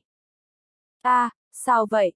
Thường lăng kêu lên đầy sợ hãi, hai tay gắt gao ôm lấy Khương Phàm, run rẩy kịch liệt. Khương Phàm gào thét xoay người, liệt diễm yếu bớt, thánh quang ảm đạm. Chi chi chi. Tiếng rít gào sắc nhọn liên tiếp tràn ngập trong màng nhĩ, số lượng lớn ác linh nhanh chóng che mất bọn hắn. A! À, Khương Phàm gào lên đầy đau đớn, Thường Lăng cũng thét lên. Hai người suýt chút nữa bị xé nát, còn có thể rõ ràng cảm nhận được đang có thứ gì đó đang gặm cắn ra thịt mình. Thôi động thánh văn, nhanh nhanh nhanh. Khương Phàm nhanh chóng chấn định lại, dùng toàn lực thúc giục linh văn, lần nữa phóng thích thánh quang. Phía sau lưng thường lăng đầm đìa máu, nàng cũng kinh hoàng phóng thích liệt diễm cùng thánh quang. Lũ ác linh tà ác bị cưỡng ép xua tan, những con treo ở trên người thì bị đốt sống chết tươi. Giống. Khương Phàm vừa mới ổn định thì bất chợt phía dưới đột nhiên truyền đến tiếng thú giống hùng hậu. Mặc dù cái gì cũng đều không nhìn thấy, nhưng vẫn có thể nghe được dưới mặt đất có tiếng bạo hưởng oanh minh, ngay sau đó gió mạnh nổi lên, giống như là có thứ gì đang nhảy vọt lên, đánh tới phía bọn hắn. Không tốt. Trong lòng Khương Phàm cuồng loạn, hắn nhanh chóng huy động hỏa dực, bổ nhào về phía trước. Nhưng vẫn là chậm một nhịp, một cái móng vuốt to lớn to như một căn phòng xuất hiện ở bên cạnh, hung hăng đập vào trên người hắn. Tiếng răng rắc giòn vang, hài cốt toàn thân Khương Phàm vỡ vụn, hỏa dược bị dập tắt tại chỗ. Khương Phàm ôm chặt Thường Lăng, chật vật bay ra ngoài, đụng vào trên vách đá đối diện. A a a, Khương Phàm, trở về, trở về, ta không muốn, ta không muốn đỉnh lô nữa. Thường Lăng thét lên, gắt gao nhắm mắt lại, cái gì cũng không dám nhìn. Thất khiếu trên mặt Khương Phàm dướm máu, đầu váng mắt hoa, miệng đầy máu tươi, hắn lại điên cuồng phóng thích liệt diễm, dùng cả tay chân, nhanh chóng leo lên trên vách núi. Xung quanh là hắc ám vô biên, dày đặc như mực, những tiếng gào thét đinh tai nhức óc phảng phất ở xung quanh. Tiếng thét quái dị chói tai liên tiếp khiến cho da đầu người ta run lên. Bành! Tảng đá Khương Phàm vừa mới đạp ở dưới chân đột nhiên vỡ vụn, hắn vội vàng không kịp chuẩn bị, đã nhanh chóng rơi xuống. Ác linh xung quanh phát ra tiếng gào thét thê lương, kẻ trước ngã xuống, kẻ sau đã tiến lên nhào về phía bọn hắn. A! À, Khương Phàm trợn mắt trừng trừng, điên cuồng, táo bạo, lo lắng, các loại cảm xúc mãnh liệt đã đạt tới cực hạn, Chu Tước Linh Nguyên dương cánh gáy to, dẫn dắt khí hải bạo động, toàn thân phóng thích liệt diễm mãnh liệt, phạm vi đạt tới hơn 5 mét. Phốc phốc, số lượng lớn ác linh bị kim viêm đốt thành cho bụi. Ôm chặt, ôm chặt. Khương Phàm khàn khàn gào thét, che chở Thường Lăng, điên cuồng leo lên. Hắn không biết mình đang ở vị trí nào, cũng không biết sốt cuộc có phải đang bỏ tới trên vách đá kia hay không, nhưng giờ khắc này, hắn quả thật cái gì cũng đều không lo được. Sau đó không lâu, hỏa dực lần nữa ngưng tụ, liệt diễm sôi trào, mang theo Khương Phàm phóng lên tận trời. Nhưng thật là bất hạnh, cũng bởi vì mãnh thú ác linh xung quanh quá nhiều, hắn vừa mới bay lên không, đón đầu liền đụng phải mãnh cầm đang xẹt qua không trung. Mãnh cầm phát giác được ánh sáng phía dưới, nó nổi giận gáy to, móng vuốt bén nhọn trong nháy mắt giữ lại ngay cổ Khương Phàm, cắm vào động mạch cùng xương sau cổ. Thường Lăng cảm thấy không ổn, vô ý thức ngẩng đầu, vừa hay nhìn thấy một màn hoảng sợ này. Hô hô! Mãnh cầm vỗ cánh bay lên không, móng vuốt khấu chặt, cơ hồ muốn đem lấy đầu hắn xuống.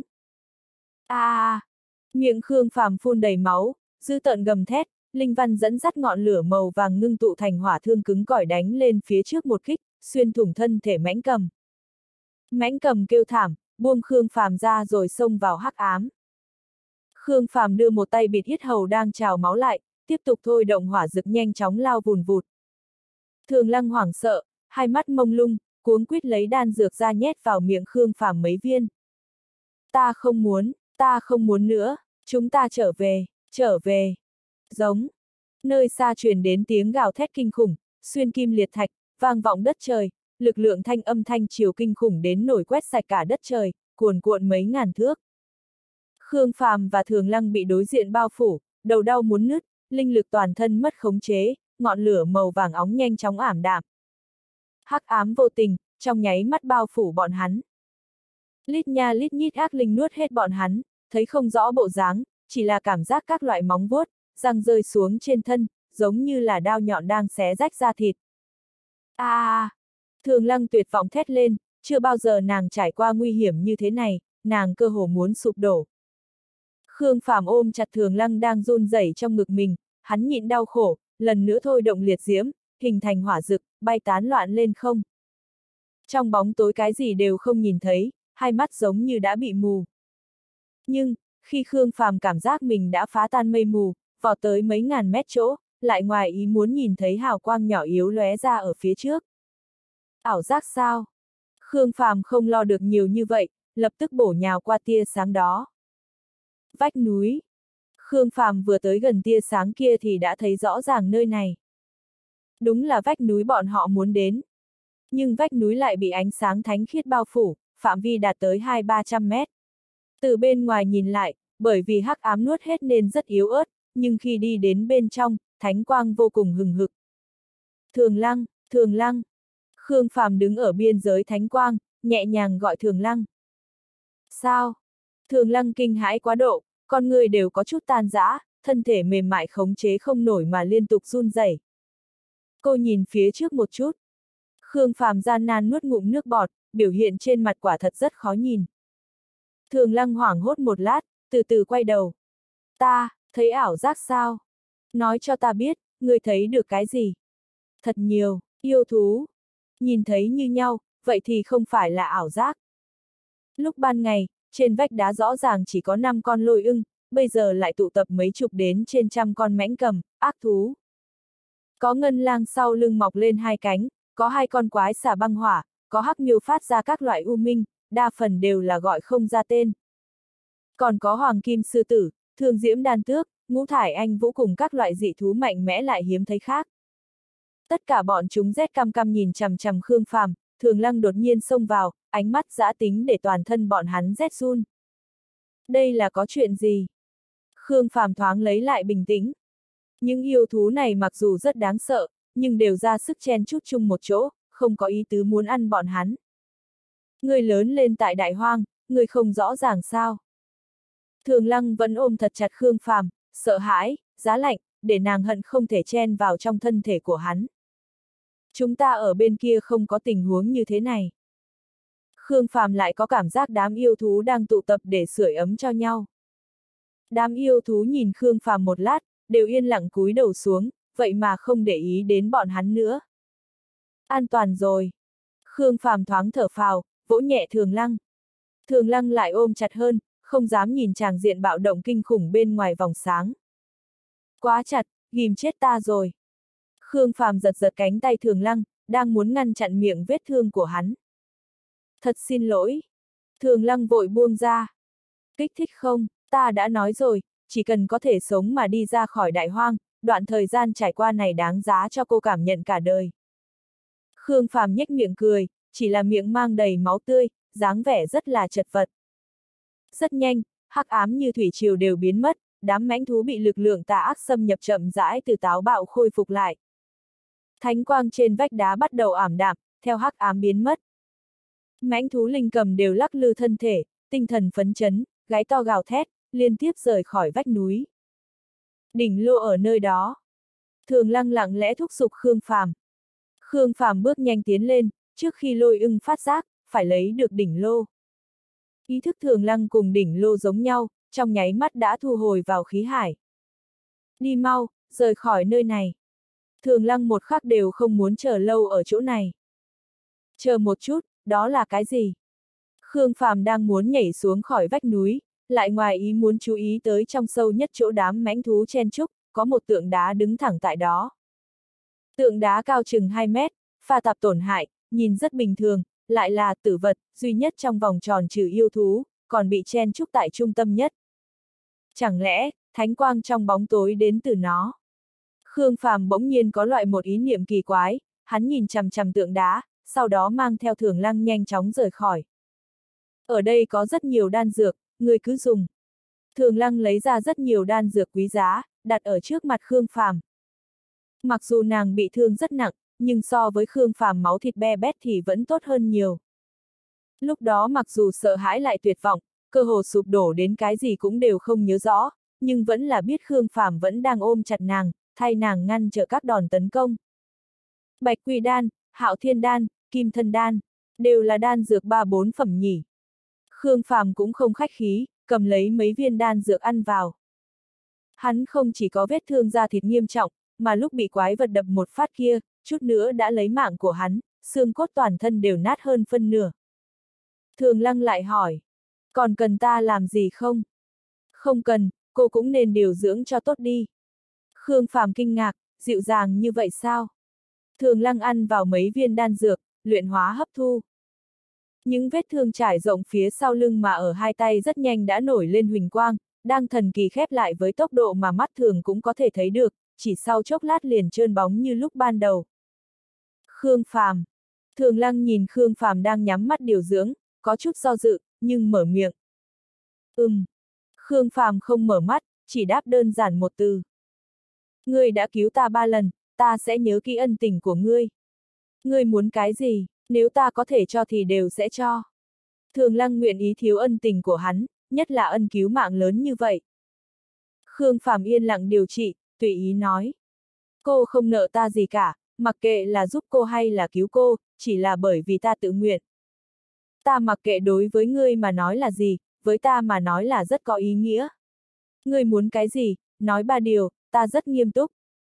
Ta không cần cái gì. Ngươi nhất định phải nói. Thật không cần. Nhất định phải nói. Điều kiện gì cũng được. Ngươi cứ nói, ta đều có thể cân nhắc. Khương Phàm nghĩ nghĩ, mỉm cười. Ta muốn cô. Ngươi. Thường lăng lập tức đỏ bừng mặt, nhưng, nàng ánh mắt lắc lư, khẽ mím môi. Ta đã sớm tuyên thệ, đời này không gả. Ta không phải ý này.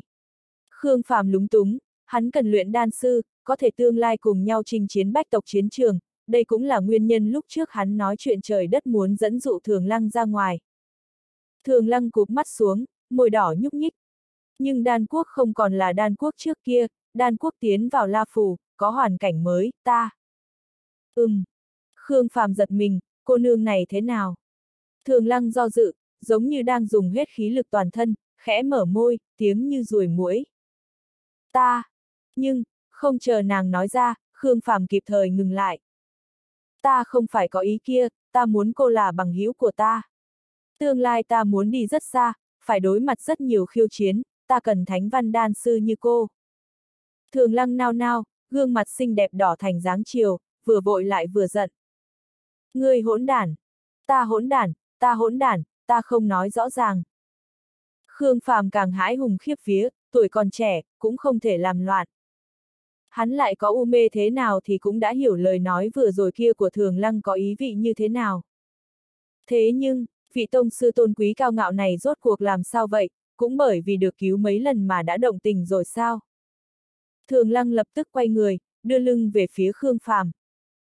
Xấu hổ, ảo não, vừa tức vừa muốn độn thổ, toàn bộ đều tụ ở trên mặt, để nàng hận không thể vặn mình một tay.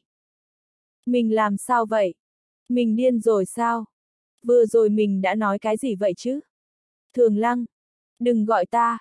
Y phục phía sau cô bị rách hết rồi, bên trong. Rất thông thấu. Khương Phàm từ trong thanh đồng tiểu tháp lấy ra một bộ y phục khác ném tới bên cạnh thường lăng. a à, Thường lăng sợ hãi đứng lên, cầm y phục cuống quýt chạy đến trong bụi cỏ trước mặt. Nghiệp chướng thật. Khương Phàm cười khổ lắc đầu, tiếp tục luyện hóa đan dược, khép lại những vết thương trên xương cốt da thịt, khôi phục tinh thần. Trước khi trời tối, Khương Phàm đã hoàn toàn khôi phục, cũng nhanh chóng đào một lối đi sâu xuống lòng đất, mang theo thường lăng trốn đi.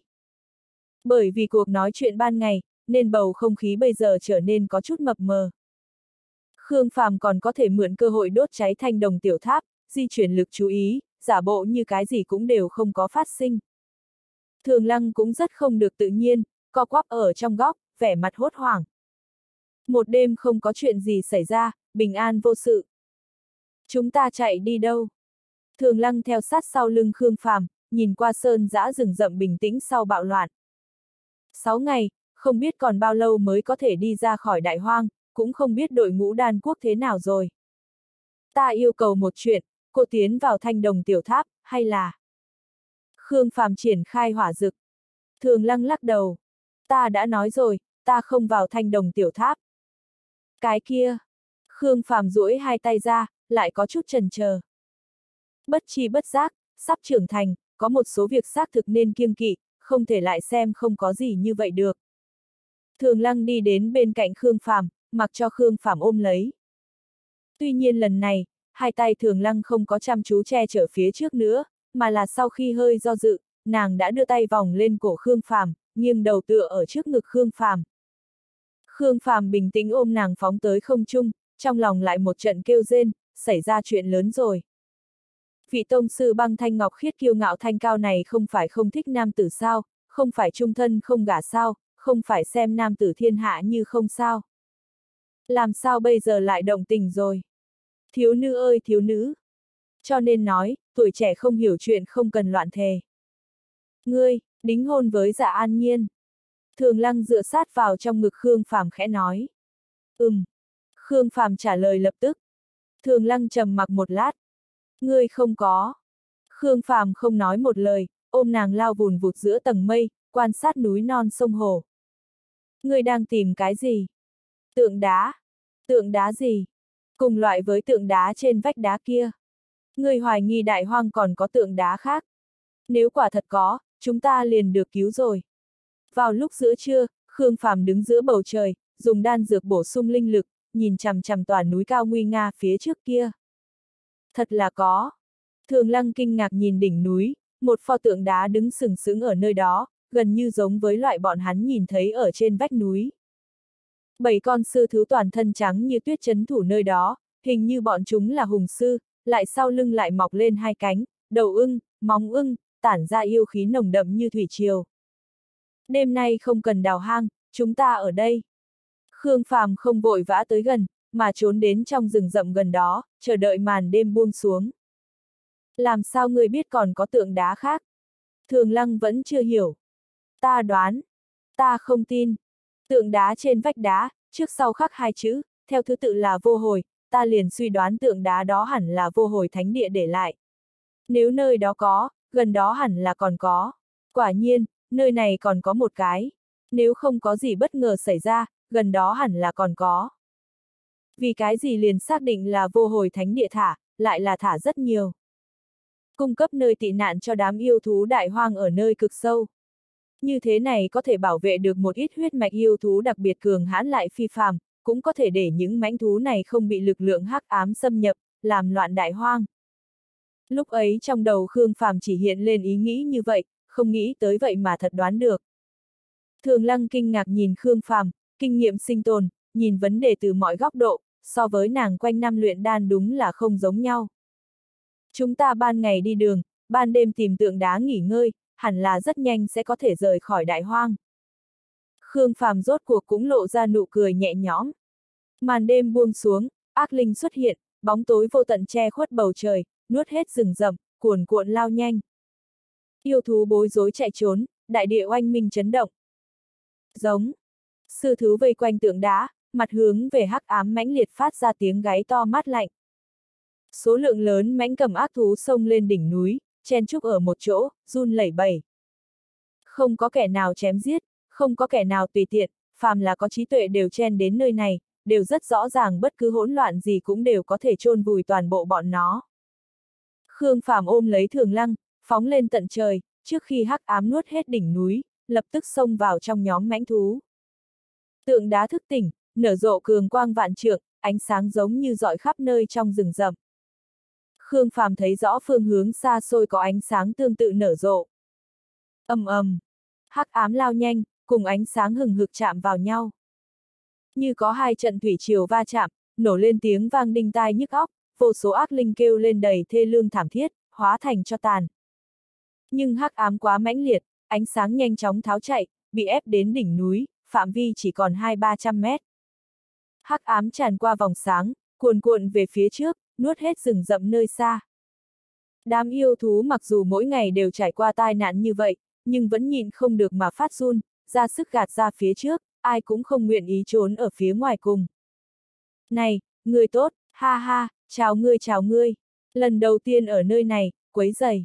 Nhưng một chút, chúng ta đến phía trước, không đủ diện tích mà. Khương Phạm ôm thường lăng, chen lấn về phía trước, quả thực là đã chui được tới phía trước tượng đá. Sư thứ hùng tráng đều cúi đầu xuống, đôi mắt sắc bén nhìn bọn hắn chằm chằm. Sắc mặt thường lăng tái nhợt, cuộn mình trong ngực Khương Phàm, sợ có một con sư thứ nào không vui lại há mồm nuốt sống bọn hắn. Cũng may sư thứ cũng sợ hắc ám ở phía ngoài, không có thèm ăn gì. Đừng sợ đừng sợ. Khương Phàm nhẹ nhàng an ủi Thường Lăng, muốn để nàng buông ra, Thường Lăng lại gắt gao ôm chặt hắn hơn, nhu nhược giống như là con cừu non. Nàng thật không thích ứng được loại hoàn cảnh nguy hiểm này. Khương Phàm quan sát tượng đá, mặc dù có chút rách nát, nhưng vẫn là có thể thấy là bộ dáng nữ tử, hai tay ôm ở trước ngực, hơi cúi thấp đầu. Trầm tĩnh, nghiêm túc. Ánh sáng từ trong tượng đá nở rộ, vị trí trên trán là sáng ngời nhất, tựa như là linh văn đang dẫn dắt linh lực nở rộ ánh sáng. Nữ tử này là ai? Khương Phàm thì thào khẽ nói. Lý Hương Quân. Một âm thanh truyền đến. Lý Hương Quân, người nào? Khương Phạm thuận mồm hỏi một chút, sắc mặt lại đột nhiên biến đổi. Thường lăng khẽ nhếch môi, khó có thể tin được mà nhìn trước mặt sư thứ. Nó, nói chuyện. Chúng ta là được vô hồi thánh địa tuyển định trông coi. Sư thứ cầm đầu oai hùng thần tuấn, thân cao 10 mét, ở trên cao nhìn xuống hai tiểu bất điểm ở trước mặt. Tất cả tượng đá đều được trông coi. Sau khi Khương Phàm kinh ngạc thì đã thoải mái hơn. Nếu là trông coi, hẳn là tôn trọng thánh địa, bọn hắn xem như an toàn. Những yêu tộc khác nhau trông coi tượng đá khác nhau, ngày đêm không được cách thủ. Đại hoang có bao nhiêu tượng đá? Vòng trong 88 tòa, vòng ngoài 36 tòa. Chỗ nào xem như vòng trong? Vực sâu bao phủ hắc ám kéo dài ra bên ngoài 500 dặm, đều xem như vòng trong. Ra bên ngoài lại kéo dài 3.000 dặm xem như vòng ngoài, tượng đá chỉ an trí ở 36 khu vực đặc thù. Tuy nhiên lực lượng tà ác ở vòng ngoài so với vòng trong yếu hơn rất nhiều lần, tượng đá nơi đó có thể chống lên ngàn mét, bảo vệ càng nhiều yêu tộc. Nếu như không phải có tượng đá bảo vệ, toàn bộ yêu tộc đại hoang đều sẽ chịu ảnh hưởng, trình độ hỗn loạn so với bây giờ còn nghiêm trọng hơn gấp 10 lần. M thanh sư thứ mát lạnh, lại dẫn theo khí tức uy nghiêm. Yêu tộc tuyển định chấn thủ tượng đá đều là đặc biệt cường đại, bảo vệ được bọn hắn, chẳng khác nào giảm bớt trình độ cùng quy mô bạo loạn. Nếu như bọn chúng lại bị ảnh hưởng, sinh ra lực phá hoại, so với yêu tộc bình thường còn nghiêm trọng hơn hơn nhiều. Trong tượng đá có cái gì? Thánh quang của Lý Hương Quân. Lý Hương Quân là ai? Thánh chủ vô hồi thánh địa 700 năm trước, có được trí tôn thánh phẩm, bất diệt thánh quang linh văn. Nàng đem tinh lực suốt đời đặt ở trên chân áp vực sâu, kết quả từ đầu đến cuối lại không thể thành công, liền lựa chọn tại thời kỳ cường thịnh nhất của nàng, bỏ qua cơ thể hóa thành bất diệt thánh quang, vĩnh chấn đại hoang thâm uyên. Vô hồi thánh địa tôn trọng ý nguyện của nàng, đem hài cốt của nàng chia tách thành 200 khối, đúc thành tượng đá tượng trưng cho nàng, phân biệt chấn thủ biên giới vực sâu, vòng trong vòng ngoài đại hoang. Thánh quang tại vực sâu không tắt, thánh quang tượng đá bất diệt, sinh sinh tử tử, đến nay đã 700 năm. Sư thứ nhắc đến chuyện cũ của Lý Hương Quân, bên trong ngôn ngữ đều có chút kính sợ. Khương Phàm nổi lòng tôn kính, hóa thân bất diệt thánh quang tương đương với việc chặt đứt luân hồi, đem mình hiến tặng cho linh nguyên. Vô hồi thánh địa, quả nhiên có đại nghĩa. Nơi này cách trí ám lĩnh vực ngươi nói vẫn còn rất xa sao. Trăm dặm phía trước là đến. Nơi đó có người của vô hồi thánh địa không? Hai phần ba cường giả vô hồi thánh địa đều chấn thủ ở nơi đó. Khương Phàm lộ ra nụ cười, nháy mắt mấy cái với Thường Lăng, ý muốn nói, an toàn rồi. Thường Lăng thoáng thở phào, rốt cuộc cũng sắp được rời khỏi cái nơi quỷ quái này. Sau khi trời sáng, Khương Phàm từ biệt sư thứ chấn thủ, mang theo Thường Lăng bay lên không, đuổi theo phương hướng hắc ám biến mất. Càng hướng phía trước, núi cao nguy nga càng ít, ngay cả đại thụ che trời thường gặp sâu trong đại hoang đều lác đác không có mấy cây. Sau khi lướt qua trăm dặm, phía trước đã là bình nguyên trụi lùi, mặt đất bừa bột, mấp mô.